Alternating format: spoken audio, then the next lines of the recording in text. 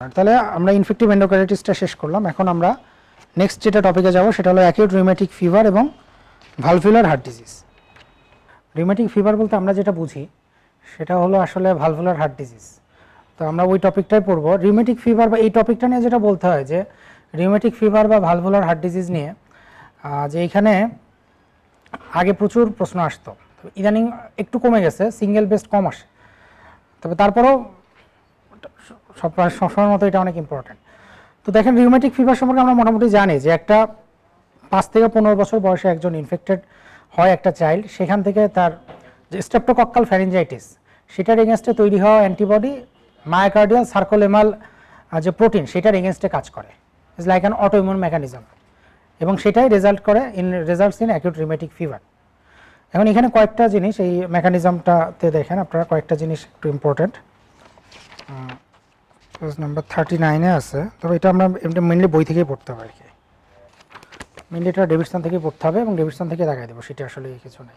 Just মেকানিজমটা দেখেন, তাহলে স্টেপ্টোকক্কাল অ্যান্টিজেন ক্রস রিয়াক্ট করে কার্ডিয়াক মায়াসিন এবং সার্কোলেমা তাহলে এখানে ইম্পর্টেন্ট কথা হলো দুইটা, যে কার্ডিয়াক মায়াসিন এবং সার্কোলেমাল মেমব্রেন প্রোটিন এক নম্বর স্টেপ্টোকক্কাস আমরা সবাই জানি গ্রুপ এ বেটা হেমালাইটিক স্টেপ্টোকক্কাস অ্যাফেক্টেড হয় পাঁচ থেকে পনেরো বছর বয়সে। প্যান কার্ডাইটিস হয়, যেটাকে বলা অর্থাৎ এন্ডোকার্ডিয়াম মায়োকার্ডিয়াম এবং পেরিকার্ডিয়াম তিনটা লেয়ারই ইনভলভ হয়। সাথে জয়েন্ট এবং স্কিন প্যাথোগনমিক ফিচার হলো কি অ্যাশকফ নোডিউল যেটাকে একটা মাল্টি নিউক্লিয়েটেড জায়ান্ট সেল এই কথাগুলো মানে এখানে এই ফ্লো চার্ট যেটা দেখা যাচ্ছে, এই ফ্লো চার্টের মধ্যে এই কথাগুলো ইম্পর্টেন্ট বইয়ের মধ্যে আছে সবই, কিন্তু একটু সহজভাবে দেয় এখানে। তাহলে আমরা জোন্স ক্রাইটেরিয়া আমরা সবাই জানি এটা সবার মোটামুটি মুখস্থ। তাহলে কি জোন্স ক্রাইটেরিয়া যেটা, এটা একটা ইনফিনিটি স্টার এটা পড়ার সাথে, যেটা মেইনই যে আপনারা অনেক সময় ভুলে যান যে সাথে সাপোর্টিং যে এভিডেন্সটা আছে, এটাও থাকা লাগবে। এসও টাইটার বা পজিটিভ থ্রট কালচার এটাও থাকতে হবে। তার সাথে মাইনর এবং মেজর ক্রাইটেরিয়া তো মাইনর ক্রাইটেরিয়াগুলো বেশি ইম্পর্টেন্ট বেশিরভাগ প্রশ্ন মাইনর ক্রাইটেরিয়া থেকেই আসে। যাক, তারপরে যে বলছিলাম যে একজন ফুল হিউম্যান পিক অর্থাৎ পুরো পুরো মানুষের ছবি, এই ছবি থেকে ইম্পর্টেন্ট খুব বেশি কিছু নাই। তবে যেটা ইম্পর্টেন্ট সেটা হলো কার্ডাইটিস কী কী ম্যানিফেস্ট করে? যে অ্যাকিউট রিমেটিক কার্ডাইটিসের কী কী প্রেজেন্টেশন আছে?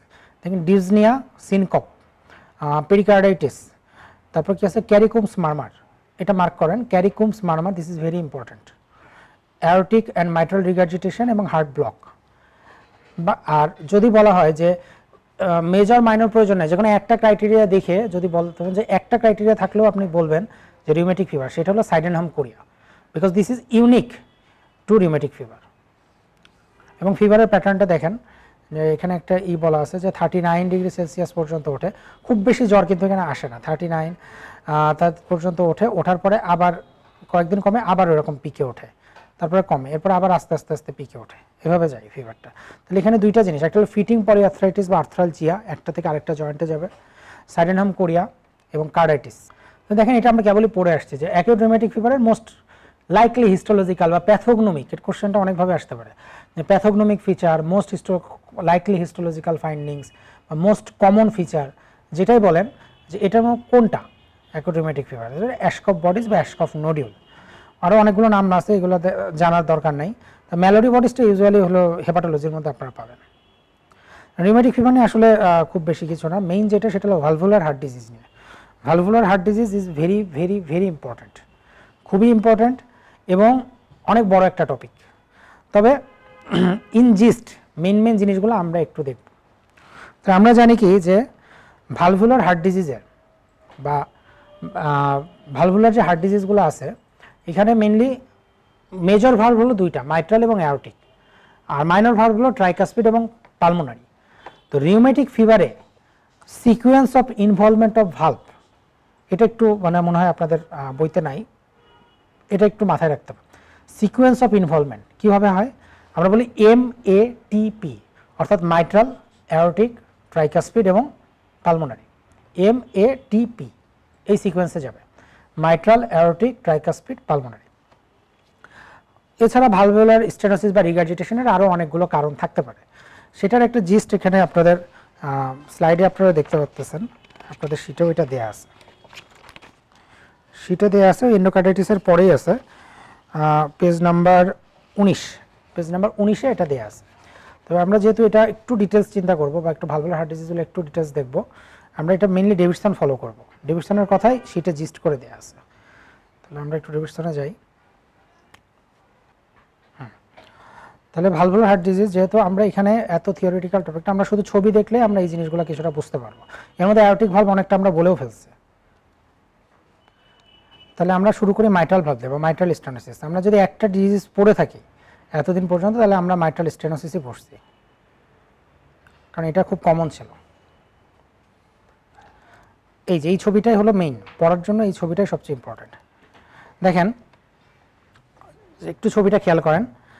যে আমরা জানি কি যে, এই যে মাইট্রাল ভাল্বটা এটা স্টেনোসিস হয়ে গেছে। Due to chronic inflammatory process যদি আমরা দেখি যে ভাল্ব একটা ভাল্ব কীভাবে একটা স্টেনোসিস হয় বা একটা ই হয় কীভাবে, এটা যদি একটু দেখি। যে একটা ভাল্ব কীভাবে স্টেনোসিস হয়। দেখেন মাইট্রাল ভাল্ব মানে আমরা জানি কি যে বাইকাস্পিড মানে দুইটা কাজ পাচ্ছে এরকম। দুটো কাজ পাচ্ছে তো যখন রিউমেটিক ফিভার হয় বা একটা ক্রনিক ইনফ্লামেটরি প্রসেস ইনভলভ করে, তখন এই যে ভালভের যে কাস্পের যে এন্ডিংগুলো এইগুলো আসলে আস্তে আস্তে স্টেনোসিস হওয়া শুরু হয়। মানে এরকম ফাইব্রোসিস হয়। যার ফলে কি হয়? যে ভাল্বটার আগের মতো প্লায়াবেল থাকে না, খুব সহজে ওপেন হতে পারে না। ফাংশনালি এবং অ্যানাটমিক্যালি তারা আসলে বাধা পড়ে যায়। এইভাবে এই ভালভের মোট সারফেস এরিয়াটা হলো ফাইভ স্কোয়ার সেন্টিমিটার সেটা যখন টু স্কোয়ার সেন্টিমিটার হয়ে যায়, তখন আসলে সিমটম আসা শুরু করে। এবং সিভিয়ার আমরা তখনই বলি যখন ওয়ান স্কোয়ার সেন্টিমিটারে নেমে আসে। এইটাই হলো মানে মাইট্রাল স্টেনোসিসের একদম প্যাথোলজিক্যাল যে ইগুলো তাহলে দেখেন যে এখানে যেহেতু ভালভে স্টেনোসিস আছে এই ছবিটা খেয়াল করেন আহ, প্রত্যেকটা ভালভুলার ডিজিজ ছবিতে ক্লিয়ার হয়ে যাবে। তাহলে কি হবে যে যেহেতু স্টেনোসিস হয়ে গেছে তার মানে প্রেশারটা বাড়ছে কোথায়? লেফট অ্যাট্রিয়ামে তাহলে প্রেশার যেহেতু লেফট অ্যাট্রিয়ামে বাড়ছে আস্তে আস্তে কী হবে? লেফট অ্যাট্রিয়ালটা এনলার্জমেন্ট হবে। যখন লেফট ভেন্টিকুলার হাইপারট্রফি বা এনলার্জমেন্ট হবে বা মাসেলের যখন কোঅর্ডিনেশন চেঞ্জ হয়ে যাবে তখন this muscle is prone to develop arrhythmia এই কারণেই এমএস থেকে অ্যাট্রিয়াল ফিব্রিলেশন এই কারণেই হয়। একটা কারণ আর কি। আচ্ছা নেক্সট হলো যখন এত বড় অ্যাট্রিয়াম হয়ে গেছে, তখন এই মধ্যে এই যে দেখেন যে কিছু জায়গা আছে যে এই এই পোর্শনগুলো এখানে দেখা যাবে যে এই পোর্শনটা আর ওই কার্ডিয়াক কন্ট্রাকশনে ইনভলভ হয় না বা অরিকল যেটা থাকে, এগুলো অতটা ইনভলভ থাকে না। ওই জায়গাতে ব্লাডের স্ট্যাসিস হয়। স্ট্যাসিস যখন হয় তখন ওখানে একটা থ্রম্বাস বা থ্রম্বাস ফর্মেশন হয়ে যেতে পারে, যেটা সিচুয়েশন অনুযায়ী এম্বোলিজম হয়ে যেতে পারে। এটা এমএসও হতে পারে, আবার অ্যাট্রিয়াল ফিব্রিলেশনের অন্যান্য কারণেও হতে পারে। তাহলে আমরা দেখলাম যে ভালভের স্টেনোসিস এবং এরিয়াটা ন্যারো হয়ে গেছে। দেখেন ব্লাডটা আসতে কষ্ট হচ্ছে। আমরা ফ্রম ফিজিওলজি ফিজিওলজি থেকে আমরা একটা জিনিস জানি যে যে কোনো স্টেনো মারমার বা ব্রুই তৈরি হয় either normal flow through abnormal valve অথবা abnormal flow through normal valve অথবা abnormal flow through abnormal valve তো এখানে ফ্লোটা কি? ফ্লোটা এখানে অ্যাবনর্মাল কারণ যেরকম থাকার কথা ছিল, সেরকম তো নাই চেঞ্জ হয়ে গেছে। আর ভালভের অ্যানাটমিটাও কি?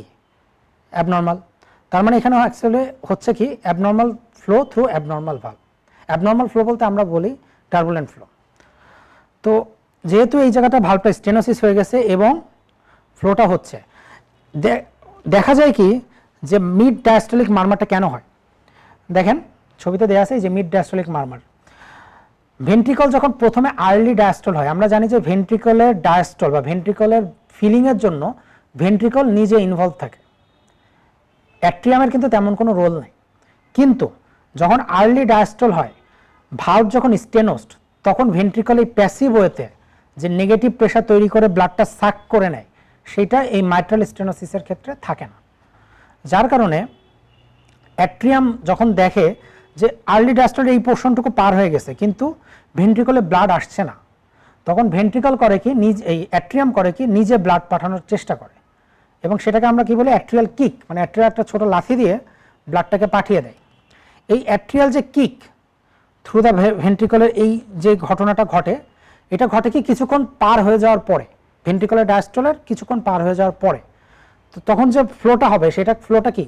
অ্যাবনর্মাল ফ্লো ভাল্বটাও অ্যাবনর্মাল সেই কারণে ডায়াস্টলের ঠিক মাঝখানে ডায়াস্টলের ঠিক মাঝখানে একটা মারমার পাওয়া যায়, যেটাকে আমরা বলি কি? মিড ডায়াস্টলিক মারমার এই ব্লাডটা পার হয়ে যাওয়ার পরেই, যখন ব্লাডটা পার হয়ে গেল, পার হয়ে যাওয়ার পরেই দেখা যায় যে অনেক ব্লাড যখন যাচ্ছে ব্লাডের ফ্লোটা বেড়ে গেছে এবং অ্যাট্রিয়ামের প্রেশার বেশি অ্যাট্রিয়াম প্রেশার দিচ্ছে। মারমার শেষ হওয়ার পরেই ওই ভাল্ব যেটা আছে, অর্থাৎ এই যে দুইটা ভাল্ব এরা সাডেনলি খোলা যায়। পুরোপুরি সাডেনলি এরকম খোলা যায়। তখন একটা ব্রিফ সাউন্ড তৈরি হয়। ঠাস করে একটা সাউন্ড তৈরি হয়। খুব ব্রিফ পিরিয়ডের জন্য। সেটাকে আমরা বলি যে এই পোর্শনটা তখন আমরা সেটাকে বলি opening snap opening snap opening snap আচ্ছা এরপরে আমরা কী করলাম? সেকেন্ড হার্ট সাউন্ড চলে আসলো। অর্থাৎ ভেন্ট্রিকল পুরো ব্লাডটা পেয়ে গেল এবং অ্যাট্রিয়াম পুরো ব্লাডটা পাস করে দিল। এখন কি হবে? ভেন্ট্রিকলের সিস্টল হবে, অর্থাৎ মাইটাল ভাবটা বন্ধ হবে। ভাইটাল ভাব যখন বন্ধ হবে, তখন আমি আগে একবার বলছিলাম যে এই অ্যাট্রিয়ামের যে চেম্বারের যে প্রেশার আর এই লেফট ভেন্ট্রিকলের চেম্বারের যে প্রেশার, এটা ডিফারেন্স কি? অনেক বেশি। যার কারণে যখনই বন্ধ হয়, তখন সাউন্ডটা হয় অনেক জোরে। এই কারণে হার্ট সাউন্ডটা কি হবে? লাউড হবে। তাহলে আমরা মাইট্রাল স্টেনোসিস বা যে কোনো ভালো ভালভুলার ডিজিজে ভালভুলার যে হিমোডাইনামিক্স এটা বোঝাটা ইম্পর্টেন্ট এটা হলো মাইট্রাল স্টেনোসিসের হিমোডাইনামিক্স তাহলে এখান থেকে আপনাদের যেটা পড়তে হবে, তাহলে দেখেন মাইট্রাল স্টেনোসিসে প্রথমে left ventricle left atrium enlarged হবে, তারপরে পালমোনারি সার্কুলেশন এনলার্জড হবে পালমোনারি হাইপারটেনশন ডেভেলপ করবে, আলো রং স্ট্যান্ডিং ক্ষেত্রে রাইট ভেন্ট্রিকলের হাইপারট্রফি হবে রাইট অ্যাট্রিয়াম বড় হবে। কিন্তু কখনোই লেফট ভেন্ট্রিকলটা বড় হবে না। তাহলে এটা ছিল মাইট্রাল স্টেনোসিসের বেসিক কথা। এখন আপনারা যেটা এখানে পড়তে হবে মাইট্রাল স্টেনোসিস থেকে এখানে যে almost always rheumatic in origin ভালভের surface এরিয়াটা আমরা মোটামুটি বলে দিয়েছি। এই যে অ্যাট্রিয়াল ফিব্রিলেশন কেন হয়? কারণ প্রোগ্রেসিভ ডায়ালেটেশন হয়। Progressive dilatation of progressive dilatation of left atrium progressive dilatation of the left atrium আচ্ছা তারপরে কি আছে যে progressive dilatation of the left atrium এখন আসেন পালমোনারি হাইপারটেনশনের কারণে রাইট ভেন্ট্রিকুলার হাইপারট্রফি আমরা ছবিতে দেখলাম রাইট ভেন্ট্রিকুলার হাইপারট্রফি হয়ে ওখান থেকে রাইট ভেন্ট্রিকল বড় হয়ে ট্রাইকাসপিড রিগার্জিটেশন হতে পারে এবং রাইট হার্ট ফেলিয়ার করতে পারে। আচ্ছা তারপরে কি আছে? এরপরে ক্লিনিক্যাল ফিচার ক্লিনিক্যাল ফিচার এর মধ্যে অনেক কিছু লেখা আছে, যে কথাগুলো বলা হয়ে গেছে অলরেডি হ্যাঁ? শুধু এই clinical features of mitral stenosis এটাই ভালো মতো পড়বেন। এর মধ্যে সব কিছু লেখা আছে, কেন ব্রেথলেসনেস কেন ফ্যাটি কেন হার্ট ফেলার কেন ইডেমা সব কিছু কেন ডেভেলপ করছে? This things will be clear কেন first heart sound opening snap আমি যেভাবে বলে দিলাম, এটা পড়লে মোটামুটি বুঝতে পারবেন। বাট মোস্ট ইম্পর্টেন্ট পার্ট হলো ছবিটা। ছবিটা খুব ভালো মতো বুঝতে হবে। এরপর আছে ইনভেস্টিগেশন এবং মাইট্রাল ভালভুলোপ্লাস্টির ক্রাইটেরিয়া এই ক্রাইটেরিয়াটা খুব ইম্পর্টেন্ট কখন আপনি মাইট্রাল ভালভুলোপ্লাস্টি করবেন। দেখেন ভালভুলোপ্লাস্টি মানে আর কিছুই না। যে ভাল্বটা এরকম ন্যারো হয়ে গেছিল, এরকম দুই মুখ আটকে গেছিল। এর মধ্যে একটা বেলুন ঢুকায় বেলুনটা ফুলাই দেয়া, যাতে এই দুই সাইডের যে ফাইব্রোসিসগুলো আছে, এটা অটোমেটিক্যালি আস্তে আস্তে কেটে যায়। ছবিতে দেখা যাচ্ছে, দেখেন, যে এই কাজটাই করে। ভালভের মধ্যে ঢুকিয়ে এই যে বেলুনটা ফুলাই দিল এবং দুই পাশে এখানে যে ফাইব্রোসিসটা ছিল ফাইব্রোসিসটা কেটে গেল ভাল্বটা আবার প্লায়েবল হয়ে গেল। কিন্তু এটা খুব ভালো একটা প্রসিডিওর কিন্তু সবসময় করা যায় না। কেন করা যাবে না? দেখেন, যদি এমন একটা কন্ডিশন হয়, যেখানে আপনি যদি ভাল্বটাকে এটাকে ওপেন করে দেন, তাহলে ধরেন লেফট অ্যাট্রিয়ামের মধ্যে একটা থ্রম্বাস আছে। সেই থ্রম্বাস কি হবে? আপনি ওপেন করে দেওয়া মাত্র এটা লেফট ভেন্ট্রিকলে যাবে। যতক্ষণ থ্রম্বাসটা লেফট অ্যাট্রিয়ামে যা ছিল, এটা যেতে পারছিল না কিন্তু লেফট ভেন্ট্রিকলে কারণ কি? স্টেনোসিস হওয়ার কারণে। কিন্তু আপনি যখনই ওর ওপেনিংটা বড় করে দিলেন, তখন ও খুব সহজে লেফট ভেন্ট্রিকলে যে সিস্টেমিক সার্কুলেশনে যাবে এবং সিস্টেমিক থ্রোম্বেম্বলিজম ডেভেলপ করবে। তারপরে কি আছে? এইটার তার মানে এইটা হলো ইম্পর্টেন্ট থাকা, যে লেফট অ্যাট্রিয়ামকে থ্রম্বাসের ফ্রি হতে হবে থ্রম্বাস থাকলে যাওয়া যাবে না। তারপরে কি হচ্ছে মাইট্রাল স্টেনোসিসের সাথে মাইট্রাল রিগার্জিটেশনও আছে, সেক্ষেত্রে ভাল্ব রিপ্লেসমেন্ট লাগবে। আইসোলেটেড মাইট্রাল স্টেনোসিস থাকলেই শুধুমাত্র আপনি ট্রিটমেন্ট করতে পারবেন, এইভাবে। এবং শুধু শুধু কেন করবেন? যদি ড্রাগে কন্ট্রোল থাকে, তাহলে করার প্রয়োজন নেই, কিন্তু সিভিয়ার হয়ে গেলে তখন করতে হবে। Significant symptoms isolated mitral stenosis no mitral regurgitation mobile non calcified valve বা সাব ভালভুলার অ্যাপারেটাস ভালো মোটেই নড়তেছে না, তখন তো করতেই হবে। আর left atrium free of thrombus infinity star এই বক্সটা ঠিক আছে, তাহলে আমরা একটু দেখি যে এই আমরা কীভাবে পড়ব। মানে পড়ার সিকোয়েন্সটা হবে ওই মাইট্রাল স্টেনোসিসের যে ইম্পর্ট্যান্ট কথাগুলো আছে, ওই ছবি এবং এই শিটে যেটা দেয়া আছে, যে বক্সটা করা আছে, এগুলো সব একসাথে যদি আপনি কোইনসাইড করেন, তাহলে দেখেন আমরা কি একটা একটু দেখি তাহলে বুঝতে পারবেন। যে মাইট্রাল স্টেনোসিসের পালস ভলিউমটা কমে যাবে বিপি লো থাকবে first heart sound loud tapping apex beat apex বিটটা tapping হবে এবং সব চেম্বারই বড় হবে লেফট ভেন্ট্রিকল ছাড়া। কেন আমরা বলছি? এবং ইসিজিতে পি মাইট্রালি অ্যাট্রিয়াল ফিব্রিলেশন আর ভিএইচ এটা পাওয়া যাবে। এগুলো ইম্পর্ট্যান্ট বা কি ওয়ার্ডস কী কথাগুলো তাহলে এবার আমরা আসি। তাহলে this is all about mitral stenosis এই কথাগুলোই বেশি ইম্পর্ট্যান্ট পরে আমরা ভালভুলার রিগার্জিটেশন অর্থাৎ মাইট্রাল রিগার্জিটেশনে যাব। আচ্ছা এখানে মাইট্রাল স্টেনোসিস থেকে আরেকটা যেটা লাগবে, সেটা হলো যে কোনো ভালভুলার হার্ট ডিজিজেও ইনভেস্টিগেশন অফ চয়েস কিন্তু ডপলার ইকোকার্ডিওগ্রাফি এখানে ডপলার হওয়ার কারণটা কি? আমরা কার্ডিওমায়োপ্যাথিতে পড়ছিলাম।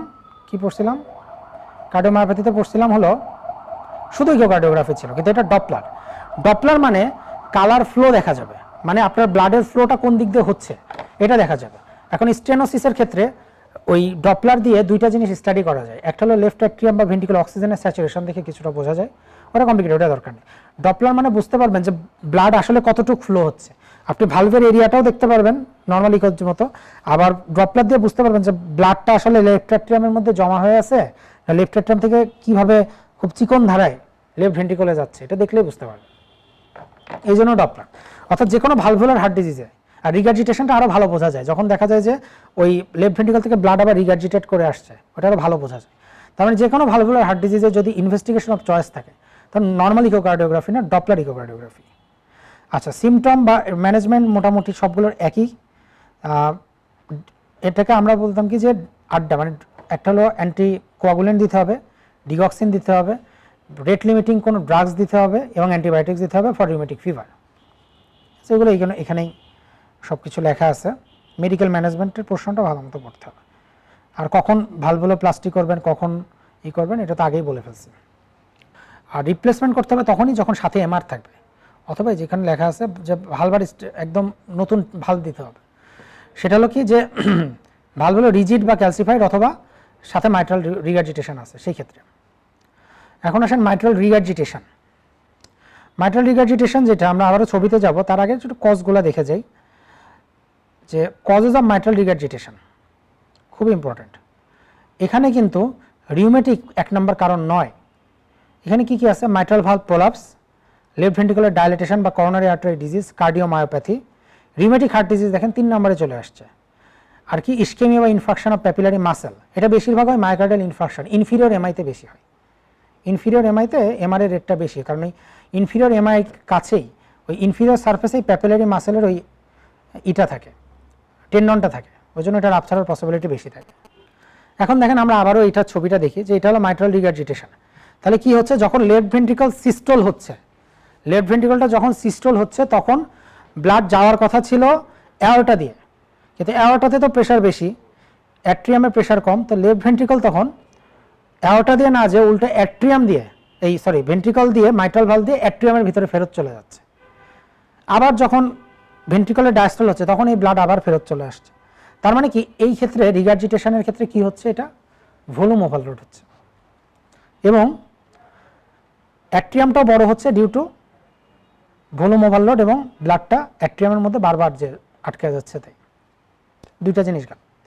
তাহলে এখানে চেম্বার এনলার্জমেন্ট হবে কোনটা? আগে লেফট ভেন্টিকলটা এনলার্জড হবে। কারণ কি? এখানে ভলিউম ওভারলোড হচ্ছে লেফট ভেন্ট্রিকলে এবং তারপরে লেফট অ্যাট্রিয়ামে হোয়াই প্যানসিস্টোলিক মারমার সিস্টোলের শুরু থেকে শেষ পর্যন্ত যতক্ষণ ভেন্ট্রিকল কন্ট্রাক্ট করবে, ততক্ষণ যাবত এই টার্বুলেন্ট ফ্লোটা হবে। এই জন্য পুরো সিস্টোল জুড়ে এই মারমারটা শোনা যায়। ঠিক আছে? এবং এইটা যেহেতু এই দিক ফ্লোটা এরকম হচ্ছে, এই কারণে মারমারটা রেডিয়েট করে। এখানে মারমার বোঝাটা ইম্পর্টেন্ট বেশি। তাহলে এমআর এর মাইট্রাল রিগার্জিটেশনের মেইন কারণ যেটা, এই যে ফ্লপি মাইট্রাল ভাল্ব বা মাইট্রাল ভাল্ব প্রোলাপস এটা আপনারা একটু রিডিং পড়বেন এই টপিকটা পড়লে বুঝতে পারবেন সহজ টপিক সিমটম সাইন যে বক্সটা আছে, এই বক্সটা দেখতে এই যে। Clinical features of mitral regurgitation more or less valvular heart ডিজিজের feature same তেমন তফাৎ নেই। শুধু মাইট্রাল স্টেনোসিসে মানে হার্ট ফেলার মাইট্রাল স্টেনোসিসে মেইনলি রাইট হার্ট ফেলার হয় প্রথমে। আর বাদ বাকি যেগুলো আছে, এগুলোতে লেফট হার্ট ফেলার আগে হয়, তারপরে রাইট হার্ট ফেলার হয়। তবে দিস মে ভ্যারি আচ্ছা তাহলে আমরা এখানে clinical features of mitral regurgitation কেন হচ্ছে? এই যে দেখেন যে আমরা ওখানে দেখলাম কি যে মাইট্রাল রিগার্জিটেশন ক্ষেত্রে হার্ট সাউন্ডটা কেমন হবে? সফট হয়ে যাবে ফার্স্ট হার্ট সাউন্ডটা কারণ ভাল্বটা ঠিকমতো বন্ধই হচ্ছে না, এই জন্য। আর থার্ড একটা হার্ট সাউন্ড পাওয়া যাবে, এটা আমি মিস করে গেছিলাম বলার সময়, যে থার্ড একটা হার্ট সাউন্ড পাওয়া যাবে। কারণ এই যে যে ভালভের মধ্যে যে ইটা আছে ব্লাডের যে অ্যাবনর্মাল ফ্লো এই অ্যাবনর্মাল ফ্লোর থেকে থার্ড হার্ট সাউন্ড সৃষ্টি হয়। সেই কারণে একটা থার্ড হার্ট সাউন্ড পাওয়া যাবে। এবং এখানে যেটা আরেকটা বক্স লাগবে, এখানে বক্স দুটাই মেইন একটা হলো clinical features and their mechanism একটা হলো medical management medical management more or less সবই এক, এতে আমার কোনো তফাৎ নেই। আর ট্রিটমেন্ট স্পেসিফিক ট্রিটমেন্ট কি অবশ্যই ই করে নিতে হবে। হলো যে কি বলে ভালো রিপ্লেসমেন্ট করতে হবে। তাহলে আমরা আবার একটু দেখি, এখানে শিটে দেখেন যে শিটেও দেওয়া আছে যে মাইট্রাল রিগার্জিটেশনে বিপি লো থাকবে, সবই ঠিক আছে। ফার্স্ট হার্ট সাউন্ড সফট হবে, আর এপিক্যাল থার্ড হার্ট সাউন্ড পাওয়া যাবে। চেম্বারটা লেফট ভেন্ট্রিকলটা আগে এনলার্জড হবে। এবং অ্যাট্রিয়াল ফিব্রিলেশন এবং লেফট অ্যাট্রিয়াল হাইপারট্রফিও পাওয়া যাবে। কি কোয়ার্ডগুলো এই বক্সের মধ্যে আছে? তাহলে মেজর দুইটা ভালভ আমাদের পড়া শেষ। অ্যারোটিক ভালভটা আমরা মোটামুটি ডিসকাস করেই ফেলছি। অ্যারোটিক স্টেনোসিস এবং অ্যারোটিক রিগার্জিটেশন এখানে কজগুলো ইম্পর্ট্যান্ট তবে অত বেশি না, একবার রিডিং পড়লেই হবে। যেটা হচ্ছে ক্লিনিক্যাল ফিচার ক্লিনিক্যাল ফিচারে যে বলছিলাম যে dash exertional dyspnoea angina syncope HOCM এর মতো। এবং কি হবে? আমরা একটু ছবিটাকে দেখে আসি। এই যে, তাহলে অ্যারোটিক সিস্টোল অ্যারোটিক স্টেনোসিস যেহেতু, তার মানে যখন ব্লাডটা বের হবে, যে দেখেন অ্যারোটিক ভালভটা স্টেনোস্ট হয়ে গেছে, অর্থাৎ লেফট ভেন্ট্রিকল যখন ব্লাডটা বের করতে যাবে, ঠিক সেই সময়, যেহেতু ন্যারো হয়ে আছে, ওই বের হওয়ার সময় প্রথম সাউন্ডটা হবে এই জন্য মারমারটা হবে কি? ইজেকশন সিস্টোলিক ইজেকশন সিস্টোলিক মানে কি? পাস মানে when the blood when ventricle is passing the blood তখন এই মারমারের সাউন্ডটা হবে। ঠিক আছে? এই যে। তার মানে এই মারমারটা দেখেন, এই যে অ্যারোটিক স্টেনোসিসের মারমারের সাউন্ড আর সেকেন্ড কি বলছিলাম যে অ্যারোটিক সাউন্ডটা সফট হবে মাইটালের মতো না। কেন? সেটা আমরা আগেই ব্যাখ্যা করছি। যেহেতু এই দুইটার মধ্যে, এই লেফট ভেন্ট্রিকল এবং অ্যারোটার মধ্যে প্রেশার ডিফারেন্সটা খুব একটা বেশি না।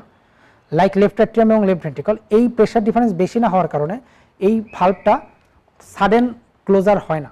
এই কারণে সাউন্ড অত বেশি হয় না। এই জিনিসটা এখানে বোঝাটা ইম্পর্ট্যান্ট আরেকটা যেটা বোঝা ইম্পর্ট্যান্ট সেটাও বলছি যে কেন অ্যাপেক্স বিটটা কেমন হবে। এটা এখানে ভুল দেওয়া আছে, তাহলে এখানে আমরা বলছি কি যে প্রেশার ওভারলোডে এইচপি অর্থাৎ হিভিং অ্যাপেক্স বিট হবে, এটা আপনারা কারেকশন করে নেবেন। এটা ডেভিডসনে প্রথমে আবার ঠিক করা আছে, এখানে ভুল লিখছে। আচ্ছা নেক্সট হলো এখানে বলছে ওরা echocardiography choice of investigation echocardiography বা আপনি ডপলার থাকলে সেটা আরও বেটার অপশন না থাকলে ইকোকার্ডিওগ্রাফি বললে হবে ডপলার মেইনলি করা হয় কেন? ডপলার করলে আরও ভালো বোঝা যায়। এই জন্য। তাহলে অ্যারোটিক স্টেনোসিসে দুইটা জিনিস ছিল, একটা এটু কেন সফট এবং কেন হলো যে ই হচ্ছে। কি বলে? থ্রাস্টিং না হিভিং হবে, সেটা ক্লিয়ার আরেকটা জিনিস একটু খেয়াল করেন ছবিতে, যে এই যে যে হাইপারট্রফির প্যাটার্নটা এই প্যাটার্নটাকে আমরা বলি কনসেন্ট্রিক হাইপারট্রফি এক্সেন্ট্রিক হাইপারট্রফি এই হাইপারট্রফিতে হার্ট বড় হয় না ইউজুয়ালি মানে লেফট ভেন্ট্রিকুলার হাইপারট্রফি হওয়ার পরেও অ্যাপেক্স বিটটা তার জায়গাতেই থাকে, ঠিক আছে? এই জন্য এটা একটা ভ্যারাইটি ইনভেস্টিগেশনগুলো আপনারা একবার রিডিং পড়লেই বুঝবেন। এখানে দেখেন কিছু ছবি দেওয়া আছে যে V four V five V six এটা লেফট ভেন্ট্রিকুলার হাইপারট্রফি হয়ে গেছে। আমরা জানি যে পনেরো এই পঁচিশ ঘর পর্যন্ত নর্মাল যদি সিঙ্গেল হয়, অথবা দুইটা হলে হলো পঁয়ত্রিশ পর্যন্ত বা সাঁত্রিশ পর্যন্ত। এখানে দেখেন এক, দুই, তিন, চার, পাঁচ, ছয়, বত্রিশ, তেত্রিশ ঘর চলে গেছে। এবং তার সাথে আবার স্ট্রেনও আছে। এলভি যদি স্ট্রেন বলি আমরা, যখন হাইপারট্রফির সাথে এই থাকে, রিলেটিভ ইস্কিমিয়ার জন্য এটা হয়। যাক, এটা অত ইম্পর্টেন্ট না ইম্পর্টেন্ট হলো ম্যানেজমেন্ট ম্যানেজমেন্ট যেটা, যে এই ধরনের পেশেন্টের ক্ষেত্রে পেশেন্টের অ্যানজাইনা ডেভেলপ করে সিনকপ হতে পারে হ্যাঁ? তাহলে patient with moderate to severe stenosis যাদের আছে, তাদেরকে ফলো আপে রাখতে হবে। বেশি কিছু করার নেই ফলো আপে রাখতে হবে। আর বয়স্ক মানুষদের ক্ষেত্রে আরও বেশি রাখতে হবে। আর ট্রিটমেন্ট একটাই সিমটোমেটিক সিভিয়ার স্টেনোসিস যদি হয়, তখন আমরা তার ভালো রিপ্লেসমেন্ট করব। এখানে আর খুলে দেওয়ার অপশন নাই মাইটাল ভাল্বের মতো। আচ্ছা নেক্সট কি আছে যে সাডেন ডেথ হতে পারে। অ্যারোটিক ভালভুলোপ্লাস্টিক করা যায়। যদি কনজেনিটাল হয়, কিন্তু ওল্ডার পেশেন্টদের ক্ষেত্রে ভালভুলোপ্লাস্টিক করা যায় না। তাহলে এখানে দুইটা কোশ্চেন এই টপিকটা থেকে বা এই জায়গাটা থেকে দুই ধরনের প্রশ্ন আসে। একটা হলো যে একজন দশ বা পনেরো বছরের বাচ্চা বা একটা পাঁচ বছরের একটা বাচ্চা যার সব কিছু অ্যারোটিক স্টেনোসিসের মতো আছে, তার মানে তারটা কনজেনিটাল তাহলে সেই বাচ্চার ক্ষেত্রে ম্যানেজমেন্ট কি হবে? আর একটা সত্তর বছরের বয়স্ক মানুষ, সেটা অ্যারোটিক স্টেনোসিস হলে সেই ক্ষেত্রে ম্যানেজমেন্টটা কি হবে? দুইটা ম্যানেজমেন্ট টোটালি ডিফারেন্ট বাচ্চাদের ক্ষেত্রে কিন্তু ভালো ভালো প্লাস্টিক করা যায়, কিন্তু অ্যাডাল্টদের ক্ষেত্রে এটা এত বেশি ক্যালসিফাইড হয়ে যায় যে সেই ক্ষেত্রে আর আসলে করা পসিবল হয় না, তখন ভাল্ব চেঞ্জ করতে হয়। আর অ্যান্টিকোয়াগুলেশন শুধু তাদেরই দিতে হবে যাদের এফ আছে, অথবা যাদের ভাল্ব রিপ্লেসমেন্ট করা হয়েছিল। এই কথাগুলো ইম্পর্টেন্ট আচ্ছা নেক্সট আছে কি? অ্যারোটিক রিগার্জিটেশন অ্যারোটিক রিগার্জিটেশনেও আমরা কজগুলো করব। Aortic cause of aortic regurgitation হলো সবচেয়ে ইম্পর্টেন্ট এই চারটা ভালভের মধ্যে।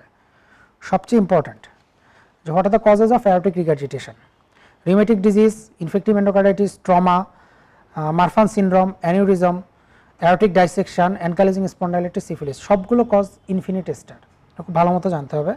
এবং এই বক্সটা ক্লিনিক্যাল ফিচার্স ক্লিনিক্যাল ফিচার্স আমরা ক্লিনিক্যাল ফিচার্স এত বক্স লাইন বাই লাইন দেখব না, আমরা জাস্ট একটু মেকানিজমটা বুঝব, তাহলেই হবে। দেখেন এটা হলো অ্যারোটিক রিগার্জিটেশন। এই যে ভালভটা রিগার্জিটেন্ট হয়ে গেছে। তার মানে কি হচ্ছে? যে ভালভে এখানে কি ধরনের মারমার হয়? আমরা বলছিলাম যে আর্লি ডায়াস্টোলিক মারমার হয়। কি হয়? যে ভেন্ট্রিকল তো সিস্টল করে পুরো ব্লাডটা পাঠিয়ে দিল। যে ব্লাডটা চলে যাচ্ছে। এরপরে যখনই ডায়াস্টল হবে, তখন ভেন্ট্রিকল অ্যাট্রিয়া অ্যারোটিক ভাল্বটা মানে এই ভাল্বটা কি হওয়ার কথা? যখন ডায়াস্টল হবে, তখন অ্যারোটিক ভাল্বটা বন্ধ হয়ে যাওয়ার কথা।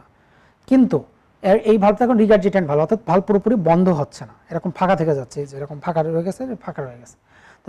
এরপরে যখন সিস্টল করার পরে ভেন্ট্রিকল ডায়াস্টল হবে, তখন কি ভেন্ট্রিকলের মধ্যে আবার একটা নেগেটিভ প্রেশারের সৃষ্টি হবে। এবং এই ভাল্বটা খোলা থাকার কারণে কিছু ব্লাড অ্যারোটা থেকে আবার ফেরত চলে আসবে কোথায়? লেফট ভেন্ট্রিকলের মধ্যে। এই রিগার্জিটেশনের কারণে এখানে হবে কি? Volume overload left ventricular hypertrophy কিন্তু এটা কিন্তু এরকম এক্সেন্ট্রিক না, এটা একদম ইউনিফর্ম একটা হাইপারট্রফি হবে। এবং যেহেতু এই ঘটনাটা ডায়াস্টলের শুরুতেই ঘটবে, সেই কারণে আর্লি ডায়াস্টলিক মারমার পাওয়া যাবে। আর্লি ডায়াস্টলিক একটা মারমার পাওয়া যাবে। আর এখানে আর একটা ইম্পর্টেন্ট জিনিস আছে, সেটা হলো পালস প্রেশার আমরা বলছিলাম যে অ্যারোটিক স্টেনোসিসে পালস প্রেশারটা হবে ন্যারো আর অ্যারোটিক রিগার্জিটেশনে হবে সফট আমরা জানি কি যে pulse pressure systolic blood pressure minus diastolic blood pressure এটা আমরা আগেই বলে আসছি। অ্যারোটিক স্টেনোসিসের ক্ষেত্রে যেহেতু কার্ডিয়াক আউটপুট কম হয়ে যাচ্ছে, তার মানে কার্ডিয়াক আউটপুটের সাথে সম্পর্ক কার? সিস্টোলিক ব্লাড প্রেশারের তার মানে অ্যারোটিক স্টেনোসিসের ক্ষেত্রে সিস্টোলিক ব্লাড প্রেশার ফল করবে। ডায়াস্টোলিক ব্লাড প্রেশার চেঞ্জ হয় বাট আমরা ওইটা আলোচনায় যাব না, এটা কমপ্লিকেটেড বেশি ডায়াস্টোলিক ব্লাড প্রেশার আমি ধরে নিলাম নর্মালি থাকল। তাহলে পালস প্রেশারটা কি হবে? দিস উইল বি ন্যারো অর্থাৎ লেস দ্যান টোয়েন্টি তাহলে পালস প্রেশার অ্যারোটিক স্টেনোসিসে ন্যারো হয় কেন? এটা বোঝা গেল। রসায়ন অ্যারোটিক রিগার্জিটেশন অ্যারোটিক রিগার্জিটেশনের ক্ষেত্রে সিস্টোলিক ব্লাড প্রেশার অ্যারোটিক রিগার্জিটেশনে কার্ডিয়াক আউটপুট কি হবে? মনে করেন না যে ব্লাড চলে গেছে বলে ফেরত আসছে বলে কার্ডিয়াক আউটপুট কমে যাবে, তা কিন্তু হবে না। যেহেতু ওই ব্লাডটা ফেরত আসছে, পরের সার্কেলে তো ওই ব্লাডটাই আবার ফেরত যাচ্ছে রিগার্জিটেশন হয়। সেখানে কার্ড সিস্টোলিক ব্লাড প্রেশারটা আসলে কার্ডিয়াক আউটপুটটা এআর এর ক্ষেত্রে বাড়ে। এবং সিস্টোলিক ব্লাড প্রেশারটা কি হবে? উপরের দিকে থাকবে। আর ডায়াস্টোলিক ব্লাড প্রেশারটা পেরিফেরাল রেজিস্ট্যান্সের কারণে এখানে একটু কমে যায়। যাক, এটা নিয়ে আমরা বেশি করব না জাস্ট বোঝার জন্য। সিস্টোলিক ব্লাড প্রেশারটা যেহেতু বাড়ে, তার মানে পালস প্রেশারটা কি হবে? ওয়াইড হবে, অর্থাৎ মোর দ্যান ফিফটি ফাইভ বা সিক্সটি হবে এয়ারের ক্ষেত্রে। তাহলে এই কথাটা এখানে বলা আছে যে এই যে অ্যারোটিক রিগার্জিটেশনের পালস প্রেশার ওয়াইড বা ন্যারো পালস প্রেশার তাহলে এইখান থেকে এইটুক পড়লেই হবে এবং এই যে ডপলার ইপোকার্ডিওগ্রাফি দেখছেন রিগার্জিটেশন মানেই ডপলার তা নাহলে আপনি উল্টা ফ্লোটা দেখতে পারবেন না তো।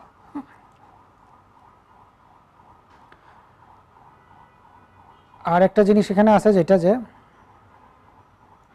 অ্যারোটিক ভালভ রিপ্লেস করতে হবে। অ্যারোটিক ভালভ রিগার্জিটেশনের ক্ষেত্রেও যখন সিমটম করবে বায়োটিক রুট রিপ্লেসমেন্ট সহ করা লাগতে পারে, বা coronary artery bypass aortic regurgitation কিন্তু একটা কঠিন ডিজিজ এবং সেটা যখন ফিফটি ফাইভ মিলিমিটারের বেশি হয়ে যায় ডায়ামিটারটা অনেক বড় হয়ে যায়, তখনই ইউজুয়ালি লাগে। তো যাই হোক, আমরা ওইটা নিয়ে অত ডিটেলস আমরা চিন্তা করব না। ম্যানেজমেন্ট মোটামুটি ইনভেস্টিগেশনটা ইম্পর্টেন্ট তাহলে এইটাই ছিল মেইন চারটা ভালভুলার হার্ট ডিজিজ এবং তাদের মেকানিজম এবং তাদের মোটামুটি যে ইম্পর্টেন্ট কথাগুলো আছে সেই কথাগুলো শিটেও দেওয়া আছে বা এই যে এই বক্সটা দেওয়া আছে। আর আপনার ছবির সাথে বক্সটা মিলাই পড়লে মোটামুটি ক্লিয়ার হয়ে যাবে।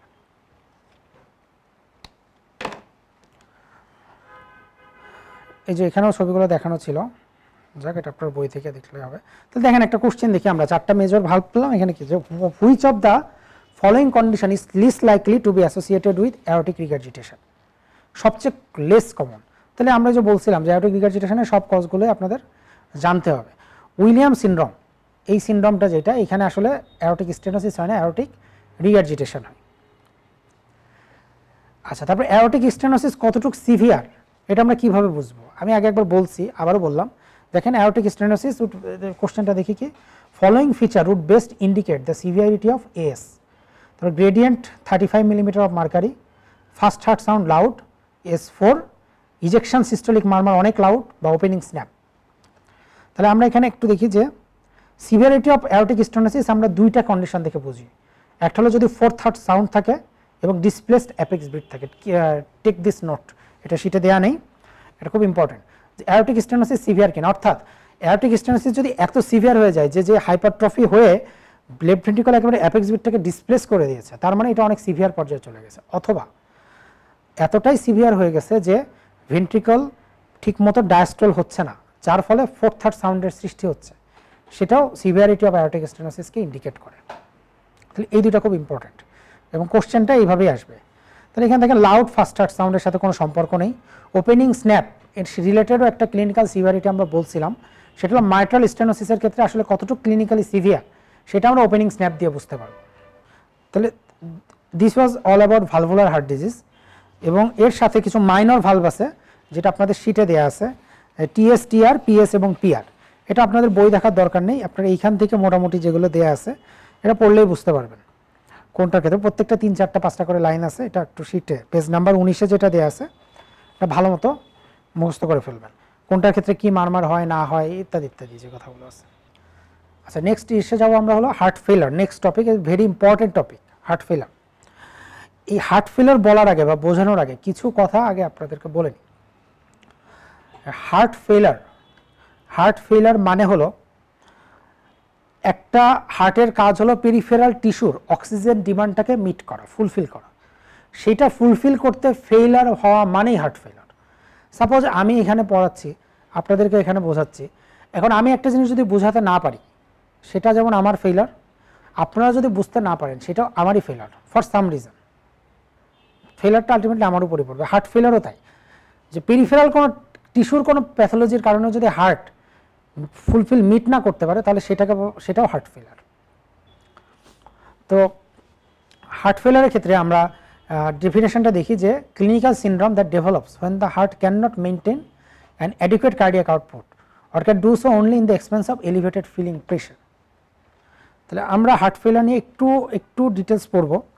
কারণ এই টপিকটা আসলে ডেভিডসন একটু কঠিন করে লেখা আছে, আমরা একটু সহজ পাবো প্রথমে একটা ক্লাসিফিকেশন দেওয়া আছে। শিটে আপনাদের দেওয়া আছে পেজ নাম্বার উনিশে। যে classification of heart failure left ventricle right heart failure এবং বাই ভেন্ট্রিকুলার ফেলার এটা আপনারা মোটামুটি সবাই জানেন বা বোঝেন যে কোনটা কি ফেলার এবং এটা ডেভিডসনের ক্লাসিফিকেশন অনুযায়ী দেয়া। এটার কজগুলো জানতে হবে। নেক্সট যেটা, সেটা হলো এবিসিডি ক্লাসিফিকেশন এই ক্লাসিফিকেশনটা যদিও নাই, এখানে একটাই কথা বলার যে এ ক্লাসিফিকেশন আপনাদের মনে রাখতে হবে। যাদের হার্ট ফেলারের রিস্ক আছে ডায়াবেটিক হাইপারটেনসিভ ওবেসিটি বা মেটাবলিক সিনড্রোম তারা ক্লাস এ এর মধ্যে পড়ে।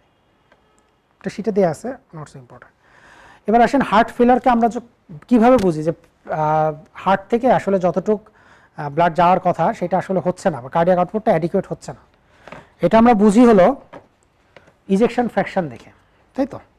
ফিজিওলজি থেকে আমরা একটা জিনিস জানি যে ইজেকশন ফ্র্যাকশনটা বলতে আমরা এটাই বুঝি যে stroke volume by end systolic volume অর্থাৎ সিস্টোলের শেষে যতটুকু ব্লাড আছে, ধরেন সিস্টোলের শেষে একশো এম ব্লাড আছে, তার মধ্যে স্ট্রোক ভলিউম হলো পঞ্চাশ এম তার মানে ইজেকশন ফ্র্যাকশন হলো ফিফটি পার্সেন্ট এটা আমরা মোটামুটি জানি।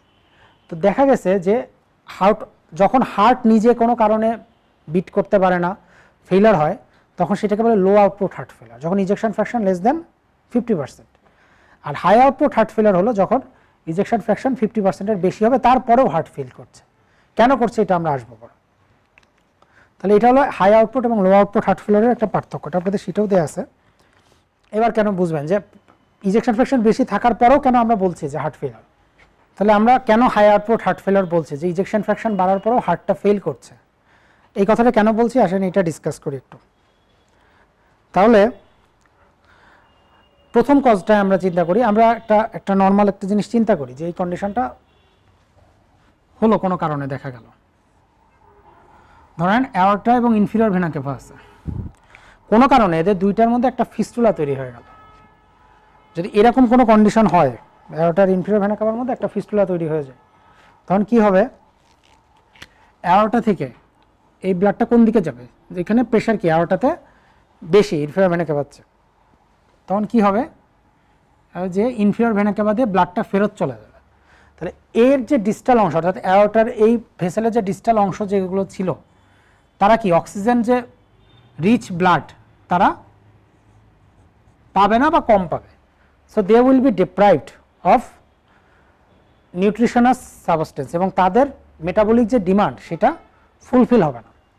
তখন এদের কিছু পেরিফেরাল রিসেপ্টর আছে, যারা হাইপক্সিয়াতে ইন্ডিউস হয়ে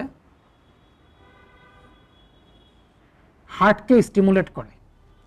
যে I am not getting enough nutrition আমার, আমি এনাফ নিউট্রিশন পাচ্ছি না।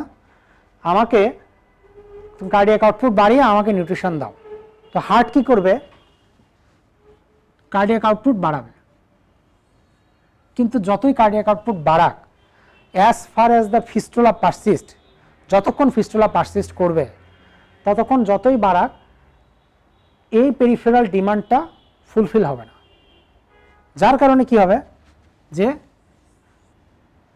ইজেকশন ফ্র্যাকশন বেশি আউটপুট কার্ডিয়াক আউটপুট বেশি, তারপরেও heart is failing to meet the demand of the peripheral tissue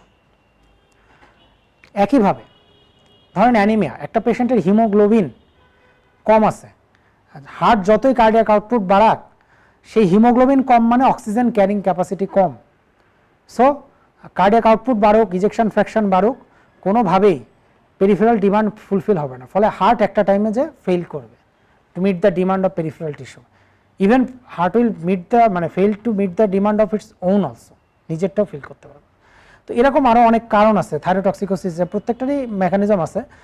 আলাদা আলাদা, সবগুলোর এত জানার দরকার নেই। মোটামুটি একটু ধারণা থাকলেই হবে। কজগুলো খুব ইম্পর্টেন্ট হাই আউটপুট হার্ট ফেলারের কজ ইনফিনিটি স্টার এটা দেওয়া আছে আপনাদের শিটে ভেরি ভেরি ইম্পর্টেন্ট এটা খুব ভালো মতো মনে যেমন ধরেন বেরি বেরি আমরা জানি কি যে একটা বেরি বেরি মানে কি? এটা ভিটামিন বি ওয়ানের অভাবে হয়, এটা এটা মেটাবলিক ভিটামিন আমরা জানি যে মেটাবলিক ভিটামিন হলো B one two three five six তো এর মধ্যে একটার অভাবে বেরি বেরি হয়। তো একটা সেলের মধ্যে, ধরেন একটা সেল এর মধ্যে বি ওয়ানের অভাব আছে। বি ওয়ানের অভাব হলে আপনি যতই অক্সিজেন দেন না কেন, অ্যারোবিক গ্লাইকোলাইসিস কিন্তু হবে না। কারণ কি বি ওয়ানের অভাব আছে? তো গ্লাইকোলাইসিসের যে পাথওয়েটা বা যে এনার্জি হওয়ার যে কথাটা, সেটা হবে না। ফলে কি হবে? এই সেলটার এটিপি প্রোডাকশন কমে যাবে এবং তার ডিমান্ডটা ফুলফিল হবে না। তো আপনি যতই এই সেলে ব্লাড দেন oxygen then will be never same if you don't replace B one কারণ তার তো মেটাবলিক পাথওয়েতে সমস্যা। আউটপুট বা অক্সিজেনের সমস্যা নেই। কারণ আমরা নর্মালি জানি যে হার্টের কাজ হলো অক্সিজেন লাংসের কাজ হলো অক্সিজেন নেওয়া এনভায়রনমেন্ট থেকে হার্টের কাজ হলো সেই অক্সিজেন সবগুলো ব্লাড ভেসেলে মানে সবগুলো সেলের কাছে পৌঁছায় দেওয়া যাতে তারা with all the resources available তারা সেটাকে মেটাবলিক অ্যাক্টিভিটি করে তারা এটিপি তৈরি করতে পারে গ্লাইকোলাইসিসের মাধ্যমে। এইটাই তো, একদম সিম্পলিফাই হতে বলতে গেলে। তো সেখানের এই স্টেজে যদি সমস্যা হয়, আপনি কার্ডিয়াক আউটপুট করে কোনো লাভ হবে না। তাহলে এইগুলোই ছিল হাই আউটপুট হার্ট ফেলারের কারণ। সেগুলো খুব ভালো মতো একটু পড়বেন সেটা দেয়া আছে। নেক্সট আর একটা আমরা টার্ম ইউজ করি, সেটা হলো সিস্টোলিক ফেলার আর ডায়াস্টোলিক ফেলার সিস্টোলিক হার্ট ফেলারে তো আমরা বললাম যে একটা হার্ট যদি সিস্টোল না করতে পারে, তাহলে কার্ডিয়াক আউটপুট কমবে ইজেকশন ফ্র্যাকশন কমে যাবে। আরেকটা আছে কি যে ডায়াস্টোলিক ফেলার আগে বলা হতো, এখন বলা হয় heart failure with normal ejection fraction এই জিনিসটা কি এটা একটু সংক্ষেপে জাস্ট ফর কনসেপচুয়াল পারপাস ধরেন হার্টের এমন কোনো প্যাথোলজি হলো যার জন্য হার্ট ঠিকমতো ডায়াস্টল হতে পারছে না। ঠিকমতো ডায়াস্টল মানে ঠিকমতো ডায়াস্টল হতে পারছে না। তখন যদি ডায়াস্টল না হতে পারে, তাহলে নর্মাল হার্ট এটা একটা নর্মাল হার্ট নর্মাল হার্টে ব্লাড আসার কথা সাপোজ একশো এম এবং একটা নর্মাল হার্টের থেকে মিনিমাম ফিফটি এম আমি ধরে নিলাম সিক্সটি এম ব্লাড সে পাঠাই দেবে নর্মাল হার্টে তার মানে এটা এন্ডাস্ট্রিক ভলিউম হলো হান্ড্রেড এম এবং সে হলো যে স্ট্রোক ভলিউম হলো সিক্সটি এম তাহলে এখানকার ইজেকশন ফ্র্যাকশন হবে সিক্সটি পার্সেন্ট এই ক্ষেত্রে যেহেতু হার্ট ডায়াস্টল হতে পারছে না, তাহলে এখানে নর্মালের মতো হান্ড্রেড এম ব্লাড আসবে না। কি হবে? তার থেকে কম আসলো। ধরেন, এখানে একশো এম আসার কথা, এখানে আসলো seventy M L seventy M আসলো। এখন এই হার্টের সিস্টলে কোনো সমস্যা নেই। সে যখন সিস্টল করবে, সে তখন এই সেভেন্টি এম এর ম্যাক্সিমাম পোর্শনে পাঠাই দিল। ধরেন চল্লিশ বা বিয়াল্লিশ এম এলই পাঠাই দিল। কারণ এর সিস্টলে তো কোনো ফাং ডিসফাংশন নেই। তাহলে এখানেও ইজেকশন ফ্র্যাকশন কত হবে? স্ট্রোক ভলুম ভাগ এন্ডাস্টলিক ভলুম ওই অ্যারাউন্ড সিক্সটি পার্সেন্টই হবে। তাহলে এই হার্ট আর এই হার্টের মধ্যে তফাতটা কোথায়? ইজেকশন ফ্র্যাকশন সেম থাকার পরেও এই যে যে ষাট এম যে কাজ হওয়ার কথা, সেটা তো এই বিয়াল্লিশ এম দিয়ে কখনোই হবে না। মানে অ্যাবসোলুট কার্ডিয়াক আউটপুট যেটা, সেটা কিন্তু অ্যাবসোলুট কার্ডিয়াক আউটপুটটা কমে গেছে। বাট আমরা তো পার্সেন্টেজ দেখতেছি। তার মানে এইখানে হার্ট তার নিজের কোনো প্যাথোলজির কারণে পেরিফেরাল টিস্যুর যেটা ফিল আপ করার কথা ছিল, সেই অ্যাবসোলুট অ্যামাউন্টে কিছু ডেফিসিয়েন্সি থেকে যাচ্ছে। ফিল আপ হচ্ছে না। So that is why normal ejection fraction থাকার পরেও হার্ট ইজ ফেলিং এটাকে আমরা আগে বলতাম ডায়াস্টোলিক হার্ট ফেলার এখন বলে heart failure with normal ejection fraction যেখানে কনসেন্ট্রিক হাইপারট্রফি হয়, যেটা আমরা এরকম একটা ছবি কিন্তু হাইপারট্রফিক কার্ডিওমায়োপ্যাথিতে দেখছি, যে ভিতরে লুমেনটা কমে গেছে, ছোট হয়ে গেছে। আই থিঙ্ক ইউ রিমেম্বার যেহেতু এটা আমরা কিছুক্ষণ আগেই আলোচনা করছি। তারপরে যে ডেভিডসনের একটা ছবি দেওয়া আছে, যে হার্ট ফেলারে কী কী জিনিস হয়, এর মধ্যে যেটা ইম্পর্টেন্ট সেটা যে কী কী নিউরো হিউমোরাল অ্যাক্টিভেশন হয়। Sympathetic renin angiotensin aldosterone vasopressin এবং এন্ডোথেলিন সিস্টেম তারপর আরও বক্স আছে that factors that may precipitate the R aggravate the heart failure এখানে মনে রাখবেন যেটা এটা সিক্স আই দিয়ে, অর্থাৎ মাইক্রোডাল ইস্কেমিয়া বা ইস্কেমিয়া বা ইনফাকশন ইনফেকশন তারপরে ইপ appropriate reduction of therapy inotropic drug IV fluid embolism এবং increased metabolic demand maximum I দিয়েই মনে থাকবে। একটা দুটো কজ হয়তো বাইরে থাকবে। এবং হার্ট ফেলারের কমপ্লিকেশনস দেখেন হার্ট হলো is the centre of the organ যেটা বডির সবগুলো অর্গানে তার ব্লাড সাপ্লাইটাকে মেনটেন করবে। তো যখন সে ফেল করবে, তখন বডির সবগুলো অর্গানে ইনভলভমেন্ট হবে। That is why it is heart ফেলারে সবগুলো অর্গান দেখেন ইনভলভমেন্ট হয়ে গেছে, সব অর্গান ফেলার হবে। এটা ডেভিডসনেরই কথা, কিন্তু ডেভিডসনে অনেক থরলি দেওয়া এই কারণে আপনাদের শিটে এবং এই স্লাইডেও এটা একটু আর মানে পয়েন্ট আউট করে দেওয়া হয়েছে যাতে মনে থাকে। কিন্তু কথা একই রেনাল ফেলার কিডনি ফেলার এই sorry renal failure electrolyte imbalance hypo hyper kalaemia hyponatraemia হবে এবং প্রত্যেকটার মেকানিজম কেন হচ্ছে সব এখানে দেওয়া আছে। পড়লে বুঝতে পারবেন। এরপর আসে radiological features of heart failure radiological ফিচার্সগুলো পাঁচটা পয়েন্ট আছে, দুইটা ডাবল স্টার আর কি। এর মধ্যে, এটা নিয়ে পরে কোশ্চেন আসবে, তখন আমরা দেখব যে কি কি ফেলারের মানে হার্ট ফেলার রেডিওলজিক্যাল ফিচারে কি কি জিনিস আসে? কী কী আছে?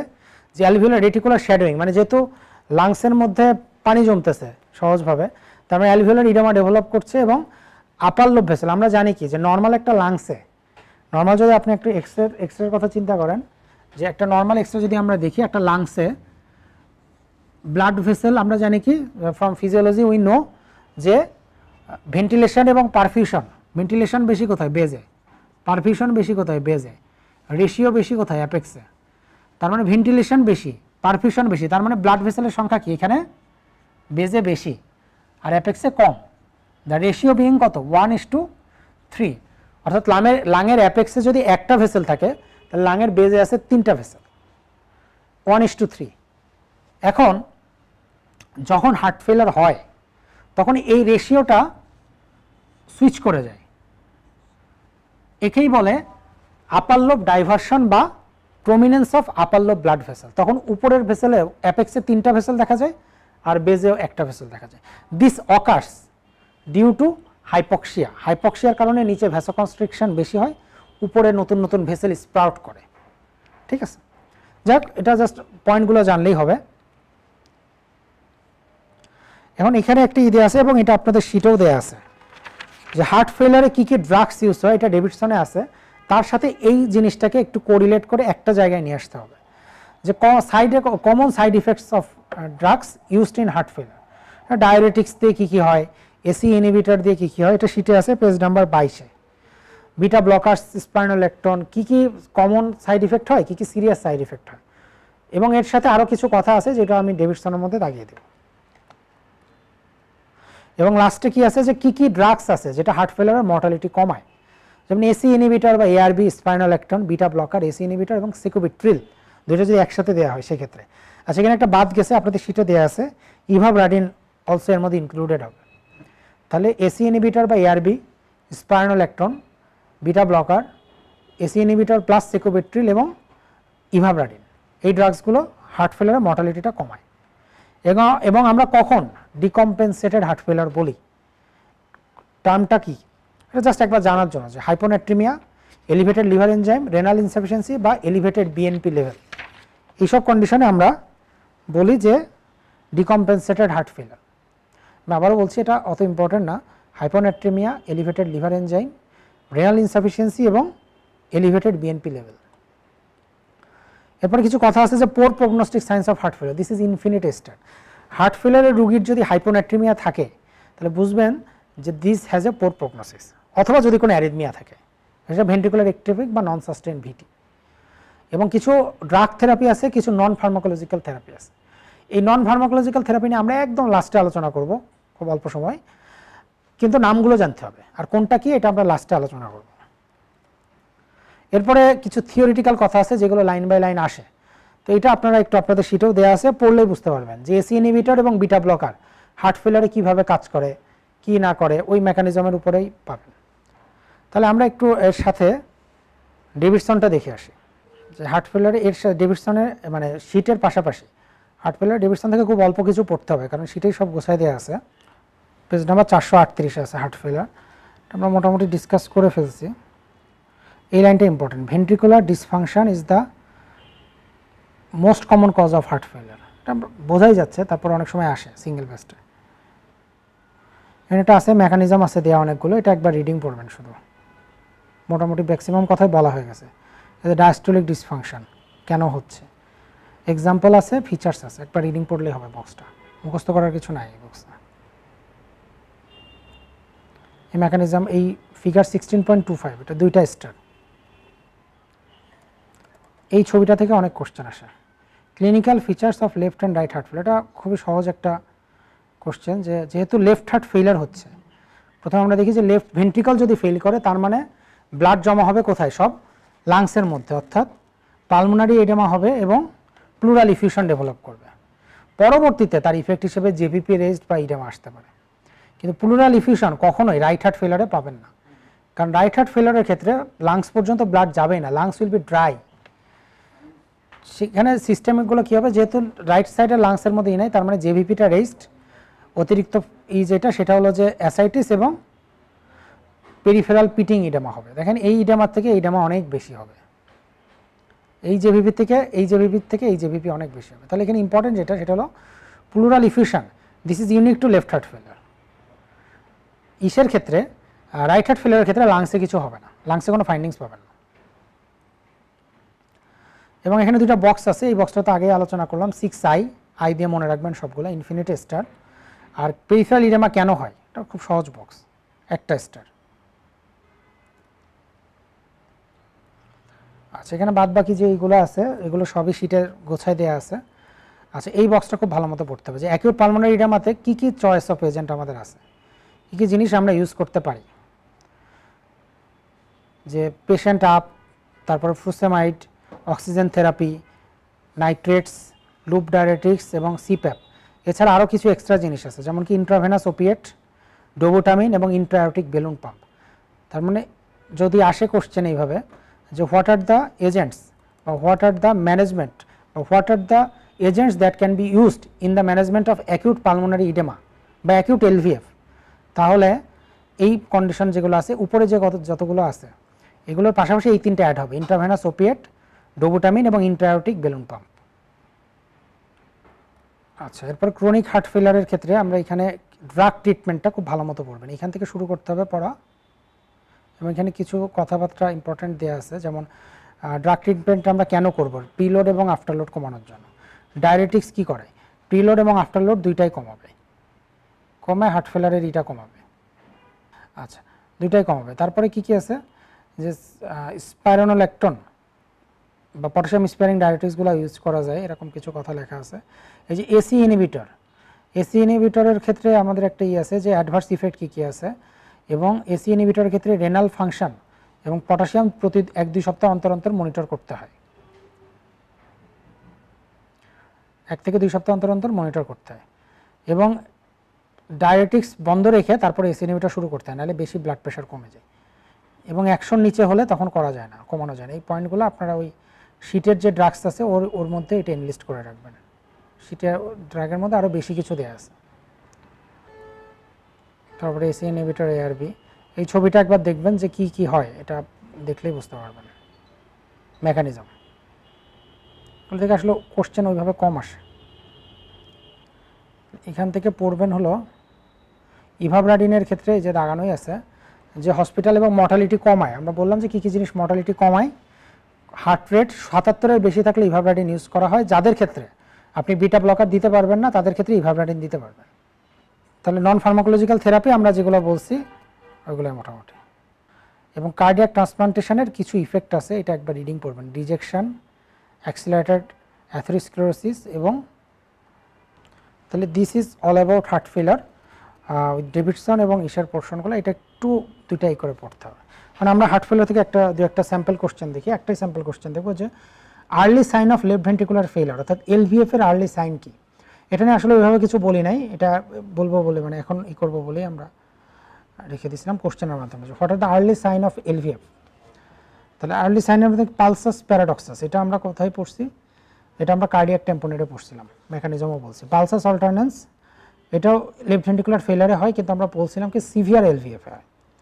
ট্যাকিকার্ডিয়া পেরিফেরাল ইরামা এগুলো সবই লেফট ভেন্টিকুলার ফেলারে থাকতে পারে, যেহেতু পেশেন্ট শখে থাকে। আর গ্যালোপ্রিদম কিন্তু এর মধ্যে আর্লি সাইন কোনটা? দেখেন, এখানে তিনটা পার্ল আছে বা তিনটা ইয়ে আছে কোশ্চেনে দেওয়া এটা একটু নোট করেন। যে আর্লি ক্লিনিক্যাল লেফট ভেন্টিকুলার ফেলারের আর্লি ক্লিনিক্যাল সাইন হলো গ্যালোপ্রিদম এলভিএফ এর আর্লি ক্লিনিক্যাল সাইন হলো gallop rhythm early radiological sign হলো হার্ট ফেলার হলো আপার লোব ডাইভারশন যেটা আমরা ছবিতে দেখাইছি what is the mechanism and why it occurs এবং সিভিয়ারিটি যদি আমরা দেখতে চাই তাহলে আমরা পালসাস অল্টারনেন্স বলব। তাহলে এই তিনটা জিনিস আপনারা একটু মানে শিটে নোট করে ফেলেন যেহেতু এটা তিনটাই সিঙ্গেল বেস্ট যে প্রথমে কি যে early clinical sign of LVF is gallop rhythm early radiological sign is upper lobe diversion and that indicate the severity of LVF is uh, pulsus alternance. আচ্ছা নেক্সট টপিক হলো আমাদের হাইপারটেনশন হাইপারটেনশনের আমরা by definition আমরা জানি কি? যে blood pressure যদি hundred forty by ninety millimetre mercury থাকে হাইপারটেনশন এবং হান্ড্রেড সিক্সটি হান্ড্রেড টেনের উপরে চলে গেলে তখন স্টেজ ওয়ান বা স্টেজ টু নিয়ে ডিভাইড ডিভাইড করা আছে বা ক্লাসিফিকেশন আছে। তো হাইপারটেনশন বোঝার আগে আমাদেরকে যেটা বুঝতে হবে যে হোয়াট ইজ ব্লাড প্রেশার এবং তিনটা ছবি। তিনটা ছবি দেখলেই মোটামুটি ক্লিয়ার হয়ে যাবে। তিনটা ছবি দেখে আমরা আগে আর হাইপার টেনশন নিয়ে আর কি আমরা ডিসকাস করব। তো দেখেন, এখানে যে তিনটা ছবি দেওয়া আছে, প্রথমে দেখেন একটা নর্মাল ভেসেলের ছবি দেওয়া আছে এবং ভেসেলের মধ্যে স্মুথ মাসেল আর আমরা জানি কি যে হাইপার টেনশন মানে বা যে কোনো ব্লাড প্রেশার মানে হলো যে ফ্লোয়িং যে ব্লাডটা আছে ভেসেলের মধ্যে যে ফ্লোয়িং ব্লাডটা আছে, এই ফ্লোয়িং ব্লাড ল্যাটারাল যে প্রেশার দেয় ব্লাড ভেসেলের ওয়ালে সেটাকে আমরা বলি ব্লাড প্রেশার এটাই যখন বেশি হয় তখন আমরা বলি হাইপার টেনশন তো যদি এমন হয় যে একজন পার্সনের যার এই প্রেশারটা অনেক বেশি ব্লাড প্রেশারটা অনেক দিন ধরে অনেক বেশি বা সাস্টেন প্রেশার দিচ্ছে over a longer period of time তখন এইগুলো যে স্মুথ মাসেল এদের উপর তো প্রেশার পড়বে। তো যেহেতু এইটা একটা মাসেলের মতো এবং এটার উপরে যেহেতু প্রেশার আমরা যদি কন্টিনিউয়াস দিতে থাকি, তখন কি হবে? যে এই স্মুথ মাসেলগুলো এরকম হাইপারট্রফি হবে।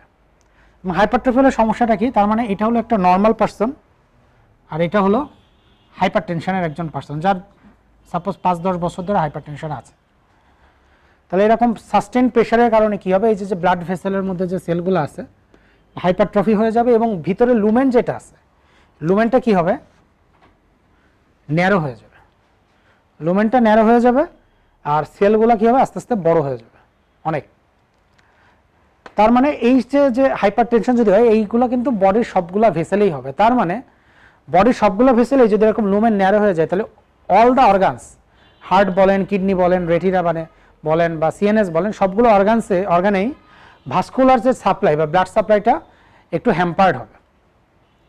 আর এই ছবিটা যদি দেখি যে এই ব্লাড ভেসেল যখন সেলগুলো অনেক বড় হয়ে গেছে, তখন এই সেলগুলোর কি? নিজেদের যে অক্সিজেন ডিমান্ড সেটা অনেক বেশি। ডিমান্ডটা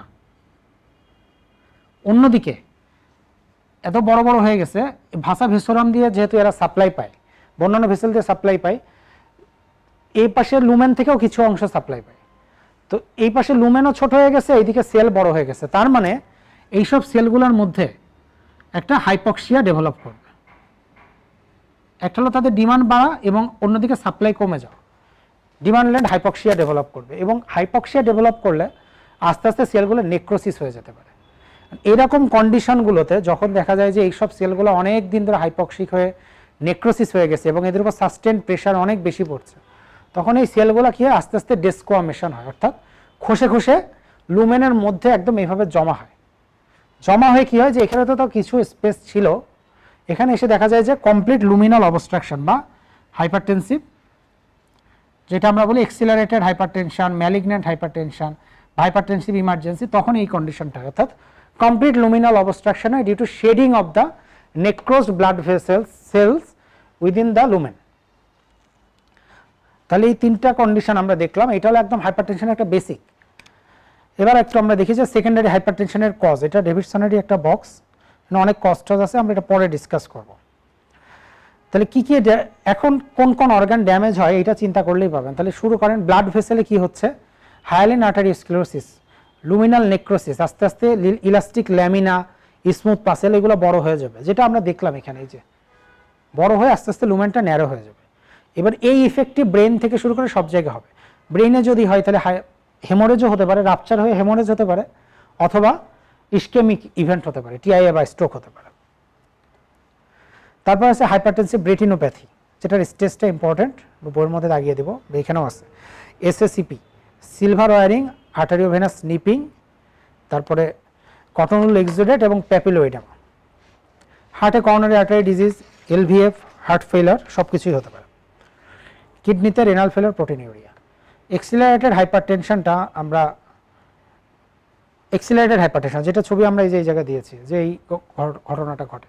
অর্থাৎ অনেক বেশি ব্লাড প্রেশার তার সাথে যেহেতু একদম কমপ্লিট অবস্ট্রাকশন হয়েছে, তার মানে এন্ড অর্গান যে ভাইটাল অর্গানগুলো আছে, এদের ড্যামেজ হবে। ড্যামেজটা কি হবে? লেফট ভেন্টিকুলার ফেইলার হতে পারে রেটিনোপ্যাথি হতে পারে এনসেফালোপ্যাথি হতে পারে রেনাল ডিসফাংশন হতে পারে এবং প্রোটিনিউরিয়া হতে পারে।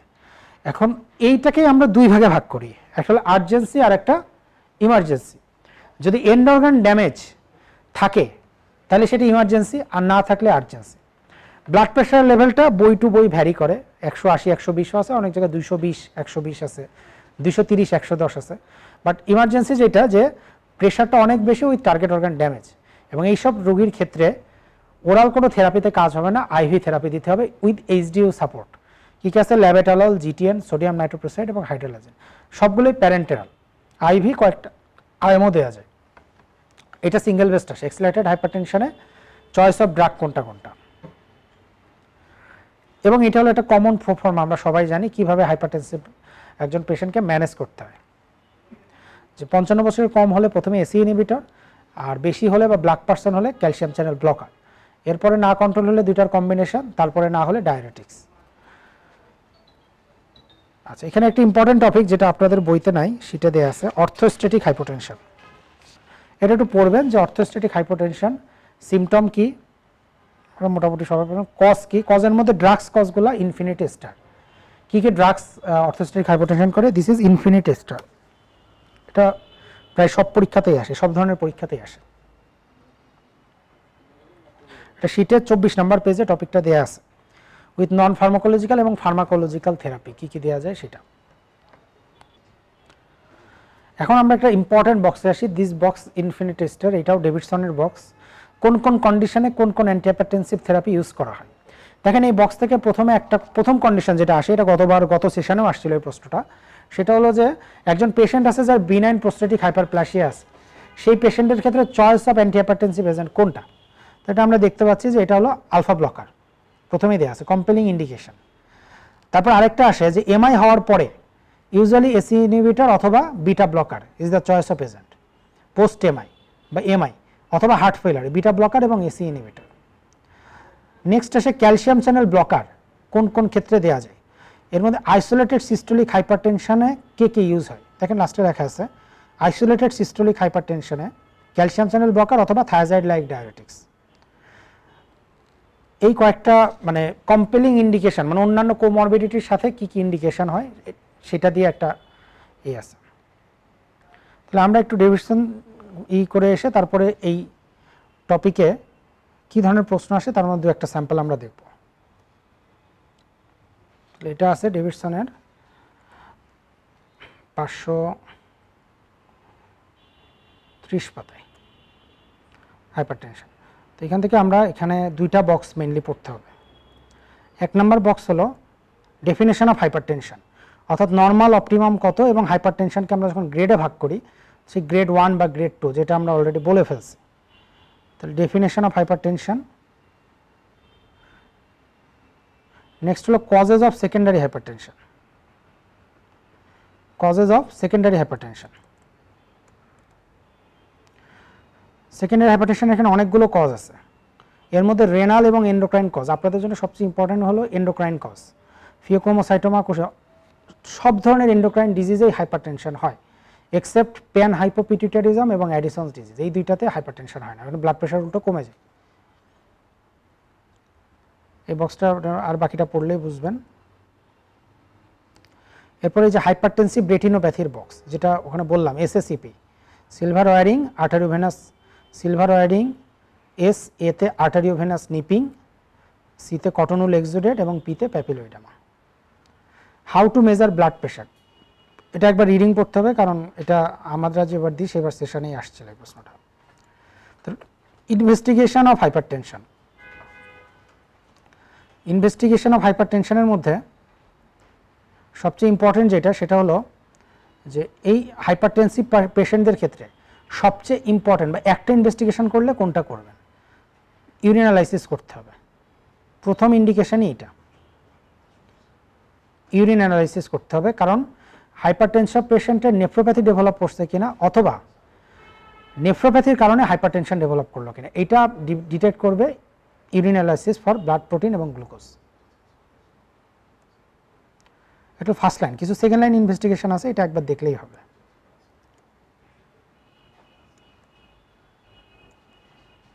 নেক্সট এইগুলো আপনাদের আর অত প্রয়োজন হবে না। অপটিমাম টার্গেট ব্লাড প্রেশারটা আমরা কত রাখব একজন রোগীর ক্ষেত্রে হ্যাঁ? এটা ইউজুয়ালি হান্ড্রেড ফর্টি নাইনটির নিচে, অথবা অ্যাম্বুলেটারি বা হোম ব্লাড প্রেশার যদি হান্ড্রেড থার্টি ফাইভ বা এইট্টি ফাইভের নিচে থাকে, তাহলেই আমরা we are happy with his control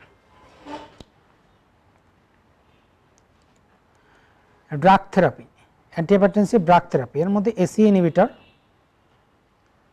এগুলো একটু রিডিং পড়তে হবে। যে এসি ইনহিবিটরের মধ্যে আসলে যে কথাগুলো আমরা হার্ট ফেলারে বলে আসছি বা যে আগে যে বক্সে দেওয়া ছিল, ওই বক্সের মধ্যে অনেক কিছু লেখা আছে।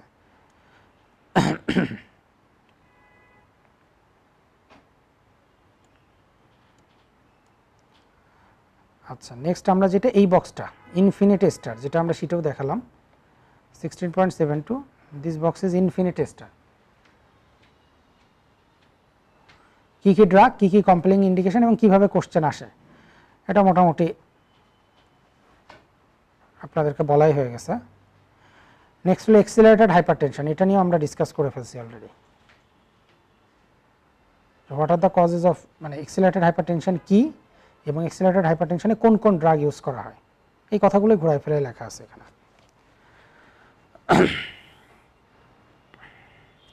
আচ্ছা আমরা একটা কোশ্চেন দেখি, একটা দুইটা কোশ্চেন দেখি। Sixty year old man past history of hypertension diabetes mellitus এবং আইএসডি এখন একটা নতুন মেডিকেশনের শুরু করা হলো। তার জিপি নোটিশ করল যে তার এইচবিএ ওয়ান সি সব কিছু কন্ট্রোল করার পরেও এইচবিএওয়ানসি সাম পিরিয়ড অফ টাইম দিয়ে সেটা বেড়ে যাচ্ছে। তাহলে এই রোগীর ক্ষেত্রে what is the most likely medication যেটা তার গ্লাইসেমিক কন্ট্রোলকে হ্যাম্পার করছে? তাহলে একজন ষাট বছরের মানুষ, সে এসি ইনহিবিটর বা ক্যালসিয়াম চ্যানেল ব্লকার বা ডায়াবেটিক্স বা যে কোনো ওষুধই খায় অনেক দিন ধরে, কিন্তু এখন তার ব্লাড প্রেশারটা কন্ট্রোল হলেও দেখা যাচ্ছে যে স্টার্ট ড্রাগ স্টার্ট করার পরে তার ডায়াবেটিসটা কন্ট্রোল হচ্ছে না। Glycaemic control is very much poor তাহলে what would be the underlying cause এটা খুবই ইম্পর্টেন্ট কোশ্চেন প্র্যাকটিক্যাল লাইফেও আমাদের জন্য ইম্পর্টেন্ট দেখেন যে কিছু কন্ডিশনে আমরা কিছু কিছু জিনিস দেখি। নিচ থেকে আসি ডায়াবেটিক পেশেন্টদের টার্গেট বিপি আপনাদের জানা দরকার নেই। ডায়াবেটিক পেশেন্টদের ক্ষেত্রে হাইপার গ্লাইসেমিয়া করে thiazide diuretics so thiazide diuretics আপনি দিতে পারবেন না। এবং প্রথম চয়েস করলে অবশ্যই এসি ইনহিবিটর দিতে হবে। কারণ এসি ইনহিবিটর ডায়াবেটিক নেফ্রোপ্যাথির জন্য প্রিভেন্টিভ রোল প্লে করে। আর হাইপারটেনশন কার্ডিয়াক প্রিভেনশনও সেটার বেশি। তাহলে ডায়াবেটিক পেশেন্ট তাহলে এই পেশেন্ট যেটা আমরা দেখলাম যে এই পেশেন্টের গ্লাইসেমিক কন্ট্রোল হ্যাম্পার করার জন্য দায়ী হলো এই বেন্ড্রো ফ্লুরোথায়াজাইড ফ্লুমোথায়াজাইড মানে থায়াজাইড ডায়াবেটিক্স আচ্ছা এরপরে কী হবে হার্ট ফেলারের ক্ষেত্রে সেটা কি হবে? ক্যালসিয়াম চ্যানেল ব্লকার দিতে পারবেন না, কারণ এটা হার্ট রেট বাড়ায় ফেলারটাকে আরও অ্যাগ্রিভেট করে। আপনাকে রেট লিমিটিং কিছু দিতে হবে, অথবা বিটা ব্লকার বা এসি ইনহিবিটর দিতে হবে। সিকেডির ক্ষেত্রেও তাই নেফ্রো প্রোটেকশনের জন্য এসি ইনহিবিটর দিতে হয়। আর আইসিএইচ বা ইস্কিমিক স্ট্রোকে নিকোর্যান্ডিল বা এই জাতীয় কিছু ড্রাগ দেওয়ার কথা বলে যেহেতু এটা আপনাদের বইতে নেয় আপনাদের জন্য প্রয়োজন নেই। এখন দেখেন আরেকটা কোশ্চেন দেখি, যে একান্ন বছরের একজন old diabetic hypertensive man have an average blood pressure of hundred fifty five ninety five মানে আমাদের টার্গেটের থেকে অনেক বেশি স্টেজ ওয়ান হাইপারটেনশন তাহলে around two weeks after starting treatment he represent persistent dry cough তাহলে এইটার জন্য কোন ড্রাগ দেয় এবং কোন এজেন্ট দেয়? তাহলে দেখেন, একান্ন বছরের ডায়াবেটিক পেশেন্ট তাহলে এনার ক্ষেত্রে আমাদের প্রথম চয়েস অফ অ্যান্টিহাইপারটেনসিভ কোনটা? আনলেস প্রুফ আদারওয়াইজ অবশ্যই এসি ইনহিবিটর তাহলে সেই এসি ইনহিবিটর যদি আমরা স্টার্ট করি, তাহলে এসি ইনহিবিটরের একটা কমন কমপ্লিকেশন হলো ড্রাই কফ কারণ এসি ইনহিবিটর দিলে তখন ব্র্যাডিকাইনিনটা ব্রেকডাউন হয় না। সেই ব্র্যাডিকাইনিন ডিপোজিশনের কারণেই ড্রাই কফটা হয় এবং এটা ফাইভ টু টেন পার্সেন্ট ক্ষেত্রে হতে পারে। তাহলে এই পেশেন্টদের ক্ষেত্রে দ্য ড্রাগ যেটা স্টার্ট করা হয়েছে সেটা হলো এসি ইনহিবিটর এবং যে থেরাপির কারণে হয়েছে সেটা হলো যে এজেন্টের কারণে সেটা হলো ব্র্যাডিকাইনিন তাহলে আমি ওইটা ক্লিয়ার করছি যে diabetic hypertensive patient bad ACE inhibitor induced কফের main mechanism হলো ড্রাই কফ। আচ্ছা আরেকটা কোশ্চেন আছে। দেখেন যে following can cause secondary hypertension আমরা পড়লাম কিছুক্ষণ আগে যে সেকেন্ডারি হাইপারটেনশনের কি কি কারণ, একটা বড় বক্স পড়ছে। তো এর মধ্যে দেখেন, আমরা নিচ থেকে আসি। হাইপার প্যারাথাইরয়েডিজম কি হাইপারটেনশন করবে? আচ্ছা এটা নিয়ে অনেকের কনফিউশন থাকতে পারে, অবশ্যই করবে। যেমন হাইপার প্যারাথাইরয়েডিজমে হাইপার ক্যালসিয়ামিয়া হয়, সেই ক্যালসিয়ামের মেটাস্ট্যাটিক ক্যালসিফিকেশন হয়, অর্থাৎ ভেসেলের গায়ে গায়ে ক্যালসিয়াম জমা হয়।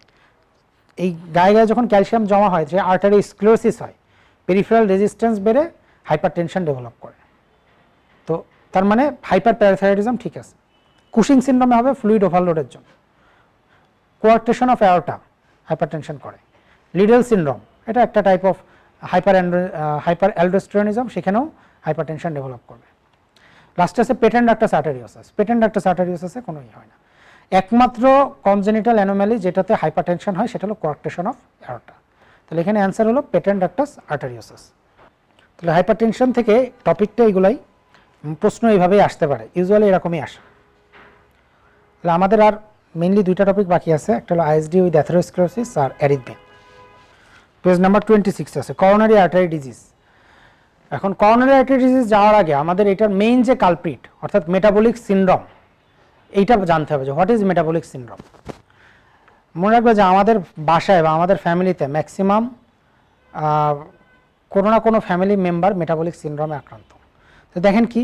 যে waist circumference more than forty inch in men অথবা thirty five inch in women তারপর কাছে fasting blood sugar more than six point one blood pressure more than hundred thirty over eighty five HDL cholesterol less than one বা less than one point three men আর women ভাগ করে আর কি। আর ট্রাইগ্লিসারাইডটা বেশি one point সেভেনের বেশি। এই পাঁচটার মধ্যে দুইটা থাকলেই হয়। বলা আছে যে হাইপার ইউরেসেমিয়া অনেক সময় থাকে মেটাবলিক সিন্ড্রোমের পেশেন্টদের এবং গ্লিটাজনের কিছু পজিটিভ ইফেক্ট আছে। Question atherosclerosis fasting lipid profile এগুলো নিয়ে আপনাদের মেটাবলিজমের মধ্যে এমনিতেই ডিসকাস করা হবে। তারপরেও দেখেন যে অ্যাথেরোস্ক্লোসিসের ফাস্টিং লিপিড প্রোফাইল আমরা মেজার করি। এখানে সিঙ্গেল বেস্ট হিসেবে আসে যে মেইন কালপিট এজেন্ট কোনটা? আমরা জানি যে চারটা জিনিস দেখা হয়। এইচডিএল এলডিএল ট্রাইগ্লিসারাইড এবং টোটাল কোলেস্ট্রল এর মধ্যে মেন কালপিট এজেন্ট হলো এলডিএল কোলেস্ট্রল আর মেইন থেরাপিউটিক এজেন্ট আমাদের জন্য স্ট্যাটিন এবং স্ট্যাটিন যাদের অ্যাথেরোস্ক্লেরোটিক ডিজিজ আছে, তাদের সবার ক্ষেত্রে এটা মাস্ট দিতে হবে। যেমন কারোর এমআই আছে স্টেবল অ্যানজাইনা আছে, বা স্ট্রোক আছে, বা টিআই এর হিস্ট্রি আছে, তাদের জন্য স্ট্যাটিন সবার ক্ষেত্রে ম্যান্ডেটরি থাকতেই হবে। এবং সিক্স উইকলি ফলো আপ করতে হবে। টার্গেট লেভেলটা কত দেখেন? যে এইচডিএলটা আমরা চাই সবসময় বেশি থাকুক, কারণ এটা গুড কোলেস্ট্রল তাহলে এইচডিএলটা থাকবে মোর দ্যান ওয়ান আর বাকিগুলো one point eight LDL triglyceride two R total cholesterol cholesterol less than four two five millimole per litre it is the target আমরা এইভাবে রাখব। যাক এটা আরও ডিটেলস আপনাদের ওটা জায়গায় হবে। এখন আসেন যে আমরা একটা অ্যাথেরোস্ক্লেরোটিক প্লাগ যখন দেখি, তাহলে আমরা জানি কি যে হোয়াট ইজ অ্যাথেরোস্ক্লেরোটিক প্লাগ এই যে একটা ছবিটা দেখেন, যে এটা হলো একটা অ্যাথেরোস্ক্লেরোটিক প্লাগ এখন এই প্লাগটা যখন এইরকম আস্তে আস্তে কোলেস্টেরল জমা হয় এবং আস্তে আস্তে লুমিনাল কি হয়? স্টেনোসিস হয়। লুমিনাল স্টেনোসিস হলে আস্তে আস্তে লুমেন যখন ন্যারো হয়ে যায়, তখন আমরা বলি কি যে স্টেবল অ্যাঞ্জেনে হচ্ছে। এখন এই প্লেক কোনো কারণে যদি এরকম রাপচার হয় বা প্লেকের মধ্যে যদি হেমোরেজ হয়, তখন আস্তে আস্তে কী হয়, এটা কমপ্লিট অক্লুশন হয়ে যেতে পারে ভেসেলটা এবং এটা একটা অ্যাকিউট ইভেন্ট তখন সেটাকে আমরা বলি অ্যাকিউট করোনারি সিনড্রোম সেটা যদি মায়োকার্ডিয়াল সেল ডেথ হয়ে যায়, তখন আমরা মায়োকার্ডিয়াল ইনফাকশন বলি। আর না হলে তখন বলি যে আনস্টেবল অ্যাঞ্জাইনা তাহলে স্টেবল অ্যাঞ্জাইনা এবং আনস্টেবল অ্যাঞ্জাইনার মধ্যে একটা ভার্চুয়াল বা একটা মেইন রোল প্লে করে হলো এই অ্যাথেরোস্ক্লেরোটিক প্লেক দেখা যাচ্ছে এটা। তাহলে অ্যাথেরোস্ক্লেরোটিক প্লেক যেহেতু ভার্চু মানে মেইন রোল প্লে করে, তাহলে এই প্লেক কোন ক্ষেত্রে স্টেনোসিস বেশি করবে আর কোন ক্ষেত্রে অ্যাকিউট করোনারি সিনড্রোম হওয়ার রিস্ক বেশি, সেটার উপর ভাগ করে এই অ্যাথেরোস্ক্লেরোটিক প্লেকের কিছু ক্যারেক্টারিস্টিক দেখে, যেগুলোর ক্ষেত্রে এরকম রাপচার বা হেমোরেজ হওয়ার সম্ভাবনা বেশি তাদেরকে বলা হয় ভালনারেবল প্লেক সেটার ক্যারেক্টার কি দেখেন? যে এই ভিতরে যে লিপিড এই কোডটা যদি অনেক বেশি হয় এবং বাইরের যে বেসমেন্ট মেমব্রেন আছে, এই বেসমেন্ট মেমব্রেন যেটা, এটা যদি অনেক থিন হয়, তাহলে এটা সহজেই রাপচার হয়ে যাবে বা আলাদা বা ডিনিউটেড হয়ে যাবে। তাহলে এটা হলো একটা। তারপর কিছু স্পেকেলড ক্যালসিফিকেশন তাহলে lipid rich core thin fibrocellular cap speckled calcification এবং ইনফ্লামেটরি সেলের সংখ্যা যদি অনেক বেশি হয়, তাহলে এটা শীটে দেওয়া আছে, ছাব্বিশ নম্বর পেজে তো এই পয়েন্টগুলো যদি থাকে, তাহলে এই ধরনের প্লেগ যদি হয়, সেটা রাপচার হওয়ার পসিবিলিটি অনেক বেশি। তাহলে এখন আমরা আসব যে আমরা এখন আইএসডির মধ্যে যেহেতু ঢুকে গেছি, তাহলে আমরা চিন্তা করব স্টেবল অ্যাঞ্জেনা আনস্টেবল অ্যাঞ্জেনা এবং মায়োকার্ডিয়াল ইনফাকশন তাহলে স্টেবল অ্যাঞ্জেনাতে আমরা বললাম কি যে এটা একটা স্টেবল প্লেক এটা আস্তে আস্তে বাড়ছে। যখনই এটা এরকম রাপচার হয়ে যাবে, তখন একটা স্টেনোসিস যেটা ডাইনামিক হয়ে যাবে। অর্থাৎ স্টেনোসিসটা খুব অল্প সময়ের মধ্যে অনেক তাড়াতাড়ি বাড়বে। এবং স্টেবল ফাইব্রাস প্লেক আর এটা কি রাপচার বা ইনফ্লেমড প্লেক ক্লিনিক্যাল ফিচার কি? ডিমান্ড লেড ইস্কেমিয়া এবং রিলেটেড টু ইফোর্ট এটা predictable and symptoms over long term R acute coronary সিন্ড্রোমের ক্ষেত্রে সাপ্লাই লেড ইস্কেমিয়া কারণ কি? এটা ছিল যে আমি কাজ করলে বা একটু হাঁটাহাঁটি করলে যদি বুকে ব্যথা বাড়ে, আবার বসে পড়লে কমে যায়। সেটা হলো demand led ischaemia related to effort predictable আমি জানি যে একটু হাঁটলে আমার ব্যথাটা বাড়বে, আবার বসলে কমে যাবে। আর সিমটমস অনেক দিন ধরে, ছয় মাসের বেশি সিমটম থাকে ইউজুয়ালি আর অ্যাকিউট করোনারি সিন্ড্রোমের ক্ষেত্রে কি? সাপ্লাই লেড ইস্কেমিয়া মানে হুট করে বসে আছে বসে আছে, হঠাৎ করে সাপ্লাইটা বেশি কমে গেছে। এবং রেস্টেই সিমটম হবে, এটা আপনি বলতে পারবেন না কখন রাপচার হবে, এটা অ্যাকিউট একটা ইভেন্ট এবং খুব অল্প সময়ের মধ্যে হবে, রাতের বেলা বেশি হয়। রিস্ক অ্যাসেসমেন্ট করা যায়। এলিভেশন এটা মিনিমাল এক্সারশন এগুলো হিসাব আমরা পরে যে পার্থক্যটা দেখব, এটা দেখলেই আমরা বুঝব। প্লাস এই ছবিটা দেখলে মোটামুটি এটা ক্লিয়ার হবে। আমরা এখন এই যেটা দেখছি, এটা হলো একটা করোনারি আর্টারি করোনারি আর্টারির মধ্যে ধরেন কারোর এখানে একটা অ্যাথেরোস্ক্লেরোটিক প্লেক আছে। এই প্লেক করোনারি আর্টারিকে স্টেনোসিস করে রাখছে এবং এটা স্টেবল একটা প্লেক নর্মালি কিছু থাকে না, কিন্তু হাঁটাচলা করলে, কাজকর্ম করলে বুকে ব্যথা বাড়ে। বুকে ব্যথা যখন বাড়ে, সে রেস্ট নেয়, আবার ডিমান্ড কমে যায়, আবার পেইন কমে যায়। তাহলে এই কন্ডিশনে এই রুগীর ক্ষেত্রে আপনারা যদি এটা খেয়াল করেন যে এইটা হলো একটা স্টেবল অ্যাঞ্জেনার কমন হিস্ট্রি তার রেস্টে কোনো সিমটম থাকবে না। রেস্টে যদি দেখেন, কোনো ইস্কেমিয়া নেই, কোনো ইসিজি চেঞ্জ নেই। ইটিটি যদি করেন, তাহলে ইটিটিটা পজিটিভ আসতে পারে। তাহলে ফার্স্ট স্টেপ যদি এরকম একটা হিস্ট্রি নিয়ে আসে একটা পেশেন্ট তাহলে তার ফার্স্ট স্টেপ অফ ইনভেস্টিগেশন হলো ইটিটি পজিটিভ হবে। এই পেশেন্টের তো কোনো মায়োকার্ডিয়াল সেল ড্যামেজই হয়নি, তার মানে এখানে ট্রপনি নাই নেগেটিভ থাকবে।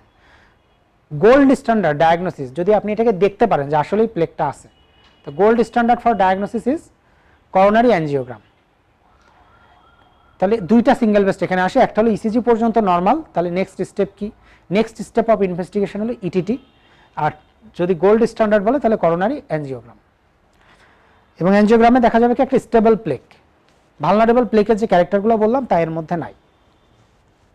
এখন এই পেশেন্টেরই কোনো কারণে হঠাৎ করে তার কোনো সাডেন ব্লাড প্রেশার বাড়লো বা ডায়াবেটিস হলো, বা যে কারণে এইটা, অথবা এটা একটা ভালনারেবল প্লেক ছিল, এটা কি হলো?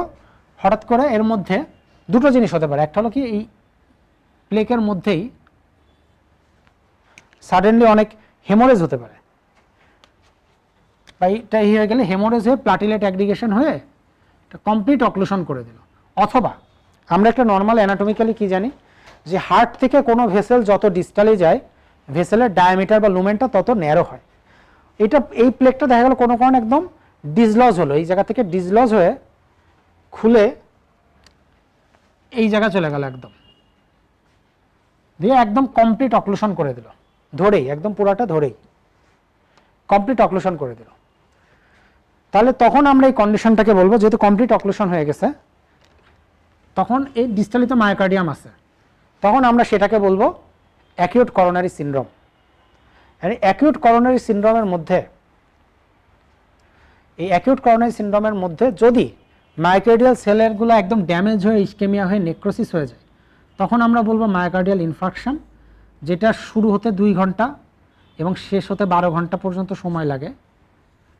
আর তা না হলে যদি মায়োকার্ডিয়াল সেল ড্যামেজ না হয় আয়দার আমাদের ইন্টারভেনশন অথবা স্পন্টেনিয়াস ফিব্রিনোলাইসিস হয়ে বা যে কোনো কারণে যদি সমস্যা না হয় মায়োকার্ডিয়াল সেল যদি ড্যামেজ না হয়, তাহলে আমরা তখন তাকে বলি আনস্টেবল অ্যানজাইনা এবং আনস্টেবল অ্যানজাইনার ক্ষেত্রে তাহলে যেহেতু মায়োকার্ডিয়াল সেলের নেক্রোসিস হয়নি, তার মানে এই পেশেন্টদের ক্ষেত্রে আমরা কি পাবো? ইসিজিটা এখানে একটু চার্টে খেয়াল করেন, দেখেন। যে এই পেশেন্টের ক্ষেত্রে আনস্টেবল অ্যানজাইনার ক্ষেত্রে তার সিমটমটা রেস্টও হবে। এটা ডাইনামিক প্ল্যাক এবং ইসিজিতেই আমরা চেঞ্জ পাবো। এবং এরকম অ্যাকিউট পেশেন্টদের ইটিটি করার কোনো অপশান নেই। তাহলে ইটিটি টেবিলেই রুগী মারা যাবে। কারণ এই পেশেন্টকে রেস্ট দিতে হবে। ট্রোপোনিন যেহেতু মায়োকার্ডিয়াল সেল ড্যামেজ হয়নি, তার মানে ট্রোপোনিন নেগেটিভ ইকোকার্ডিওগ্রাম পজিটিভ আসবে। আসতে পারে। যে যেই সব জায়গায় ইস্কেমিয়া আছে, ওই জায়গাগুলোতে আস্তে আস্তে দেখা যাবে যে পোরলি কন্ট্যাক্ট করছে। ঠিক আছে? আচ্ছা। এরপরে লাস্টে কি আছে? যে এমআই যখন হবে, তখন ইসিজিতে তো আমরা অবশ্যই চেঞ্জ পাবো। যেগুলো এসটি এলিভেটেড এমআই হলে এসটি এলিভেটেড চেঞ্জ পাবো। আর নন এসটি এলিভেটেড এমআই হলে আমরা ইসিজিতে সাজেস্টিভ পাবো সিমেট্রিক্যাল টি ইনভার্সন বা এসটি ডিপ্রেশন কিন্তু যদি ট্রোপোনিন আই করি, তাহলে দেখব পজিটিভ তাহলে এমআইয়ের ক্ষেত্রে যদি, তাহলে আমরা যদি বলি ডায়াগনোসিস গোল্ড স্ট্যান্ডার্ড এমআইয়ের ক্ষেত্রে ট্রপোনিন এসটি এলিভেটেড এমআইয়ের ক্ষেত্রে ট্রপোনিন না করলেও চলবে। যদি if you are enough confident বা এসটি এলিভেশন যদি একদম টিপিক্যাল হয়, তাহলে শুধু এসটি এলিভেশন দেখে বোঝা যায়। তারপর ট্রপোনিন করা যায়, সেটা প্রগনোসিসে কিছুটা হেল্প করে, তারপর ওইটা ইম্পর্টেন্ট না। তাহলে this is all about ischaemic heart disease stable angina unstable angina এবং মায়াকার্ডিয়াল ইনফাকশন মোটামুটি ভাইটাল কথাবার্তা যেটা, একটু ডিভিশন অনেক কিছু লেখা আছে, আমি বলে দিব। কিন্তু ভাইটাল কথাবার্তা এইগুলাই। এখন এই যে স্টেবল অ্যাঞ্জাইনা এটা অনেকগুলো কারণে হতে পারে। আমরা একটা কারণ দেখাইছি যে জাস্ট অ্যাথোরিস্ক্লেরোটিক এছাড়া ভাস্কুলাইটিস অ্যারোটাইটিস কার্ডিওমায়োপ্যাথি অ্যারোটিক ভালভে এরকম পাঁচটা কারণ আছে। আর কিছু না হলেও ভাস্কুলাইটিসটা মনে রাখতে হবে। করোনারি আর্টারি অনেক সময় স্পাজম হয়, কোনো ব্লক নেই কিন্তু অটোমেটিক স্পাজম হচ্ছে। সেটা হলো ভ্যারিয়েন্ট অ্যাঞ্জাইনা আর স্পাজমের সাথে অনেক সময় এসটি চেঞ্জ হয় ডিপ্রেশন বা এলিভেশন দেখা যায়। সেটাকে আমরা বলি পিঞ্জ মেটাল অ্যাঞ্জাইনা এবং স্টেবল অ্যাঞ্জাইনার ক্ষেত্রে ট্রিটমেন্ট কি? অ্যান্টি অ্যাঞ্জাইনাল ড্রাগ থেরাপি দিব অ্যাসপিরিন এবং ক্লপিটোগ্রাল চলবে। অ্যান্টি অ্যাঞ্জাইনাল ড্রাগ থেরাপি কী কী আছে, এটা আমরা ডেভিডসন থেকে দাগাই দিব, খুবই ইম্পর্ট্যান্ট এবং ইন্টারভেনশনাল থেরাপি অর্থাৎ কি আছে? একটা রিং বসায় দেওয়া অথবা বাইপাস সার্জারি করে দেওয়া তাহলে আমরা কোশ্চেন দেখি স্টেবল অ্যাঞ্জাইনা নিয়ে যে সিক্সটি ইয়ার ওল্ড ম্যান কোশ্চেনটা খেয়াল করেন, যে ষাট বছরের একজন মানুষ exertional breathlessness has been diagnosed as a case of stable angina তার লং টার্ম প্রগনোসিস কে ভালো করবে? তার লং টার্ম প্রগনোসিস কে ভালো করবে? এখানে একটা জিনিস মনে রাখবেন যে স্টেবল অ্যাঞ্জাইনা পর্যন্ত অ্যাসপিরিনই বেস্ট ড্রাগ। আর যদি এমআই হয়ে যায়, তখন প্রগনোসিস ভালো করার জন্য আপনার এসি ইনহিবিটর বা বিটা ব্লকার কাজ করে। তাহলে এখানেও আমরা তাহলে বুঝলাম কি যে একজন ষাট বছরের মানুষ, তার স্টেবল অ্যাঞ্জাইনা ডায়াগনোসিস হয়েছে, তার ক্ষেত্রে লং টার্ম প্রগনোসিস ভালো করার জন্য কোন ড্রাগসটা সবচেয়ে ভালো? দ্যাট ইজ অ্যাসপিরিন দেখেন এখানে দুটো লাইন আছে, খুব ইম্পর্টেন্ট কথা, যে more consistent with long term prognosis হলো অ্যাসপিরিন আর এমআই হওয়ার পরে মোর কনসিস্টেন্ট হলো এসি ইনহিবিটর বা বেটা ব্লকার আচ্ছা তাহলে আমরা পরের স্টেপে চলে গেলাম অ্যাকিউট করোনারি সিনড্রোম যেটা আমরা অলরেডি ব্যাখ্যা করে ফেলছি আনস্টেবল অ্যাঞ্জাইনা এবং এমআই এটা নিয়ে আসলে খুব বেশি কিছুই নাই। যে সিমটমগুলো হয় আমরা সবাই জানি, কি কি ক্লিনিক্যাল ফিচার্স হবে এবং কি কি এখান থেকে আপনারা পড়লেই বুঝতে পারবেন। একটা কোশ্চেন আসে যে অনেক সময় দেখা যায় এমআই হয়ে গেছে, কিন্তু বলতে পারতেছে না বা কোনো নন স্পেসিফিক সিমটম না। এটা কাদের বেশি হয়? খুব টিপিক্যাল পেইন নাই। এল্ডারলি হাইপারটেনসিভ ডায়াবেটিক পেশেন্টদের পেইনলেস বা সাইলেন্ট বা অ্যাটিপিক্যাল ইনফেকশনটা বেশি হয়। এবং ইনভেস্টিগেশন আমরা কি করব? যদি এসটি এলিভেটেড এমআই হয়, তাহলে আমরা একটা জানে নর্মালি যদি আমরা চিন্তা করি মানে এখানে একটু ই করা আছে, আমরা একটু সহজভাবে দেখি। একজন একদম টিপিক্যাল চেস্ট পেন নিয়ে আসলো এমআইয়ের মতো টিপিক্যাল চেস্ট পেন নিয়ে আসলো। আসলে আমরা ফার্স্টে কি করব? ইসিজি করব। ইসিজিতে আমরা সরাসরি তার এসটি এলিভেটেড এমআই পেয়ে গেলাম। টিপিক্যাল মানে এসটি এলিভেটেড এমআইয়ের ফিচার পাবো। তাহলে এই রোগীর ক্ষেত্রে আমাদের দুই থেকে বারো ঘণ্টার মধ্যে আসলে আমরা সরাসরি প্রাইমারি পিসিআই অথবা স্ট্রেপ্টোকাইনেস মানে আমি একদম রাফলি বোঝাতে যাচ্ছি যে ইনভেস্টিগেশন এবং treatment protocol in case of MI chest pain নিয়ে আসলো, আপনি দেখলেন যে এসটি এলিভেটেড এমআই নেই। কিন্তু এরকম typical symmetrical T wave inversion আছে। তখন আপনি কি করবেন? ইসিজি ফাইন্ডিংস এটা দেখে আপনি ট্রপোনিন আই পাঠালেন। এমআই সাসপেক্ট করে। উইথ ক্লিনিক্যাল এবং ইসিজি ফাইন্ডিংসকে মিলায় আপনি এমআই সাসপেক্ট করে ট্রপোনিন আই পাঠালেন। যেহেতু এটা দুই থেকে চার ঘণ্টা পরে রেস করে ট্রপোনিন আই একটু টাইম নেই দুই থেকে চারও বলা আছে বা চার থেকে ছয়ও বলা আছে। তাহলে ধরলাম চার ঘণ্টা পরে আপনি ট্রপোনিন আই পাঠালেন। ট্রপোনিন আই পজিটিভ তখন এটা কি ধরনের এমআই হয়ে যাবে? নন এসটি এলিভেটেড এমআই এই ক্ষেত্রে আমাদের ফিব্রিনোলাইসিস বা স্টেপটোকাইনেজের কোনো রোল নাই। কারণ এইটা হলো যে complete occlusion of the epicardial artery অর্থাৎ এপিকার্ডিয়াল আর্টারি কমপ্লিট অক্লুশন হয়েছে বলেই আপনি স্টেপটোকাইনেস দিতে পারছেন। এক্ষেত্রে সেটা কোনো রোল নাই। তাহলে নন এসটি এলিভেটেড এমআইতে আপনি যা যা থেরাপি ট্রিটমেন্ট সেগুলো দিলেন অ্যাসপিরিন কর্পেটোগ্রেল হেপারিন টেপারিন এগুলো দিলেন। আচ্ছা যদি দেখা গেল যে এরকম টিপিক্যাল ফিচার ইসিজিতে এরকম টিপিক্যাল ফিচারই আছে আপনি ট্রপোনিন আই করলেন চার ঘণ্টা পরে ট্রপোনিন আই নেগেটিভ তার মানে এটা হলো আনস্টেবল অ্যানজাইনা যেহেতু মায়োকার্ডিয়াল ইনফাকশনের কোনো এভিডেন্স পাওয়া যায়নি। সেক্ষেত্রেও therapy of treatment of purpose একই রকম হবে। তাহলে আমি নর্মাল একটা চেস্ট পেনে আমাদের মানে একদম খুব জিস্ট কথা, একদম বেসিক যেটুকু আমরা জানি সবাই, আমরা যেভাবে ডিল করি বেসিক কথা যেটা, সেটুকুই আমরা এখানে বললাম। তাহলে ইসিজি একটা আসলো চেস্ট পেইন ইসিজি করলাম এসটিএমআই হলে জিনিসটা আরও অনেক ইজি হয়ে যায়। কিন্তু এসটিএমআই না হয়ে নন এসটিএমআই হলো বা এরকম একটা টি ইনভার্সন থাকল অথবা এরকম এসটি ডিপ্রেশন থাকল লিনিয়ার এসটি ডিপ্রেশন যেটা দেখে আপনি চিন্তা করবেন যে this can be an acute coronary syndrome সেই ক্ষেত্রে আপনি ট্রপাই করে কনফার্ম হতে পারবেন যেটা আইদার এমআই না আনস্টেবল অ্যাঞ্জেনা আর থেরাপিউটিক পারপাজে যে স্টেপটোকাইনেস বা প্রাইমারি পিসিআই যেটা সেটা রোল এসটি এলিভেটেড এমআইতে আছে। নন এসটি এলিভেটেড এমআইতেও এরকম কোনো রোল নাই। কারণ ওখানে এপিকার্ডিয়াল আর্টারিগুলো ইনভলভ হয়। ছোট ছোট মাইনর আর্টারিগুলো ইনভলভ হয়। আচ্ছা তাহলে আমরা একদম খুব ব্রিফলি মানে এটা একটা ম্যানেজমেন্ট আমরা সবাই জানি এমআইয়ের ম্যানেজমেন্ট আমরা সবাই জানি। শুধু পরীক্ষার হলে এইভাবেই আসে। এখন এইভাবে আমরা এই করলাম। এরপরে সবচেয়ে ইম্পর্ট্যান্ট যেটা, যে আমাদের ইসিজি কার্ডিয়াক অ্যানাটমি এবং এমআই নিয়ে একটা মিলাই ঝুলে একটা প্রশ্ন আসে। তো দেখেন আমরা একটা সিনারিও দেখলাম যে eighty three year old male patient with ischaemic sounding chest pain for last one year one year sorry last one hour twelve lead ECG show করল deep T wave inversion in lead V one এবং V two deep T wave inversion তাহলে এই ক্ষেত্রে most implicated coronary artery কোনটা বলে আপনারা মনে করেন? বা ডিপ টি ইনভার্সনের জায়গায় আপনি এসটি এলিভেশন ধরে নেন। যেহেতু এসটি এলিভেটেড এমআইটাই মেনলি এই টেরিটরিগুলো এই করে। এটা একটা টিপিক্যাল প্যাটার্ন আমি কোশ্চেন একটা দেখালাম, কিন্তু এভাবে সবগুলোই আসে। তাহলে একটা ভি ওয়ান এবং ভি টু আমরা জানি কোন জন্যই হয়। ভি ওয়ান এবং ভি টু হলো সেপ্টাল সেপ্টাল ইনভলভমেন্টটা দেখা যায় ভি ওয়ান ভি টুতে এবং এটা সেপ্টামে সাপ্লাই দেয় এলএডি এইটা, এই জন্য আপনাদেরকে এইটা খুব ভালো মতো পড়তে হবে। যেই বক্সটা দেওয়া আছে এবং এই বক্সটা বইতেও দেওয়া আছে। হ্যাঁ শিটে দেওয়া আছে পেজ নাম্বার টোয়েন্টি এইটে পেজ নাম্বার টোয়েন্টি এইটে দেওয়া আছে। তাহলে দেখেন, সবচেয়ে বেশি, সবচেয়ে কমন যেটা, আমরা জানি সবার আগে, সহজটা। সেটা একটা পেশেন্ট সেম সিনারিও নিয়ে চেস্ট পেন নিয়ে আসলো ইসিজিতে আপনি পাইলেন, তার হলো যে two three aVF ST elevation আছে। Two three aVF ST elevation আছে, অথবা তার হার্ট রেট অনেক কম। চল্লিশের কম, অথবা তার কমপ্লিট হার্ট ব্লক আছে বলেই দিল। তাহলে মোস্ট লাইকলি এইসব ক্ষেত্রে আমরা জানি কি যে তার এমআইটা ইনভলভমেন্ট হয়েছে কোথায়? ইনফিরিয়র এমআই বা টু থ্রি এভিএফ তার মানে তার কোন করোনারি আর্টারি আমরা জানি যে কার্ডিয়াক রাইট করোনারি আর্টারিতে তার ইনভলভমেন্টটা আরসিএতে আর ভি ওয়ান থেকে ভি ফোর যদি হয় তাহলে অ্যান্টেরোসেপ্টাল আমরা করোনারি আর্টারি অ্যানাটমি অনুযায়ী যাই জানি কি যে অ্যান্টেরিয়র সারফেসটা পুরোটাই সাপ্লাই দেয় left main stem left main stem থেকে maybe I have miss the picture in the slide আচ্ছা লেফট মেইন করোনারি আর্টারি থেকে একটা আসে লেফট অ্যান্টেরিয়র ডিসেন্ডিং আর একটা আসে লেফট সার্কামফ্লেক্স তো লেফট অ্যান্টেরিয়র ডিসেন্ডিং যেটা, সেটা হলো হার্টের অ্যান্টেরিয়র সারফেসকে ব্লাড সাপ্লাই দেয়।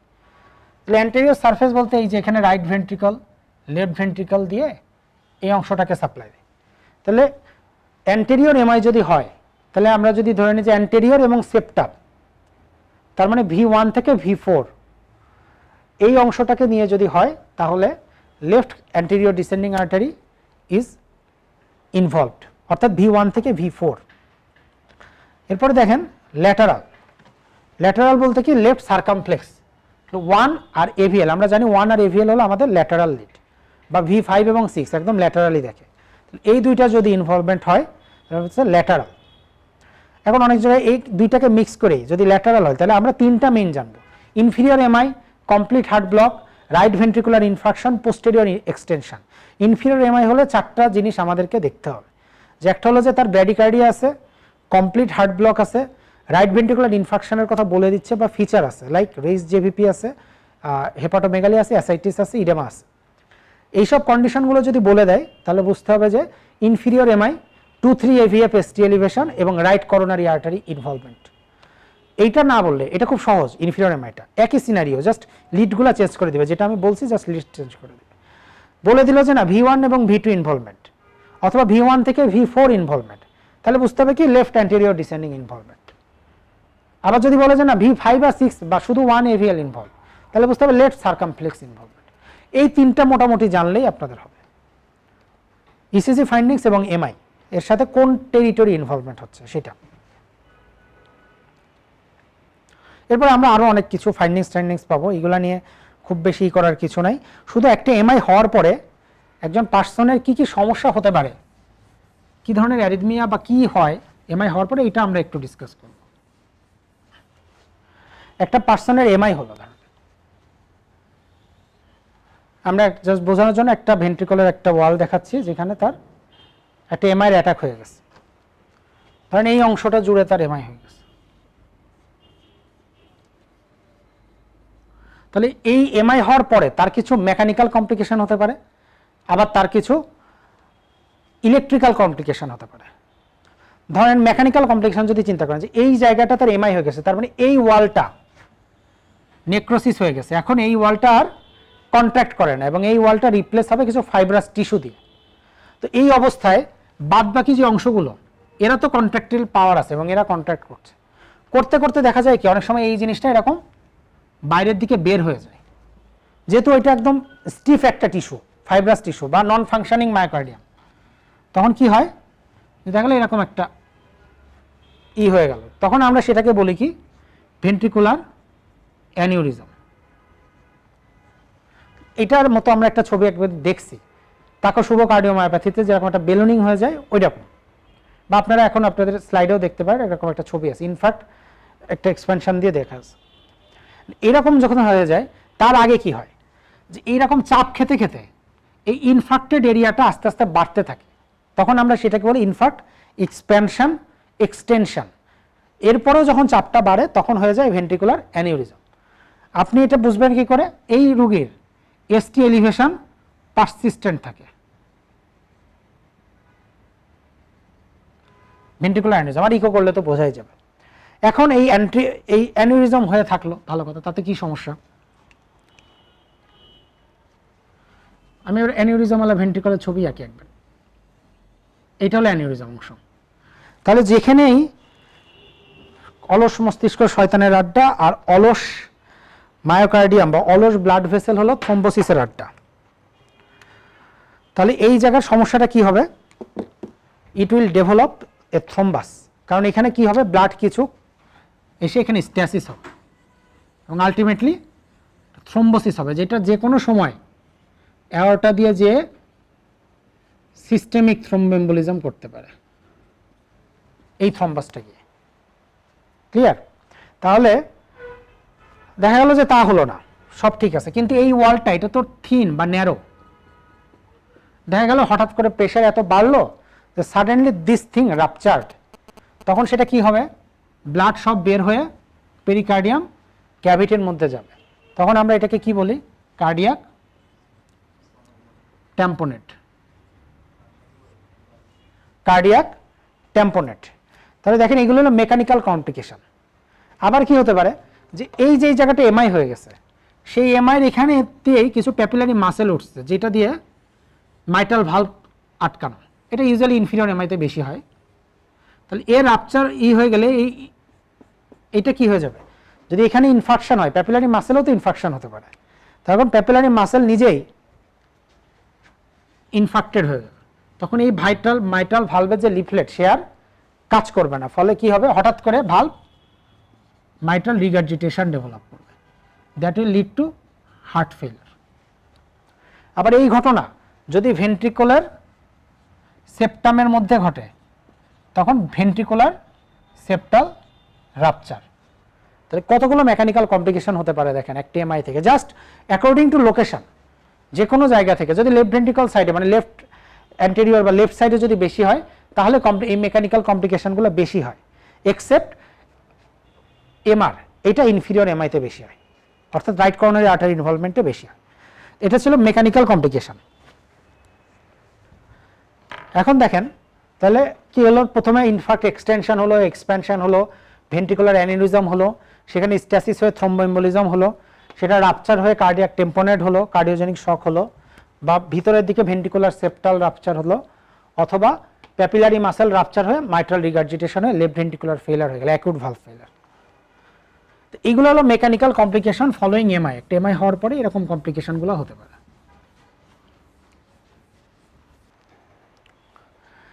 আরেকটা কি হতে পারে? যে কোনো জায়গায়, যদি আমরা একটু উপর থেকে দেখি যে এইটা হলো মায়োকার্ডিয়াল সেল উপর থেকে দেখছি। এবং এর মধ্যে এই অংশটা হলো ইনফ্রাক্টেড জোন তখন যে নর্মাল যে কারেন্টের যে রিদমটা আসার কথা কন্ডাক্টিভ সিস্টেমে রিদমটা আসার কথা, সে এখানে এসে, সে তো আর এই ডেড সেল দিয়ে পাস করতে পারবে না। মানে কী হবে? সে এরকম ঘুরে যাবে। রি এন্ট্রি সার্কিট তৈরি হবে। বা এইভাবে ঘুরতে থাকবে, এটাকে ঘিরে। যার ফলে কী হবে? একটা অ্যারিদমিয়ার সৃষ্টি হবে। এইভাবে। কারণ আমরা জানি কি যে অ্যারিদমিয়ার মেকানিজম তার রিএন্ট্রি সার্কিট বা অটোমেটিসিটি বা ট্রিগার্ড অ্যাক্টিভিটি যে কোনো একটা। এবং যে কোনো অ্যারিদমিয়া হতে পারে। এমআই হওয়ার পরে এই কারণে যে কোনো অ্যারিদমিয়া হতে পারে। সেটা ventricular ফিব্রিলেশনটা most common cause of death তাহলে এমআই হওয়ার পরে যদি আর্লি ডেথ হয়, তাহলে that is due to ventricular fibrillation আর যদি লেট ডেথ হয়, তাহলে that is due to mechanical cause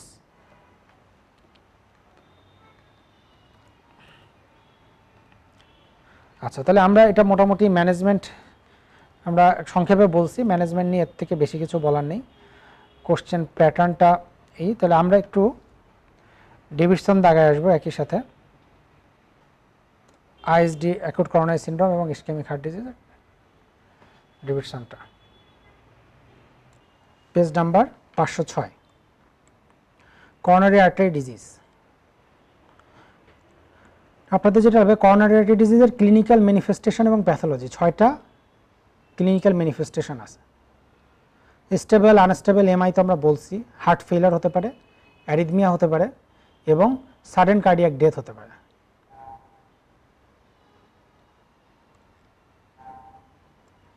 এটা অত ইম্পর্টেন্ট না পরীক্ষার জন্য। মেন যেটা যে অ্যানজাইনা পেক্টোরিস এটা নিয়ে আমরা মোটামুটি ডিসকাস যা করার ইসেই করে ফেলছি। শুধু বক্স দুটা পড়তে হবে, ষোলো দশমিক আটত্রিশ। Factors influencing myocardial oxygen supply and demand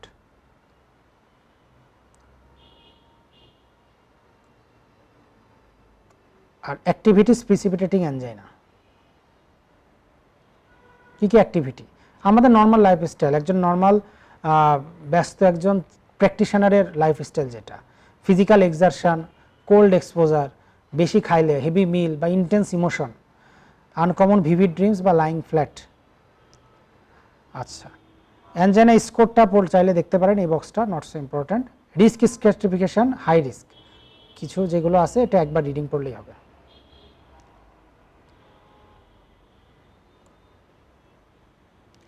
আমরা মেইন যেটা পড়তে হবে এখানে, সেটা হলো যে অ্যান্টি অ্যানজাইনাল ড্রাগ থেরাপি এখান থেকে একটা প্রশ্ন থাকবে। কি কি ড্রাগ আছে? প্রথমে পাঁচ ধরনের ড্রাগস আছে, প্রথমে আছে নাইট্রেটস নাইট্রেটসের কাজ কি? নাইট্রেটসের কাজ হলো অ্যানজাইনাল সিমটমটাকে কমানো। এবং প্রিলোড কমাবে, আফটারলোড কমাবে। এখানে মার্ক করা আছে কথাগুলো। দেখেন, প্রিলোড এবং আফটারলোড কমায়। সাবলিঙ্গুয়াল জিটিএন যেটা, এটার কিছু সাইড ইফেক্ট আছে, হেডেক, সিমটোমেটিক হাইপোটেনশন এবং সিনকোপাল অ্যাটাক হতে পারে। নকচানাল অ্যানজাইনা যদি প্রিডোমিনেন্ট হয়, তাহলে লং অ্যাক্টিং নাইট্রেট লাগে। আর ইউজুয়ালি কন্টিনিউয়াস নাইট্রেট থেরাপি যদি হয়, ফার্মাকোলজিক্যাল টলারেন্স ডেভেলপ করে। এই জন্য ছয় থেকে আট ঘণ্টা নাইট্রেট ফ্রি পিরিয়ড দিতে হবে তাকে। অর্থাৎ দুইটা নাইট্রেট ডোজ যদি দিতে হয়, মাঝখানে অ্যাটলিস্ট আট ঘণ্টার ডিফারেন্স থাকতে হবে। বেটা ব্লকার্স নিয়ে আসলে অনেক কথা আছে, এখানে খুব বেশি কিছু লেখা নাই। যেটা লেখা আছে সেটা হলো বেটা ব্লকার্স আপনি সাডেনলি উইথড্র করতে পারবেন না। কারণ তাহলে ডেঞ্জারাস অ্যারিথমিয়া হতে পারে।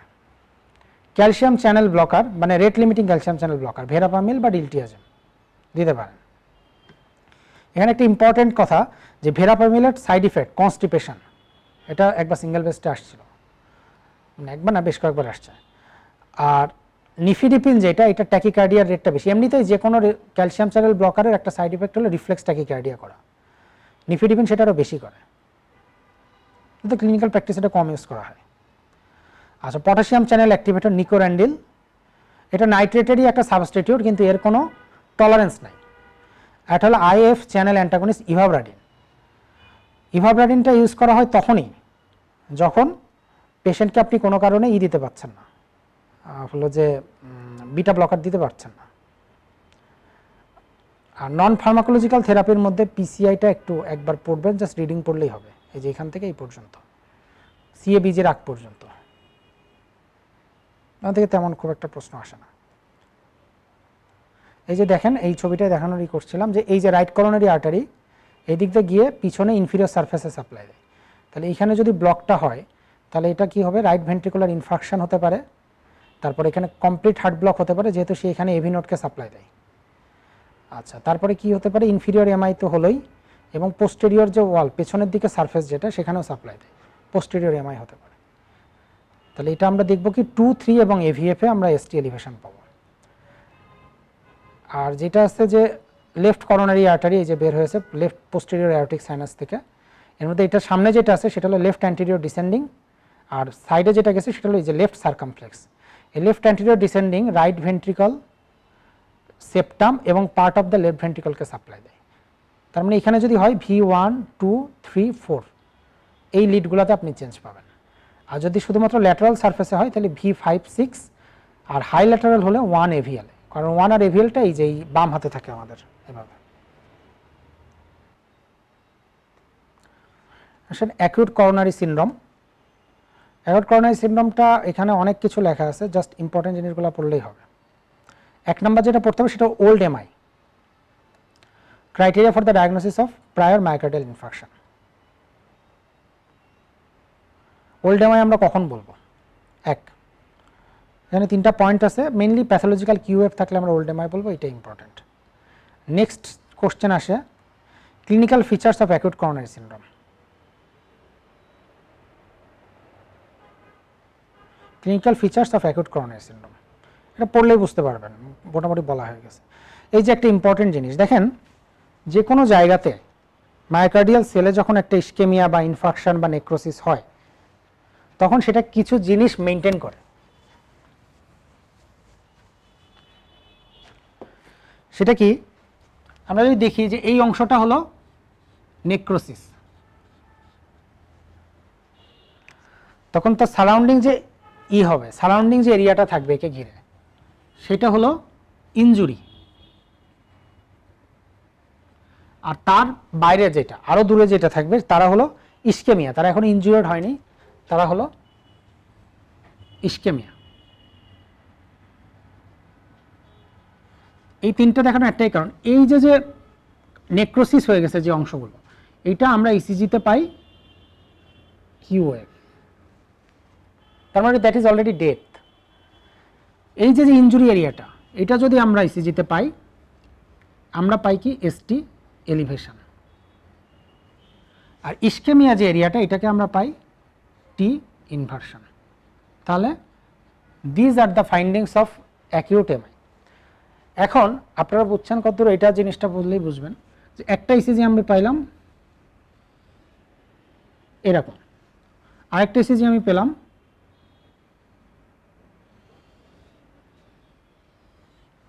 এই দুইটা ইসিজির মধ্যে কোনটার প্রগনোসিস ভালো? দেখেন, এই ইসিজিতে কিউএব অনেক বড় হয়ে গেছে এবং এসটি এলিভেশন অতটা বেশি নাই। তার মানে এই ইসিজিতে এই কালো এরিয়া মানে ইনফাক্টেড এরিয়াটা অনেক অনেক এক্সটেন্ড হয়ে গেছে। যেটা ওই যে দেখেন, ছবিতে আট ঘণ্টার মধ্যে যে ছবিটা দেয়া আছে এইট আওয়ার্স মানে কি হচ্ছে যে একদম ইনফাকশন একদম ডেথ হয়ে গেছে। আর এই ইসিজিতে কিউ এর চেয়ে এসটি এলিভেশনটা বড়, তার মানে এই পেশেন্টদের ক্ষেত্রে আপনার থেরাপিক বা থ্রোম্বোলাইসিস করলে লাভজনকটা আরও বেশি লাভ হবে। কারণ কি এখানে ইনজুরির পোর্শনটা বেশি। কিউএফ কম মানে নেক্রোসিসটা কম। যেটা ধরেন প্রথম এক ঘণ্টা যে ছবিটা, সেটার ছবি হলো এটা। তাহলে জাস্ট এটা বোঝানোর জন্য যে তাহলে একটা আমরা একটা মায়োকার্ডিয়াল ইনফ্রাকশানে একটা হলো নেক্রোসিস তারপরে ইনজুরি তারপরে ইস্কেমিয়া এটা আমরা ইসিজি দেখে যারা আছে, যারা অ্যাডভান্স কার্ডিওলজিতে যখন ক্যারিয়ার করে যারা, তারা বুঝতে পারে আরও এইভাবে দেখে বোঝা যায়। তাহলে এটা প্রসিডিওরটা ই হতে পারে। চার ঘণ্টার আগে আসলে কোনো নেক্রোসিসই হয় না। নেক্রোসিস হতে হতে চার ঘণ্টা সময় লাগে। আচ্ছা তারপরে আমরা কি দেখলাম যে common arrhythmias in acute coronary syndrome এর মধ্যে ventricular fibrillation is the commonest arrhythmia আচ্ছা এরপরে আরও কিছু কমপ্লিকেশান আছে, যেগুলো আমরা মোটামুটি বলে ফেলছি ম্যাক্সিমাম আর তার সাথে যেটা এক্সট্রা পড়বেন, দেখেন এখানে একটু আমি জাস্ট মার্ক করা জিনিসগুলো একটু খেয়াল করেন, তাহলেই হবে। Acute heart failure extensive MI damage হলেও হতে পারে। আচ্ছা এটা পেজ নাম্বার পাঁচশো আঠারোতে আছে। তারপর কিছু pericarditis common on the second বা থার্ড ডেতে পেরিকার্ডাইটিস হয়, আর যদি দুই থেকে তিন সপ্তাহ পরে হয়, তখন আমরা সেটাকে বলি ব্রেজলার সিনড্রোম বাকিগুলো বলে দিছি ventricular muscle papillary muscle rupture ভেন্ট্রিকুলারি কমপ্লিকেশনগুলো খুবই ইম্পর্টেন্ট খুবই ইম্পর্টেন্ট পড়লেই বুঝতে পারবেন এখন। আচ্ছা ইল ইসিজি নিয়ে আমরা অলরেডি ডিসকাস করে ফেলছি। ওই বক্সটা পড়লেই হবে। বায়োমার্কারও আমরা বলে ফেলছি।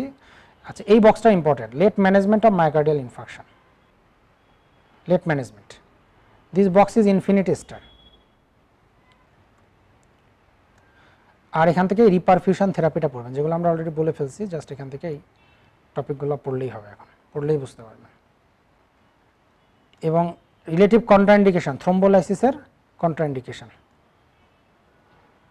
এটা গতবার, গত সেশনেও আসছিল খুব সম্ভবত সিঙ্গেল বেস আর সেকেন্ডারি প্রিভেনশনে ড্রাগ থেরাপিগুলোর কাজ। এই যে অ্যান্টি অ্যানজাইনাল থেরাপি মানে এই থ্রম্বোলাইটিক ড্রাগ থেরাপি যেগুলো আছে, এগুলো ডিটেলস সবগুলো একটু একটু করে পড়তে হবে। তবে একই কথা সব জায়গায় অ্যান্টি অ্যানজাইনালের মধ্যেও আছে হাইপার টেনশনের মধ্যেও আছে সবই আছে এই বক্সটা ওয়ান স্টার ষোলো দশমিক চুয়ান্ন। Major risk for cardiac complications of non cardiac surgery একটা স্টার দিলেই হবে। ওকে তাহলে আমাদের ইস্কেমিক হার্ট ডিজিজ শেষ। এবার আমরা একটা কোশ্চেন দেখি আইএসডির উপরে। সেভেন্টি ফাইভ ইয়ার ওল্ড কোশ্চেনটা দেখেন, পঁচাত্তর বছরের একজন ওল্ড ডায়াবেটিক, হাইপারটেনসিভ, মেল, তার পিসিআই করা হয়েছে, স্টেন্টও বসানো হয়েছে।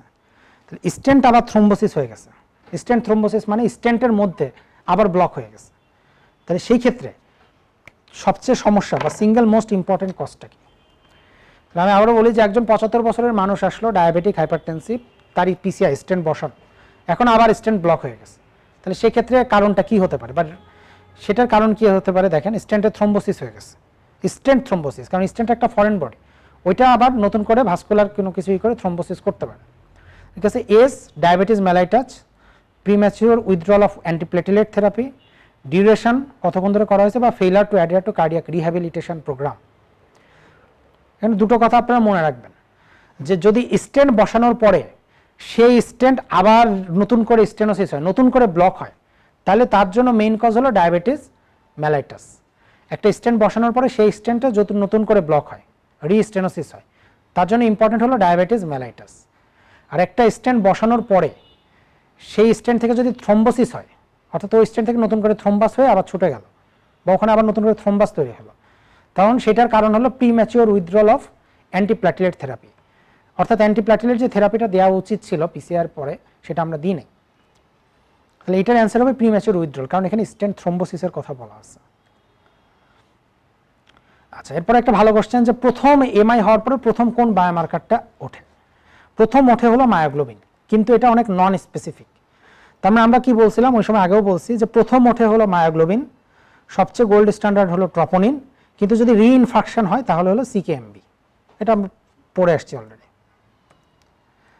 আচ্ছা তাহলে আমরা অলমোস্ট একদম লাস্টে চলে আসছি। এখন আছে অ্যারিদমিয়া এটা একটু বড় টপিক আর এরপরে কিছু ছোট দু একটা জিনিস আছে।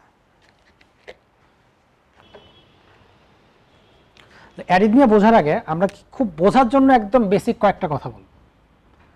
আমরা কন্ডাক্টিভ সিস্টেম থেকে জানি, এটা SA node AV node bundle of His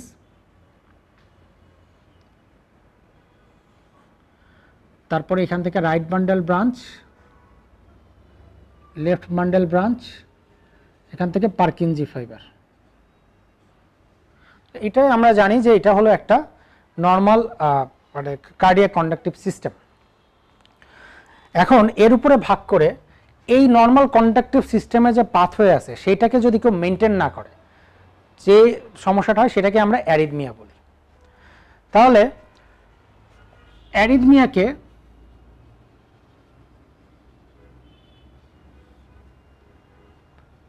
এই জন্য আগে ভাগ করা যায় কীভাবে? রেটের উপরে, অর্থাৎ ষাটের কম না একশোর বেশি। ইউজুয়ালি এইভাবে আমরা প্রথমে ভাগ করি। ব্র্যাডিয়ারিদমিয়া আর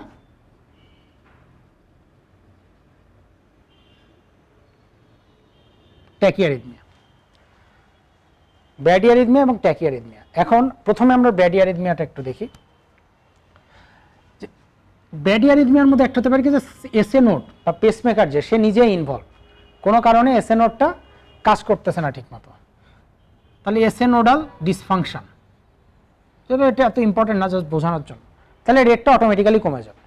ব্যারিয়ারের মধ্যে আমাদের জন্য সবচেয়ে বেশি ইম্পর্টেন্ট যেটা হলো হার্ট ব্লক অর্থাৎ এভি নোডাল ডিসফাংশন এভি নোডের ডিসফাংশন বা আমরা বলি কি হার্ট ব্লক এখন এটা আমরা জানি।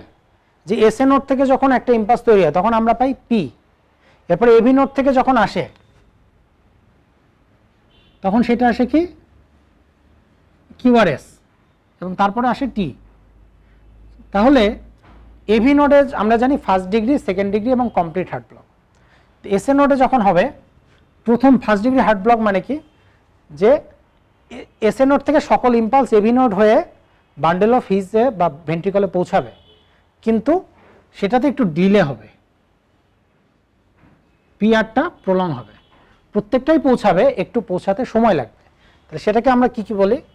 First degree heart block second ডিগ্রিতে কি হবে? দুইটা ভাগ। এইভাবে পৌঁছাবে ঠিকই, কিন্তু ফার্স্ট ডিগ্রি থেকে এই এসএ নোট থেকে এবি নোট হয়ে ভেন্ট্রিকলে ঠিকই পৌঁছাবে, তবে সেটা পৌঁছাতে প্রোগ্রেসিভলি এই ডিউরেশনটা বাড়তে থাকবে। এবং তারপরে এক সময় যে আর কোনো কিউআরএস হবে না। অর্থাৎ progressive PR interval prolongation SA node থেকে এবি নোট দিয়ে যাবে প্রোগ্রেসিভলি পিআর প্রলং হবে, কিন্তু একটা টাইমে যে আর পাওয়া যাবে না। সেটাকে আমরা বলি second degree heart block second ডিগ্রির মধ্যে ওয়েনকেব্যাক টাইপ ওয়ান এটা। টাইপ টু হলো পিআর ঠিকই ছিল ইন্টারভাল হঠাৎ করে একটা পি আছে কিন্তু কিউআরএস নাই। অর্থাৎ fixed PR interval followed by sudden drop beat সেটাকে আমরা বলি ওয়েঙ্কে ব্যাক টাইপ টু অর্থাৎ এসএ নোট থেকে এবি নোডে ইম্পালস আসছে ঠিক টাইম মতোই। হঠাৎ করে একটা ইম্পালস নাই। এবি নোট থেকে আর যাচ্ছে না পাস হচ্ছে না। সেটা হলো টাইপ টু আর এবি নোডে আসছে, প্রথম প্রথম ইসে একটু সময় লাগছে, পরেরটা আরেকটু বেশি লাগছে, তারপর আরেকটু বেশি লাগছে, তারপর হুট করে একটা নাই। আর থার্ড ডিগ্রি বা কমপ্লিট হার্ট ব্লক আমরা সবাই জানি। এখানে এসএ নোড এসএ নোডের মতো এভি নোড এভি নোডের মতো। এসএ নোড এসএ নোডের মতো, নির্দিষ্ট ডিস্টেন্স মেনটেন করবে এভি এই কিউআরএস তার মতো মেনটেন করবে। এখানে কিউআরএসটা থাকবে হার্ট রেট থাকবে চল্লিশের কম কমপ্লিট হার্ট ব্লকে যেহেতু আমরা জানি যে ভেন্ট্রিকলের যে কন্ডাকটিভ সিস্টেম তাদের কন্ডাকশন ভেলোসিটিও এরকমই কম। এটা ছিল ব্র্যাডি অ্যারিদমিয়া অ্যারিদমিয়ার একটা পোর্শন, যেটা বোঝানো সহজ। যে সাইনাস পজ সাইনাস ডিসফাংশন এইগুলো। এখন আসেন ট্যাকি অ্যারিদমিয়া অর্থাৎ রেট উল্টা বেড়ে যাবে। তাহলে আমরা বলছিলাম যে ট্যাকি অ্যারিদমিয়ার মেকানিজম আছে তিনটা। ওই অটোমেটিসিটি ট্রিগার অ্যাক্টিভিটি এই সব কয়েকটা মেকানিজম আছে। হ্যাঁ রিএন্ট্রি সার্কিট তো ট্যাকি অ্যারিদমিয়ার ক্ষেত্রে বা ট্যাকি কার্ডিয়ার ক্ষেত্রে যদি আমরা দেখি, এখানে কয়েকটা রুল আছে। যেহেতু এটা একটু কমপ্লিকেটেড জিনিস, এটা নিয়ে আমরা অত ডিটেলস বুঝব না। পরীক্ষার জন্য ইম্পর্টেন্ট যতটুকু ততটুকুই বলব। এক নম্বর হলো যে যেহেতু এটা এভি নোড আমরা একটা কথা কি জানি? যে অ্যাট্রিয়ামের সাথে ভেন্ট্রিকলের ইলেকট্রিক যে কমিউনিকেশনটা এটা মেনটেন করার জন্য একমাত্র এভি নোডই আছে।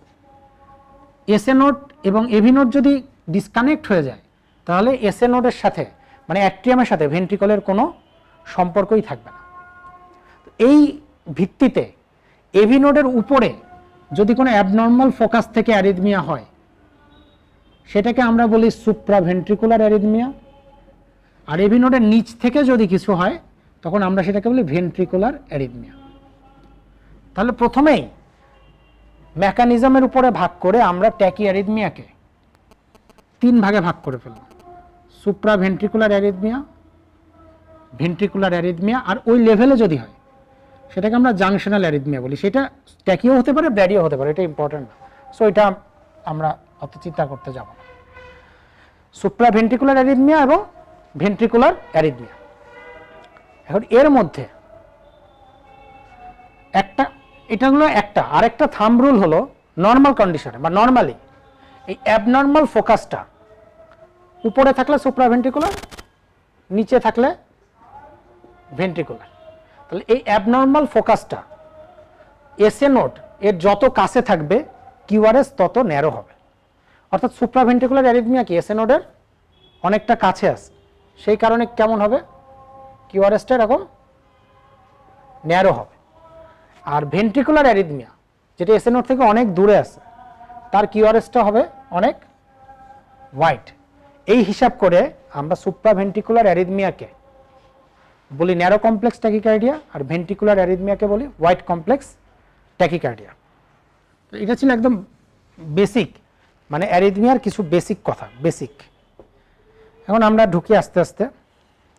প্রথমে আসব কি আমরা অ্যাট্রিয়াল ফিব্রিলেশন একটা কোশ্চেন এখান থেকে থাকবে। তাহলে অ্যাট্রিয়াল ফিব্রিলেশনকে আমরা ক্লাসিফাই করি তিন ভাগে পারক্সিজমাল পারসিস্টেন্ট এবং পার্মানেন্ট যদি সাত দিনের মধ্যে অটোমেটিক সেলফ টার্মিনেট হয়ে যায়, তাহলে সেটা পারক্সিজমাল পারসিস্টেন্ট কি?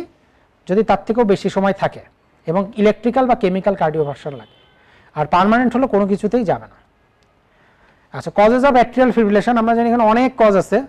জাস্ট মনে রাখবেন যে চেস্টের মধ্যে যে কোনো প্যাথোলজিতে অ্যাট্রিয়াল ফিব্রিলেশন হতে পারে। That may be pneumonia that may be any cardiac condition that may be a focal just কি বলে পালমোনারি যে কোনো এম্বোলিজম যে কোনো কিছুতেই অ্যাট্রিয়াল ফিব্রিলেশন হতে পারে। ডেভিডসনের বক্স মানে অ্যাট্রিয়াল ফিব্রিলেশনের ট্রিটমেন্ট নিয়ে আসলে অনেক কথা আছে। তো আমরা খুব ইন শর্টে যাব একটা শিটেও আছে পেজ নাম্বার থার্টি ওয়ানে আচ্ছা প্রথমে আসে ট্রিটমেন্টটা যেহেতু আগে ইম্পর্টেন্ট ট্রিটমেন্টটা আগে দেখি। ট্রিটমেন্ট আছে পরের পাতায় পেজ নাম্বার থার্টি টুতে তো ট্রিটমেন্ট কি rhythm control rate control prevention of complication and treatment of the cause চারটা। প্রথমে করব রিদম কন্ট্রোল যদি স্ট্রাকচারাল হার্ট ডিজিজের কারণে হয়, যেমন মাইট্রাল স্টোনোসিস তাহলে আমরা কোনো প্রোপাফেনন বা ফ্লেকাইনাইট দিতে পারব। না প্রিভেনশনের জন্য সবচেয়ে ভালো এজেন্ট কি? সেটা দেওয়া আছে, দেখেন অ্যামিওডেরন স্ট্রাকচারাল থাকলে আইভি অ্যামিওডেরন না থাকলে ফ্লেকাইনাইট আর রেট কন্ট্রোলের জন্য আমরা জন্য BCD beta blocker calcium channel blocker এবং ডিগক্সিন কখনোই দুইটা একসাথে দেওয়া যাবে না। আর থ্রোম্বো প্রোফাইলেক্সিস যেটা থেকে কোশ্চেন আসে, তো থ্রোম্বো প্রোফাইলেক্সিস আমরা করি দুইটা এজেন্ট ওয়ারফেরিন আর ডিরেক্ট ওরাল অ্যান্টিকোয়াগুলেন্ট রিভারোক্সাবান এবং অ্যাপিক্সাবান এন্ডোক্সাবান কখনোই অ্যাসপিরিন দেওয়া যাবে না, কারণ অ্যাট্রিয়াল ফিব্রিলেশনে ব্লাড ক্লটটা হচ্ছে স্ট্যাসিসের জন্য। এখানে অ্যাসপিরিনের বা অ্যান্টিপ্লাটিলেট এজেন্টের কোনো রোল নাই। অ্যান্টিপ্লাটিলেটের এজেন্টের রোল তখনই থাকবে যখন অ্যান্টিপ্লাটিলেটকে অ্যাক্টিভেট করার মতো কিছু থাকবে লাইক অ্যাথ্রোস্ক্লেরোটিক প্লাক কিন্তু বা ইনফেক্টিভ এন্ডোকারাইটিসের মতো এরকম একটা এজেন্ট থাকবে বা ভাস্কুলার মানে কি বলে টার্বুলেন্ট ব্লাড ফ্লো হবে থ্রোম্বোস থ্রোম্বোসিস না turbulent blood turbulent blood flow হবে ল্যামিনার ফ্লোয়ের জায়গায়। কিন্তু এখানে হচ্ছে স্ট্যাসিসের কারণে। সেখানে প্রাইমারি মেকানিজম আন্ডারলাইং মেকানিজম হলো ভাস্কুলার স্ট্যাসিস যার জন্য কোয়াগুলেন্ট ফ্যাক্টরগুলো দেয়। এবং এখানে একটা পার্থক্য দেওয়া আছে, সেটা যে ওয়ারফেরিন এবং ডিরেক্ট ওরাল অ্যান্টিকোয়াগুলেন্টের মধ্যে পার্থক্য। এটা ডেভিডসনেরই কথা জাস্ট এটা মনে রাখেন যে ওয়ারফেরিন এবং ডিরেক্ট ওরাল অ্যান্টিকোয়াগুলেন্ট দুটোর ইফেক্ট সেম কিন্তু ওয়ারফেরিনের মতো ডিরেক্ট ওরাল অ্যান্টিকোয়াগুলেন্টের কোনো কন্ট্রাইন্ডিকেশন নেই, কোনো সাইড ইফেক্ট নেই এবং মনিটরিংও লাগে না। বাট ডিরেক্ট ওরাল অ্যান্টিকোয়াগুলেন্টের দাম বেশি এবং ইফেক্ট ওয়ারফেরিন এবং ডিরেক্ট ওরাল অ্যান্টিকোয়াগুলেন্ট দুজনেরই সেম এখন দেখেন একটা কোশ্চেন দেখেন, খুব ইন্টারেস্টিং কোশ্চেন এটা। আপনারা একটু দেখেন কোশ্চেনটা কি আছে লেখা। Sixty five years old female brought to emergency department due to depress level of consciousness CT স্ক্যানে দেখা গেল ইন্ট্রাসেরেব্রাল হেমোরেজ আছে কারণ সে ওয়ারফেরিন খাচ্ছিল অনেক সময় ধরে। এখন তার ক্ষেত্রে আমরা কি করব? এটা যদি হেমাটোলজিতে আরও ডিটেলস পড়াবে অ্যাট্রিয়াল ফিব্রিলেশনের পেশেন্ট বা যে কোনো কারণে ওয়ারফ্রেন টক্সিসিটি হয়ে যদি মেজর হেমোরেজ হয়ে যায়, তখন তার অ্যাপ্রোপ্রিয়েট অ্যাপ্রোচ হলো আগে ড্রাগটা বন্ধ করতে হবে ভিটামিনকে আইভি দিতে হবে এবং সাথে প্রথ্রমিন কমপ্লেক্স দিতে হবে। অর্থাৎ অ্যান্সারটা হলো সি এই যে। ওয়ারফ্রেনের কারণে যদি মেজর ব্লিডিং হয়, তাহলে IV vitamin K plus prothrombin complex plus stop warfarin CT scan করে আমরা দেখলাম যে ওয়ারফ্রিনের ইফেক্টে অ্যাট্রিয়াল ফিব্রিলেশনের পেশেন্টের থ্রোম্বেম্বলিজম হয়ে ইস্কেমিক স্ট্রোকও হতে পারে, আবার ওয়ারফ্রেন টক্সিসিটি হয়ে হেমোরেজিক স্ট্রোকও হতে পারে। হেমোরেজিক স্ট্রোক হলে আমরা এটা করব। এখন দেখা গেলো রুগীটা ওয়ারফ্রেন খায়, কিন্তু তার মেজর কোনো ব্লিডিং নেই, কিন্তু আয়নার বেশি। সেক্ষেত্রে ইনজেক্টেবল কিছু লাগে না, শুধু আইভি ভিটামিন কে দিলেই, এই ওরাল ভিটামিন কে দিলেই সেটা রেসপন্স করে। যাক, এটা ফার্দার ওয়ারফ্রেনের ইটি আপনাদের হেমাটোলজির মধ্যে আরও বলা হবে।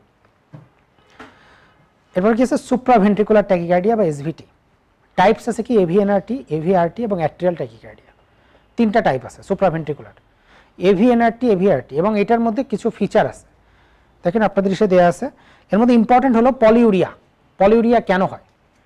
সুপ্রাভেন্ট্রিকুলার ট্যাকিকার্ডিয়াতে পলিউরিয়া হয় এএনপি বা বিএনপি এগুলো রিলিজ মানে ন্যাট্রিরেটিক পেপটাইডগুলো রিলিজ হয় এই জন্য। This is a clinical very important feature of SVT polyuria হয়। ট্রিটমেন্টটা কি? যদি পেশেন্ট হিমোডাইনামিক্যালি স্টেবল থাকে, তাহলে আমরা অনেকেই দিয়ে আসছি ইন্টার্ন লাইফে আইবি অ্যাডেনোসিন দিতে পারেন অথবা ভালসালভা ম্যানোভার করতে পারেন। আর যদি হিমোডাইনামিক্যালি আনস্টেবল থাকে, সেক্ষেত্রে ডিসি কার্ডিওভার্সন এবং ক্যাথেটার অ্যাবলেশন হলো এটার কিউরেটিভ ট্রিটমেন্ট এখন একটা কোশ্চেন দেখেন, আমরা যেহেতু এসবিটি ভিটি মানে অ্যারিদমিয়ার মধ্যে আমরা আরেকটা এসে গেলাম এই কোশ্চেনটা খুব interesting sixty one year old lady the cardiology ক্লিনিকে অ্যাডমিট হলো difficulty on breathing JVP rest bilateral fine crepitation আছে। বিপিও অনেক কম eighty four by sixty pulse একশো পঁয়তাল্লিশ এবং ইরেগুলার ইসিজিতে দেখলাম অ্যাট্রিয়াল ফিব্রিলেশন আছে। এই রোগীর ক্ষেত্রে ম্যানেজমেন্ট কী? তাহলে একজন সিক্সটি ওয়ান ইয়ার্স আবার সিনারিওটা খেয়াল করেন। এগুলো আসলে ক্লিনিক্যাল বেসড সিনারিও এসবি এগুলো এইভাবেই আসে। তাহলে sixty one year old lady দেখা গেল সে অ্যাডমিট হয়ে গেছে, তার শ্বাসকষ্ট হচ্ছে পালপিটেশন হচ্ছে। হিমোডাইনামিক্যালি পেশেন্ট আনস্টেবল বিপি কম অল্টার লেভেল অফ কনসাসনেস আছে বা হার্ট ফেলারের ফিচার আছে। এই অবস্থায় অ্যাট্রিয়াল ফিব্রিলেশনের এই রোগীকে আপনি কি দিয়ে, কি ট্রিটমেন্ট করবেন? তাই আইভি থেরাপি দিবেন ওরাল ডিগক্সিন দিবেন, না ডিসি কার্ডিওভার্সন করবেন? এটা খুব কমন এনকাউন্টার সিনারিও আশা করি আপনারা দেখছেন। এইবার একটা জিনিস মনে রাখেন যে কোনো অ্যারিথমিয়ার সাথে যদি পেশেন্ট হিমোডাইনামিক্যালি আনস্টেবল হয়, তাহলে তার ডিসি কার্ডিওভার্সন লাগবে। কোনো ইনজেক্টেবল ড্রাগ কোনো ওরাল থেরাপিতে কাজ করবে না। ইনজেক্টেবল বা ওরালে কিছু কাজ করবে না। ইমিডিয়েট ডিসি কার্ডিওভার্সন লাগবে। এখন হিমোডাইনামিক্যালি আনস্টেবল কখন বুঝবেন? এটা আপনাদের শিটেও দেওয়া আছে পেজ নাম্বার তেত্রিশে। ওই স্টেবলের পাশে চলে গেছে, এটা আসলে আনস্টেবলের ফিচার অর্থাৎ সিস্টোলিক ব্লাড প্রেশার নাইনটির কম। দেখেন এই রুগীরও ছিল। সিস্টোলিক ব্লাড প্রেশার ছিল eighty four left ventricular failure বা ক্রিপিটেশন ওনারও ক্রিপিটেশন ছিল। অল্টার্ড লেভেল অফ কনসাসনেস এবং ইউরিনের আউটপুট কমে গেছে। এইগুলো থাকা মানে patient is haemodynamically unstable arrhythmia with haemodynamically unstable so she needs DC cardioversion তাহলে এই কোশ্চেনটা আরেকবার একটু দেখে নেন।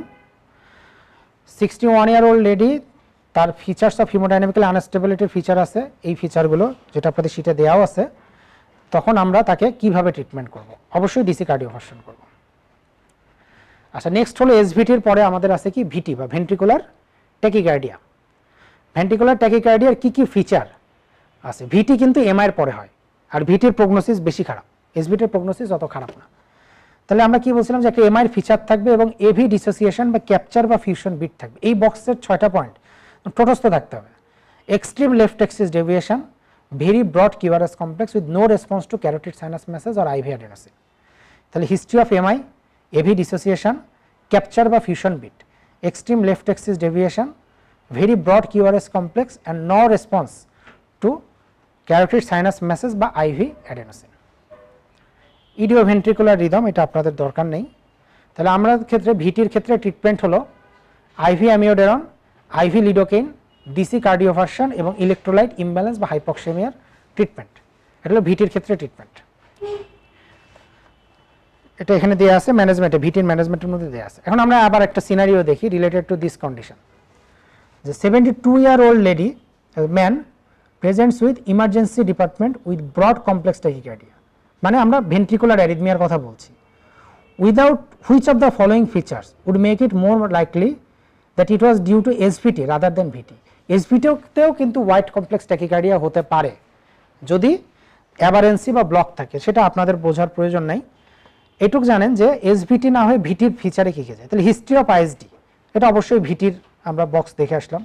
লেফট অ্যাক্সিস ডেভিয়েশন এটাও ভিটি ক্যাপচার বিট বা fusion beat is is pathognomonic of VT absence of QRS concordance in chest leads এইটা ভিটির ফিচার না, এটা এসভিটির ফিচার কিউআরএস একশো ষাটের বেশি। দেখেন positive QRS concordance in chest lead is associated with VT মানে কিউআরএসটা পজিটিভ এরকম দেখা যাবে। ন্যারো হবে, কিন্তু পজিটিভ সব এরকম কিউআরএস কনকর্ডেন্স দেখা যাবে। এটা আমরা ডেভিডসন এখন যখন দাগাবো, তখন আমরা এই ছবিটা দেখতে পাবো। এরপরে আমরা কিছু ডেভিডসনের বক্স এটা আমরা ডেভিডসন থেকেই দেখাবো কিন্তু তার আগে এই কোশ্চেনটা দেখেন, যে লং কিউটি ইন্টারভাল এর অনেকগুলো কারণ আছে, এই বক্সটা খুব মুখস্থ করতে হবে। কোশ্চেন কীভাবে আসে এখান থেকে সেটা? তাহলে এখানে হাইপোক্যালিমিয়া হাইপোম্যাগনেসিমিয়া হাইপোক্যালসিমিয়া এটা একটা এসভিটির পরেই একটা টর্সাদেশ দি পয়েন্টিস যে বান্ন বছরের একজন ম্যান অ্যাডমিট হলো এবং তাকে কলাপস হয়ে গেছে। লং কিউটি সিন্ড্রোম ইন্টারভাল যাদের থাকে লং কিউটি ইন্টারভাল বা ডাব্লিউপি এই কী বলে torsades de long QT interval এদের সমস্যা হলো যে they frequently develop polymorphic ventricular tachycardia এবং তারা কলাপস হতে পারে, মারাও যেতে পারে। তো এই জন্য কোন কন্ডিশনগুলো বেশি রেসপন্সিবল বা কোন ড্রাগ তো এইখানে আমরা জানি যে এই ড্রাগসের লিস্ট এখানে আপনারা দেখছেন ডাইসোপাইরামাইড ফ্লিকাইনাইট সোটালল অ্যামিওডেরন অ্যামিটিপটাইলিন ক্লোরোপ্রোমাজিন ইরাইথ্রোমাইসিন ম্যাক্রোলিস এই যে এখন করোনা ভাইরাসের ট্রিটমেন্টে জিম্যাক্স বা অ্যাজিথ্রোমাইসিন খাওয়ার সময় বলে নেয় কিউটি ইন্টারভাল দেখে নিতে। কেন বলে? কারণ ড্রাগটা আরও লং কিউটি ইন্টারভাল করে। যদি কারোর কিউটি প্রলং থাকে, তাকে যদি আবার অ্যাজিথ্রোমাইসিন দেওয়া হয়, তাহলে লং কিউটি হয়ে পলিমরফিক ভিটি হয়ে, তার একটা ডিজাস্টার হতে পারে। তো এই রুগীর ক্ষেত্রে কোন এজেন্টটা বেশি? তো দেখেন এখানে প্রশ্নটা একটু ঘোরাই করা। তারপরে দেখেন এই যে আদার ফেনোথায়াজিন গ্রুপের ড্রাগের কথা বলা আছে। Risperidone is a type of antipsychotic drugs তাহলে এখানে তার আন্ডারলাইং কজ হলো রেসপেরিডন এরপরে যে এভি ব্লকের কিছু কারণ আছে, এই বক্সগুলো ডেভিডসনও আমি দাগাই দিব। This is infinity star box complete AV ব্লকের কজ এবং bundle branch left bundle branch ব্লকের কজ এই দুইটা। অ্যান্টি অ্যারিথমিক ড্রাগসের ক্লাসিফিকেশন এটা মনে রাখবেন যেটা, যে এই অ্যান্টি অ্যারিথমিক ড্রাগসের ক্লাসিফিকেশন বক্সে আমরা যেটা দেখি, যে কাদলাম ফুপিয়ে ফুপিয়ে। কাদলাম, তাহলে কুইনিডিন ডাইসোপাইনামাইট লিডোকেইন মেক্সিলেটিন আর ফুপিয়ে, ফ্লেকাইনাইড আর প্রোপাফেনন তার মানে কাদলাম ফুপিয়ে। কুইনিডিন ডাইসোপাইরামাইড লিডোকেইন, মেক্সিলেটিন, ফ্লেকাইনাইড এবং প্রোপাফেনন এটা হলো এদের ওই সোডিয়াম মানে ক্লাস ওয়ান ড্রাগসগুলো মনে রাখার একটা ওয়ে। ক্লাস টু মানে বি টু আমরা মানে কি? One for A, two for B. তার মানে বেটা ব্লকার হলো ক্লাস টু। আর ক্লাস ফোর হলো ফোর ফর ডি মানে ডিলটিয়াজম এবং ভেরাপামিল ক্যালসিয়াম চ্যানেল ব্লকার আর বাকিগুলো আছে অ্যামিওড্রান, ড্রোনাড্রান, সোটালল, এগুলো তো আছে। অ্যামিওড্রানের সাইড ইফেক্ট প্রোফাইল, এটা আপনাদের ডেভিশন থেকেই নেওয়া সেটাও দেওয়া আছে, পরের পাতাতেই দেওয়া আছে। পেজ নাম্বার থার্টি ফোরে দেওয়া আছে। যে অ্যামিওড্রান সিক্স বা সেভেন পি মনে রাখবেন সিক্স বা সেভেন পি পিতে কি ফটোসেন্সিটিভিটি স্কিন ডিসকালারেশন বা পিগমেন্টেশন ডিপোজিশন তারপরে কি থাইরয়েড ডিসফাংশন মানে পেরিফেরাল কনভার্সন অফ থাইরয়েড হরমোনে এটা সমস্যা করে। তারপরে কি পালমোনারি অ্যালভিওলাইটিস তারপরে পেরিফেরাল নিউরোপ্যাথি আর পয়েন্টিস টর্সাদেস দি পয়েন্টিস এইগুলো মনে রাখলেই হবে সাইড ইফেক্টস অফ অ্যামিউডার আর সাইড ইফেক্টস অফ অ্যাডেনোসিন এখানে একটাই ইম্পর্টেন্ট যে অ্যাডেনোসিন কিন্তু ডিজনিয়া করে। এমন কোনো এসভিটির পেশেন্ট যদি আসে, যার আগে থেকে অ্যাজমার হিস্ট্রি আছে বা ব্রঙ্কোস্পাজম আছে, তাকে অ্যাডেনোসিন দেওয়া যাবে না, তাকে দিতে হবে ভেরাপামিল আইভি ভেরাপামিল এরপরে আসেন ডিগক্সিন টক্সিসিটি এটা ডেভিডসনের বক্স দেখেন এক্সট্রা কার্ডিয়াক ম্যানিফেস্টেশন কি কি হয়? অ্যানোরেক্সিয়া নশিয়া ভমিটিং এটা আরেকটা কথা বলে ফিডিং অ্যাবনর্মালিটি হয়। ডায়রিয়া অল্টার্ড কালার ভিশন আর কার্ডিয়াক ম্যানিফেস্টেশন কি? Bradycardia multiple ventricular ectopics ventricular bigeminy atrial tachycardia VT VF এটা মুখস্থ জিনিস একদম ডেভিডসনের বক্স আপনাদের শীটের পরে একটা কথা দেওয়া আছে, যে পটাশিয়াম এবং ডিগক্সিন ডিগক্সিন টক্সিসিটিতে হাইপার ক্যালিমিয়া হয়, আর হাইপোক্যালিমিয়া রোগীদের ডিগক্সিনের চান্স টক্সিসিটির চান্সটা অনেক বেড়ে যায়। তাহলে আমরা একবারে শেষ করেই ডেভিডসনে যাব, কারণ আমাদের আর কয়েকটা টপিক বাকি আছে শুধু। আমাদের নেক্সট টপিক যেটা, সেটা হলো যে খুব ছোট টপিক আবার অনেক সময় বড় হয়ে যায়। কনজেনিটাল হার্ট ডিজিজ শীটে আপনাদের এই বক্সটা দেওয়া আছে পেজ নাম্বার টোয়েন্টি টুতে এটা আসলে অনেক কিছু লেখা থাকে কনজেনিটাল হার্ট ডিজিজ আসলে অনেক বড় অনেক কিছু থাকে। কিন্তু আমি দেখে গেছে যে কনজেনিটাল হার্ট ডিজিজ থেকে জিস্ট কথাগুলো একটা বক্সে তুলে নিয়ে আসা।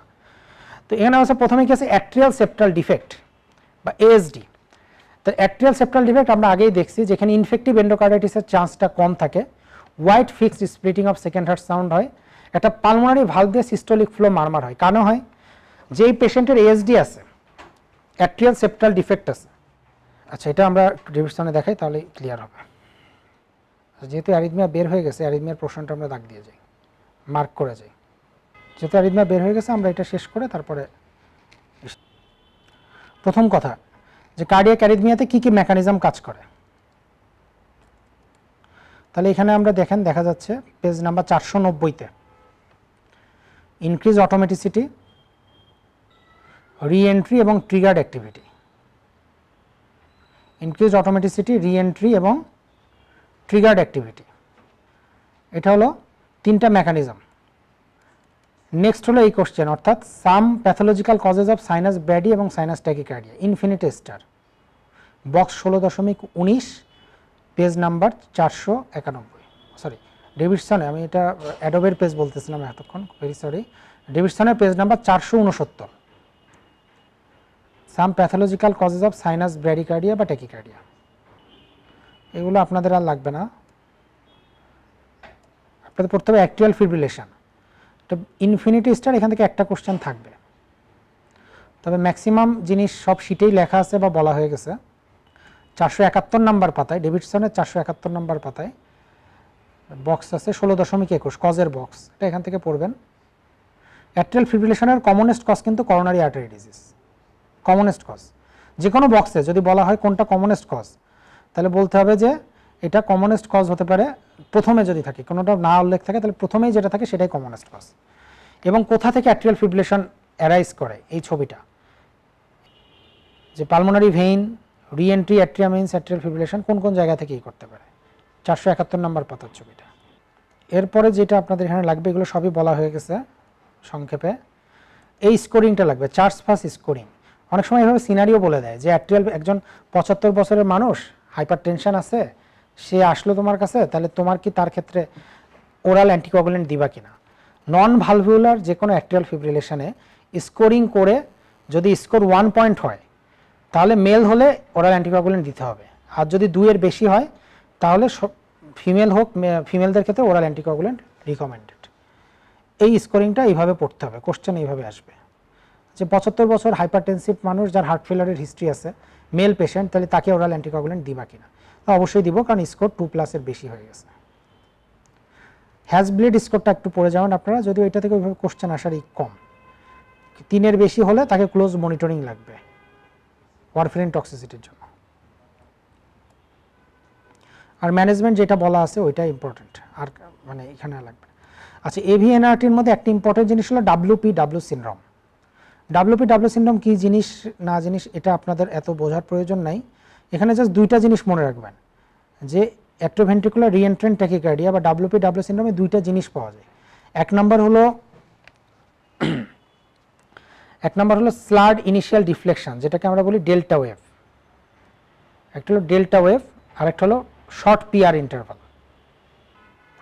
Delta wave atrioventricular reentrant tachycardia, delta wave, একটা আরেকটা হলো, ডেল্টা ওয়েভ, আর শর্ট পিয়ার ইন্টারভাল এখানে আছে কোথাও শর্ট পিয়ার ইন্টারভাল দুইটা পয়েন্ট পিয়ার ইন্টারভালটা শর্ট হবে এবং ডেল্টা ওয়েভ হবে। ডেভিডসনের পেজ নাম্বার চারশো চুয়াত্তরে আছে। আর ম্যানেজমেন্ট আমরা এখান থেকে আপনাদের দেখতে হবে না যেটা শিটে বলে দিছি, ওটা অনেক ইজি করে দেওয়া আছে। ভিটিও বলা হয়ে গেছে এগুলা সব ট্রসাদেশ দি পয়েন্টিস বলা হয়ে গেছে শিটে অ্যাট্রিও ভেন্টিকুলার ব্লকটা ডেভিডসন থেকে পড়তে হবে পুরোটাই। যা বলছি, এরপরে পড়লেই বুঝতে পারবেন। না এটা সবাই পারেন, সহজ আছে।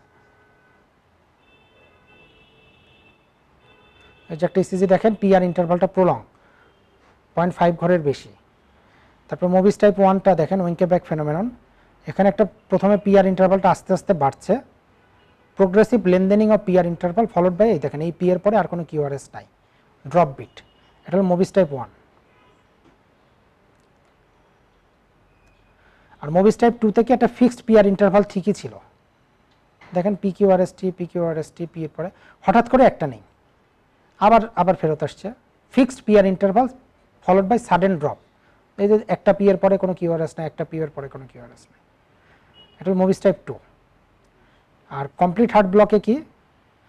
পি পি এর মতো কিউ কিউ এর মতো আর আর এর মতো। সরি পি পি এর মতো আর কিউআরএস কিউআরএস এর মতো, এই যে। এবং রেটটা অনেক বেশি। দেখেন এখানে রেট দুই দুই চার আর দুই ছয়, আট, নয়। মানে এখানে হার্ট রেট তিরিশেরও কম তিরিশের চল্লিশেরও কম। বলছিলাম হার্ট রেট চল্লিশের কম। এবং এই বক্স দুইটা কমপ্লিট হার্ট ব্লকের কজ এবং বান্ডেল ব্রাঞ্চ ব্লকের কজ ম্যানেজমেন্টটা একটু দেখলেই হবে। এই ছবিটা ইজ ভেরি ভেরি ইম্পর্ট্যান্ট যে এভিনোডের উপর কে কে কাজ করে? আমরা কিছুক্ষণ আগেই বলছি যে এভিনোডের উপরে গেলে সুপ্রা ভেন্ট্রিকুলার আর এভিনোডের নিচে থাকলে ভেন্ট্রিকুলার অ্যারিথমিয়া তাহলে সুপ্রা ভেন্ট্রিকুলার অ্যারিথমিয়া যদি হয়, তখন আমাদের মেইন টার্গেট থাকে সেটা যেন ভেন্ট্রিকুলার অ্যারিথমিয়াতে কনভার্ট না হয়।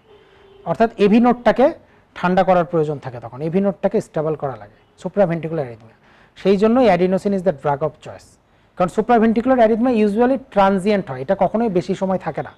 এবং যদি না এটা ভেন্টিকুলার অ্যারিথমিয়াতে কনভার্ট হয়, তাহলে এটা নিয়ে কোনো সমস্যা নেই। কিছুক্ষণ পরে এটা অটোমেটিক ঠিক হয়ে যাবে। তো এই জন্য টার্গেটটা থাকে এই কারণেই এসভিটিতে আমরা অ্যাডেনোসিন দিই, যাতে সুপ্রা ভেন্ট্রিকুলার অ্যারিথমিয়াটা উপরেই থাকে, সে ভেন্টিকলকে এফেক্ট না করে। কারণ আমরা জানি, আমরা ওই সময় বলছি যে দুইটা অ্যাক্টিয়াম এবং ভেন্ট্রিকলের মধ্যে কন্ডাক্টিভ সিস্টেমের মধ্যে একমাত্র এভিনোডটাই ইনভলভ থাকে, আর কেউ থাকে না।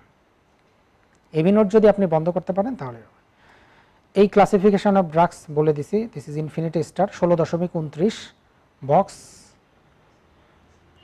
পেজ চারশো আশিতে একটা বড় বক্স আছে, কিন্তু এটা আমরা এখান থেকে আপনাদের অ্যামিওডেরনটা ইম্পর্ট্যান্ট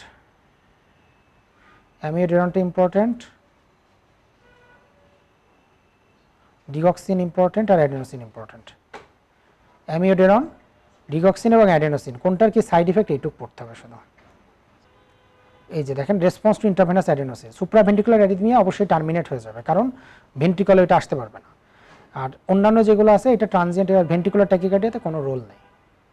আর ডিগক্সিন টক্সিসিটি এই বক্সটাও আমরা আপনাদের শীতেও আছে, এখান থেকেও পড়তে পারেন যে কোনো জায়গা থেকে। কিন্তু ডিগক্সিন থেকে একটা প্রশ্ন আসবে এই ফার্মাকোলজি এবং অ্যারিথমিয়া থেকে আমরা বলছিলাম তিন থেকে চারটা প্রশ্ন আসে। আচ্ছা একটা বক্স আছে বক্সটা খুব ইম্পর্ট্যান্ট চারশো তিরাশি নাম্বার পেজে একদম শেষে আছে। লাস্টে ষোলো দশমিক পঁয়ত্রিশ। কি indications of implantable cardiac defibrillator therapy implantable cardiac ষোলো দশমিক পঁয়ত্রিশ। এটা ইনফিনিট স্টার আইসিডি নিয়ে এখন অনেক কথাবার্তা হয়। ওকে তাহলে আমরা এখন কনজেন্টাল হার্ট ডিজিজে চলে যাই। আচ্ছা তাহলে আমরা এখন কনজেন্টাল হার্ট ডিজিজ স্টার্ট করি। কনজেন্টাল হার্ট ডিজিজ থেকে এখন আসলে খুব বেশি প্রশ্ন আসে না। এর জন্য আমরা খুব সংক্ষেপে কনজেনিটাল পেরিফেরাল আর্টেরিয়াল ডিজিজ এবং এটা পড়ব। পাঁচশো তেত্রিশ পাতা থেকে আপনারা ওপেন করেন ডেভিডসনের এই যে কনজেন্টাল হার্ট ডিজিজ পাঁচশো পাঁচশো একত্রিশ পাতায়। তাহলে এখানে প্রথম কোশ্চেন যেটা, দেখেন পাঁচশো একত্রিশ পৃথায় পাতায় একটা বক্স আছে ষোলো দশমিক নিরানব্বই sixteen point nine nine incidence R relative frequency of congenital cardiac malformation এটা কী কী আছে? ভেন্ট্রিকুলার সেপ্টাল ডিফেক্ট এটা মনে রাখবেন যে কমনেস্ট কনজেনিটাল হার্ট ডিজিজ হলো VSD commonest congenital heart disease VSD presentation আছে কিছু, এটা একবার রিডিং পড়বেন, এই বক্সটা ষোলো দশমিক একশো। এই বক্সটা একটু রিডিং পড়বেন।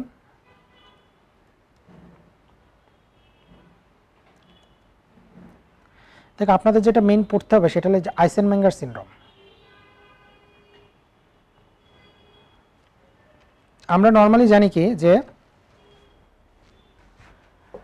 আমরা নর্মালি জানি কি কনজেনিটাল হার্ট ডিজিজ যদি আমরা দেখি আমরা গ্রসলি ভাগ করি কি সায়ানোটিক এবং সায়ানোটিক হার্ট ডিজিজ তো সায়ানোটিক হার্ট ডিজিজটা আসলে অ্যাডাল্ট কার্ডিওলজিস্টদের কাছে আসে না, এটা পিডিয়াট্রিক কার্ডিওলজিস্টরাই বেশি ডিল করে। তো আমাদের যেটাই সেটা হলো যে right to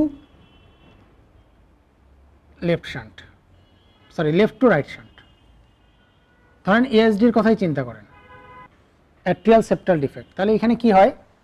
রাইট থেকে লেফট শান্ট হয় অ্যাট্রিয়াল সেপ্টাল ডিফেক্ট আচ্ছা আমরা এখানে ছবিতেই দেখাই, ছবিতে দেখলেও বুঝতে পারবেন। এসডিটা সবচেয়ে ইম্পর্টেন্ট এই জন্য। অ্যাট্রিয়াল সেপ্টাল ডিফেক্ট রাইট থেকে লেফট শান্ট হয়। তাহলে এখানে দেখেন সরি বারবার ভুল বলছি লেফট থেকে রাইট শান্ট হয়। তাহলে লেফট লেফট অ্যাট্রিয়াম থেকে ব্লাড আসে রাইট অ্যাট্রিয়ামে রাইট অ্যাট্রিয়াম থেকে রাইট ভেন্ট্রিকল সেখান থেকে যায় হলো পালমোনারি সার্কুলেশন দিয়ে। তো এই যে যে ফ্লোটা হয়, এটা অ্যাবনর্মাল অ্যামাউন্টের ফ্লো হয়। দেখেন কত বড় ফ্লো যাচ্ছে, এতগুলো তীর চিহ্ন দিয়ে দেখাচ্ছে। এই ফ্লোটা হওয়ার কারণে পালমোনারি যে এই আর্টারিয়াল সাইডে পালমোনারি আর্টারিয়াল সাইডে যে সাউন্ডটা হয়, সেটাকে আমরা পালমোনারি স্টেনোসিসের মতো আমরা সাউন্ডটা পাই। এই জন্য আমরা বলছিলাম যে ইজেকশন সিস্টোলিক মারমারে একটা কজ ছিল অ্যারোটিক এএসডি এএসপিএস এর পরে একটা কজ ছিল কিন্তু এসডি অ্যাট্রিয়াল সেপ্টাল ডিফেক্ট এই, এইটার কারণে একটা ফাংশনাল মারমার পাওয়া যায়। এবং এখানে রাইট অ্যাট্রিয়াম এবং রাইট ভেন্টিকল বেশ ডায়ালেটেড হয় এবং পালমোনারি আর্টারিটা ডায়ালেটেড হয়। এইটা হতে হতে পনেরো বিশ বছর হওয়ার পরে যখন পালমোনারি আর্টারিটা আস্তে আস্তে ডায়ালেটেড হয়ে পালমোনারি হাইপার টেনশন যখন ডেভেলপ করে তখন কি হবে? যে রাইট সাইডের হার্টের প্রেশারটা লেফট সাইড থেকে বেড়ে যাবে এবং তখন লেফট টু রাইট শান্ট হবে। তখন কি হবে? রাইট টু লেফট শান্ট হবে। এতক্ষণ ছিল লেফট টু রাইট শান্ট এটা হয়ে যাবে রাইট টু লেফট শান্ট তখন আমরা সেটাকে বলি আইসেনমেঙ্গার সিনড্রোম তাহলে এই ছবিটা দেখবেন এবং সাথে আমাদের এই যে শিটে যেটা লেখা আছে এসডির ক্ষেত্রে, সেটা মিলাই পড়বেন। ভিএসডির ক্ষেত্রে কি? এটা most common congenital heart disease এবং প্যানসিস্টলিক মারমার পাওয়া যায় এবং যত ছোট মারমার হবে, তত বড় ডিফেক্ট আমি বলি যে ডিফেক্ট যত স্টেরোসিসের মারমার যত বেশি হবে, তার প্রগনোসিস তত ভালো ভিএসডির ক্ষেত্রে। কারণ the small the defect the louder the murmur. আচ্ছা টেট্রোলজি অফ ফ্যালট এটা আমরা মোটামুটি সবাই জানি যে চারটা জিনিস থাকে এখানে। কি কি থাকে? প্রথমে হয় কি? Pulmonary stenosis valvular pulmonary stenosis হওয়ার কারণে অ্যাওটাটা সরে যায়, জায়গা না পেয়ে অ্যাওটাটা এই বাম পাশ থেকে সরে একটু ডান পাশে চলে আসে। ছবিটা খেয়াল করেন, সেটাকে আমরা বলি ওভার রাইডিং অফ অ্যাওটা এবং এই অ্যাওটা এই পাশে সরে আসে বলে ভেন্টিকলের সেপ্টামের যে মেমব্রেনাস পার্টটা আছে আপার ওয়ান থার্ড সেটা ঠিকমতো ডেভেলপ করে না, তখন ভিএসডি ডেভেলপ করে। এবং লেফট টু রাইট শান্ট হওয়ার কারণে এবং পালমোনারি স্টেনোসিস অনেক থাকার কারণে রাইট ভেন্টিকুলার হাইপারট্রফি ডেভেলপ করে। তাহলে কি কি বললাম? এক নম্বরে পালমোনারি স্টেনোসিস দুই নম্বরে ventricular overriding of the aorta তিন নম্বরে ভিএসডি এবং চার নম্বরে রাইট ভেন্ট্রিকুলার হাইপারট্রফি টফটা সম্পূর্ণটাই পড়তে হবে, যেটুকু ডেভিডসনে আছে। তবে ইম্পর্টেন্ট কথা, সব চার্টে দেওয়া আছে। বাকিগুলো অত ইম্পর্টেন্ট না, যেগুলো ইসে, তবে এই বক্সটা একটু দেখে যাবেন। বক্স নাম্বার ষোলো দশমিক একশো দুই, পাঁচশো সাঁত্রিশ পাতায়। শেষে তিন চারটা স্লাইড আছে, এই তিন চারটা জিনিস আমরা একটু দেখব। এক নাম্বার কি? ইন্টারভেনশনাল কার্ডিওলজিতে কিছু টার্মিনোলজি আছে বলছিলাম। যে কার্ডিও ভার্সান এবং ডিফিব্রিলেশন আমরা বলি যে ইলেকট্রিক্যাল বা ফার্মাকোলজিক্যাল কার্ডিও ভার্সান করা মানে কোনো কিছু দিয়ে কার্ডিও ভার্ট করা। এটা একটি ইলেকটিভ প্রসিডিওর এবং deliver immediately after R wave R wave হওয়ার পরে এটা দিতে। যদি আমরা ইলেকটিভলি করি কার্ডিও ভার্সন তখন সেটাকে বলি কার্ডিও ভার্সন যদি ইমার্জেন্সি করি, তখন আমরা সেটাকে বলি ডিফিব্রিলেশন সেটা unsynchronized temporary pacemaker permanent pacemaker temporary pacemaker হলো সাত দিনের বেশি ইউজ করা যায় না। এবং ওর একটা জেনারেটর থাকে, টিপিএম। সেটা এখানে বাইরে থাকে, শরীরের বাইরে থাকে এবং পেসমেকার তার একটা এন্ড রাইট ভেন্ট্রিকল এবং রাইট অ্যাট্রিয়ামের মধ্যে বসানো থাকে। যখন সাত দিন পরও দেখা যায় যে না, এই পেশেন্ট পেসমেকার ছাড়া চলতে পারবে না, তখন পারমানেন্ট পেসমেকার বসানো হয়।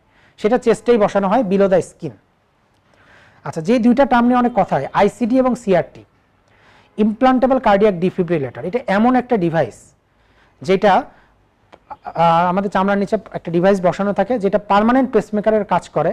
আবার হার্ট যদি কখনো অ্যারিথমিয়া হয় বা ফিব্রিলেশন হয় বা কোনো রকম মনে হচ্ছে যে এখন অ্যারিথমিয়া হবে, তখন সে সেটাকে ডিফিব্রিলেট করে। দেখেন এটা আপনাদের শিটেও দেয়া আছে, সহজে বুঝতে পারবেন, লেখাই আছে। শিটে পেজ নাম্বার চল্লিশে আছে।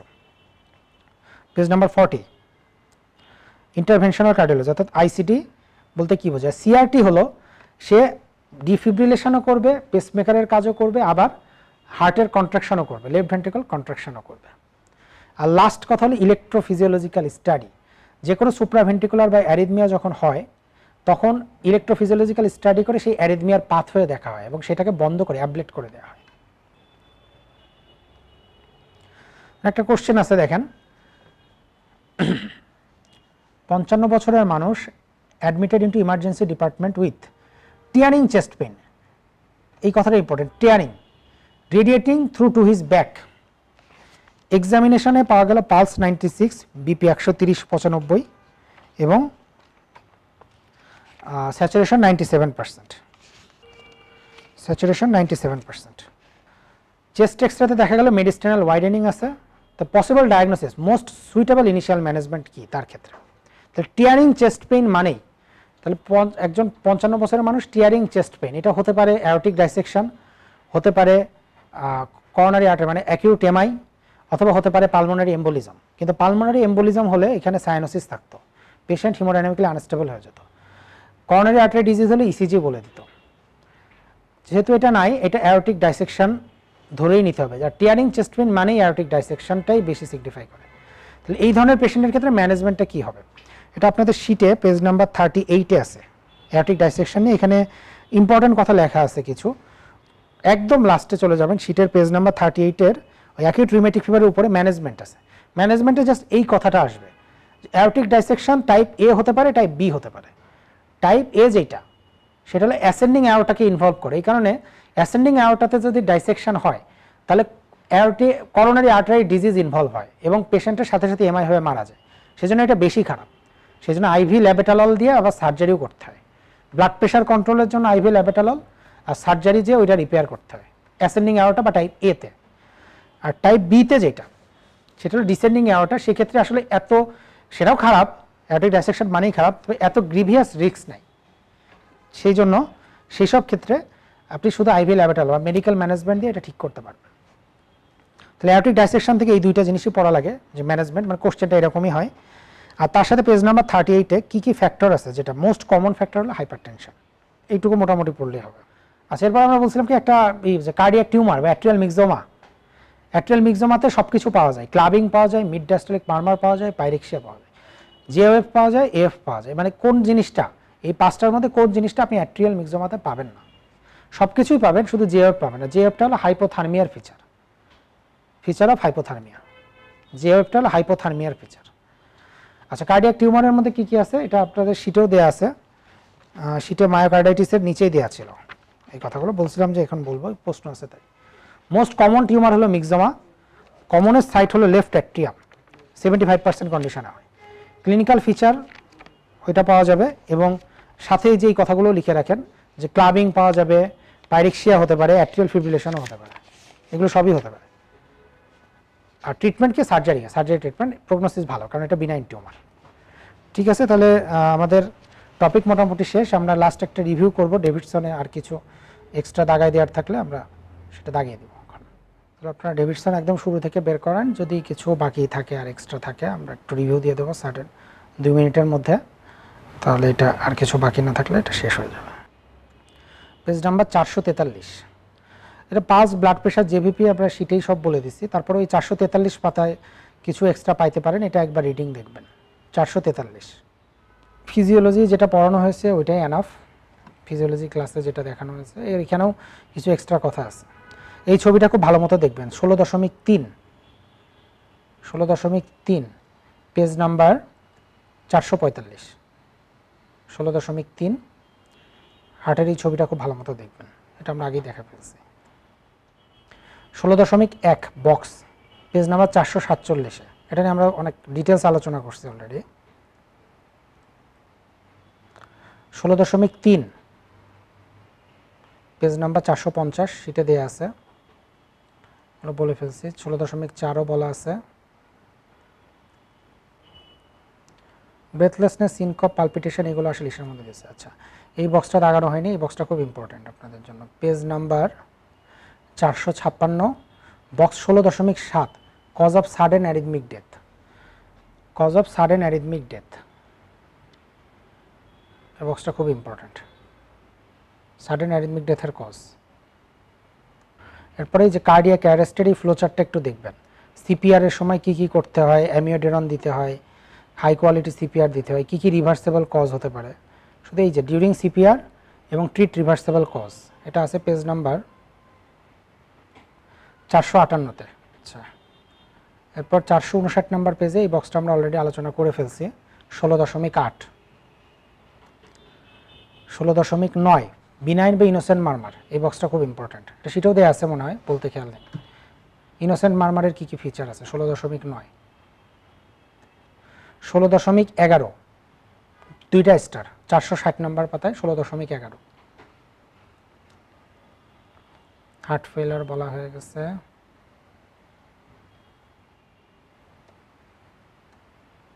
পেরিফেরাল আর্টারিয়াল ডিজিজ দু একটা কথা বলা হয়নি, সেটা আমরা একটু বলে দেব। এক নম্বর হলো যে পেজ নাম্বার ডেভিডসনের পেজ নাম্বার পাঁচশো দুয়ে ক্রিটিক্যাল লিম্ব ইস্কেমিয়া আমরা কখন বলি? বলা হয় যখন রেস্ট পেইন আসছে, যেখানে ওপিয়েট অ্যানালজেসিয়া লাগে আলসারেশন বা গ্যাংগ্রিন হয়ে গেছে, দুই সপ্তাহের বেশি সময় দেয়। এবং ankle pressure less than fifty millimetre of mercury তখন আমরা তাকে ক্রিটিক্যাল লিম্ব ইস্কেমিয়া বলি। এটা লাগবে। What is critical limb ischaemia R symptom box ষোলো দশমিক সাতান্ন। পেজ নাম্বার পাঁচশো তিনে বক্স ষোলো দশমিক সাতান্ন symptom and science of acute limb ischaemia এখানে যেটা লাগবে যে পেরিফেরাল আর্টারিয়াল ডিজিজের মেডিকেল থেরাপি কী কী আছে? এবং আমরা বলি কি যে মেডিকেল থেরাপিকে এটাকে বলা হয় best medical therapy best medical therapy যদি থেরাপি ট্রিটমেন্ট ভালো না হয়, তাহলে ছয় ছয় মাসের মধ্যে যদি ভালো না হয়, সেক্ষেত্রে আসলে স্টেন্টিং বা বাইপাস করতে হয়। আর chronic limb ইস্কেমিয়ার clinical feature chronic lower limb ইস্কেমিয়ার কিছু ক্লিনিক্যাল ফিচার্স আছে, এই বক্সটা পড়বেন। রেনর্স ফেনোমেনন বার্জাস ডিজিজ এটা রিউমাটোলজিতে অনেক ভালো আছে। অ্যারোটিক অ্যানিউরিজম এবং অ্যারোটিক ডাইসেকশন সিনারিও দেখে দিয়েছে, এই ছবিটা খুব ইম্পর্ট্যান্ট যে অ্যারোটিক অ্যানিউরিজম অ্যারোটিক রিগার্জিটেশন হয় ডাইলেটেড থোরাসিকে আর ব্রঙ্কিয়াল কনস্ট্রাকশন হয় স্যাকুলার থোরাসিকে মানে ডিস্ট্রেস নিয়ে আসতে পারে। আর অ্যাবডোমিনালের ক্ষেত্রে থ্রম্বাসটা বেশি হয়। আর অ্যারোটিক ডাইসেকশন আমরা আলোচনা করলাম যে টাইপ এ এবং টাইপ বি টাইপ এতে করোনারি আর্টারি অক্লুশন হওয়ার সম্ভাবনা বেশি থাকে। এই কারণে immediate surgery plus IV labetalol লাগে। আর টাইপ বিতে এই রিস্কটা কম থাকে, এই কারণে আইভি ল্যাবেটালাল দিয়েই কন্ট্রোল করা যায়। তো this is all about cardiology এখান থেকে পনেরো মার্ক থাকবে। কি কি টপিক কত মার্ক থাকবে, এটা মোটামুটি ডিসকাশন শেষ। Thank you for your attention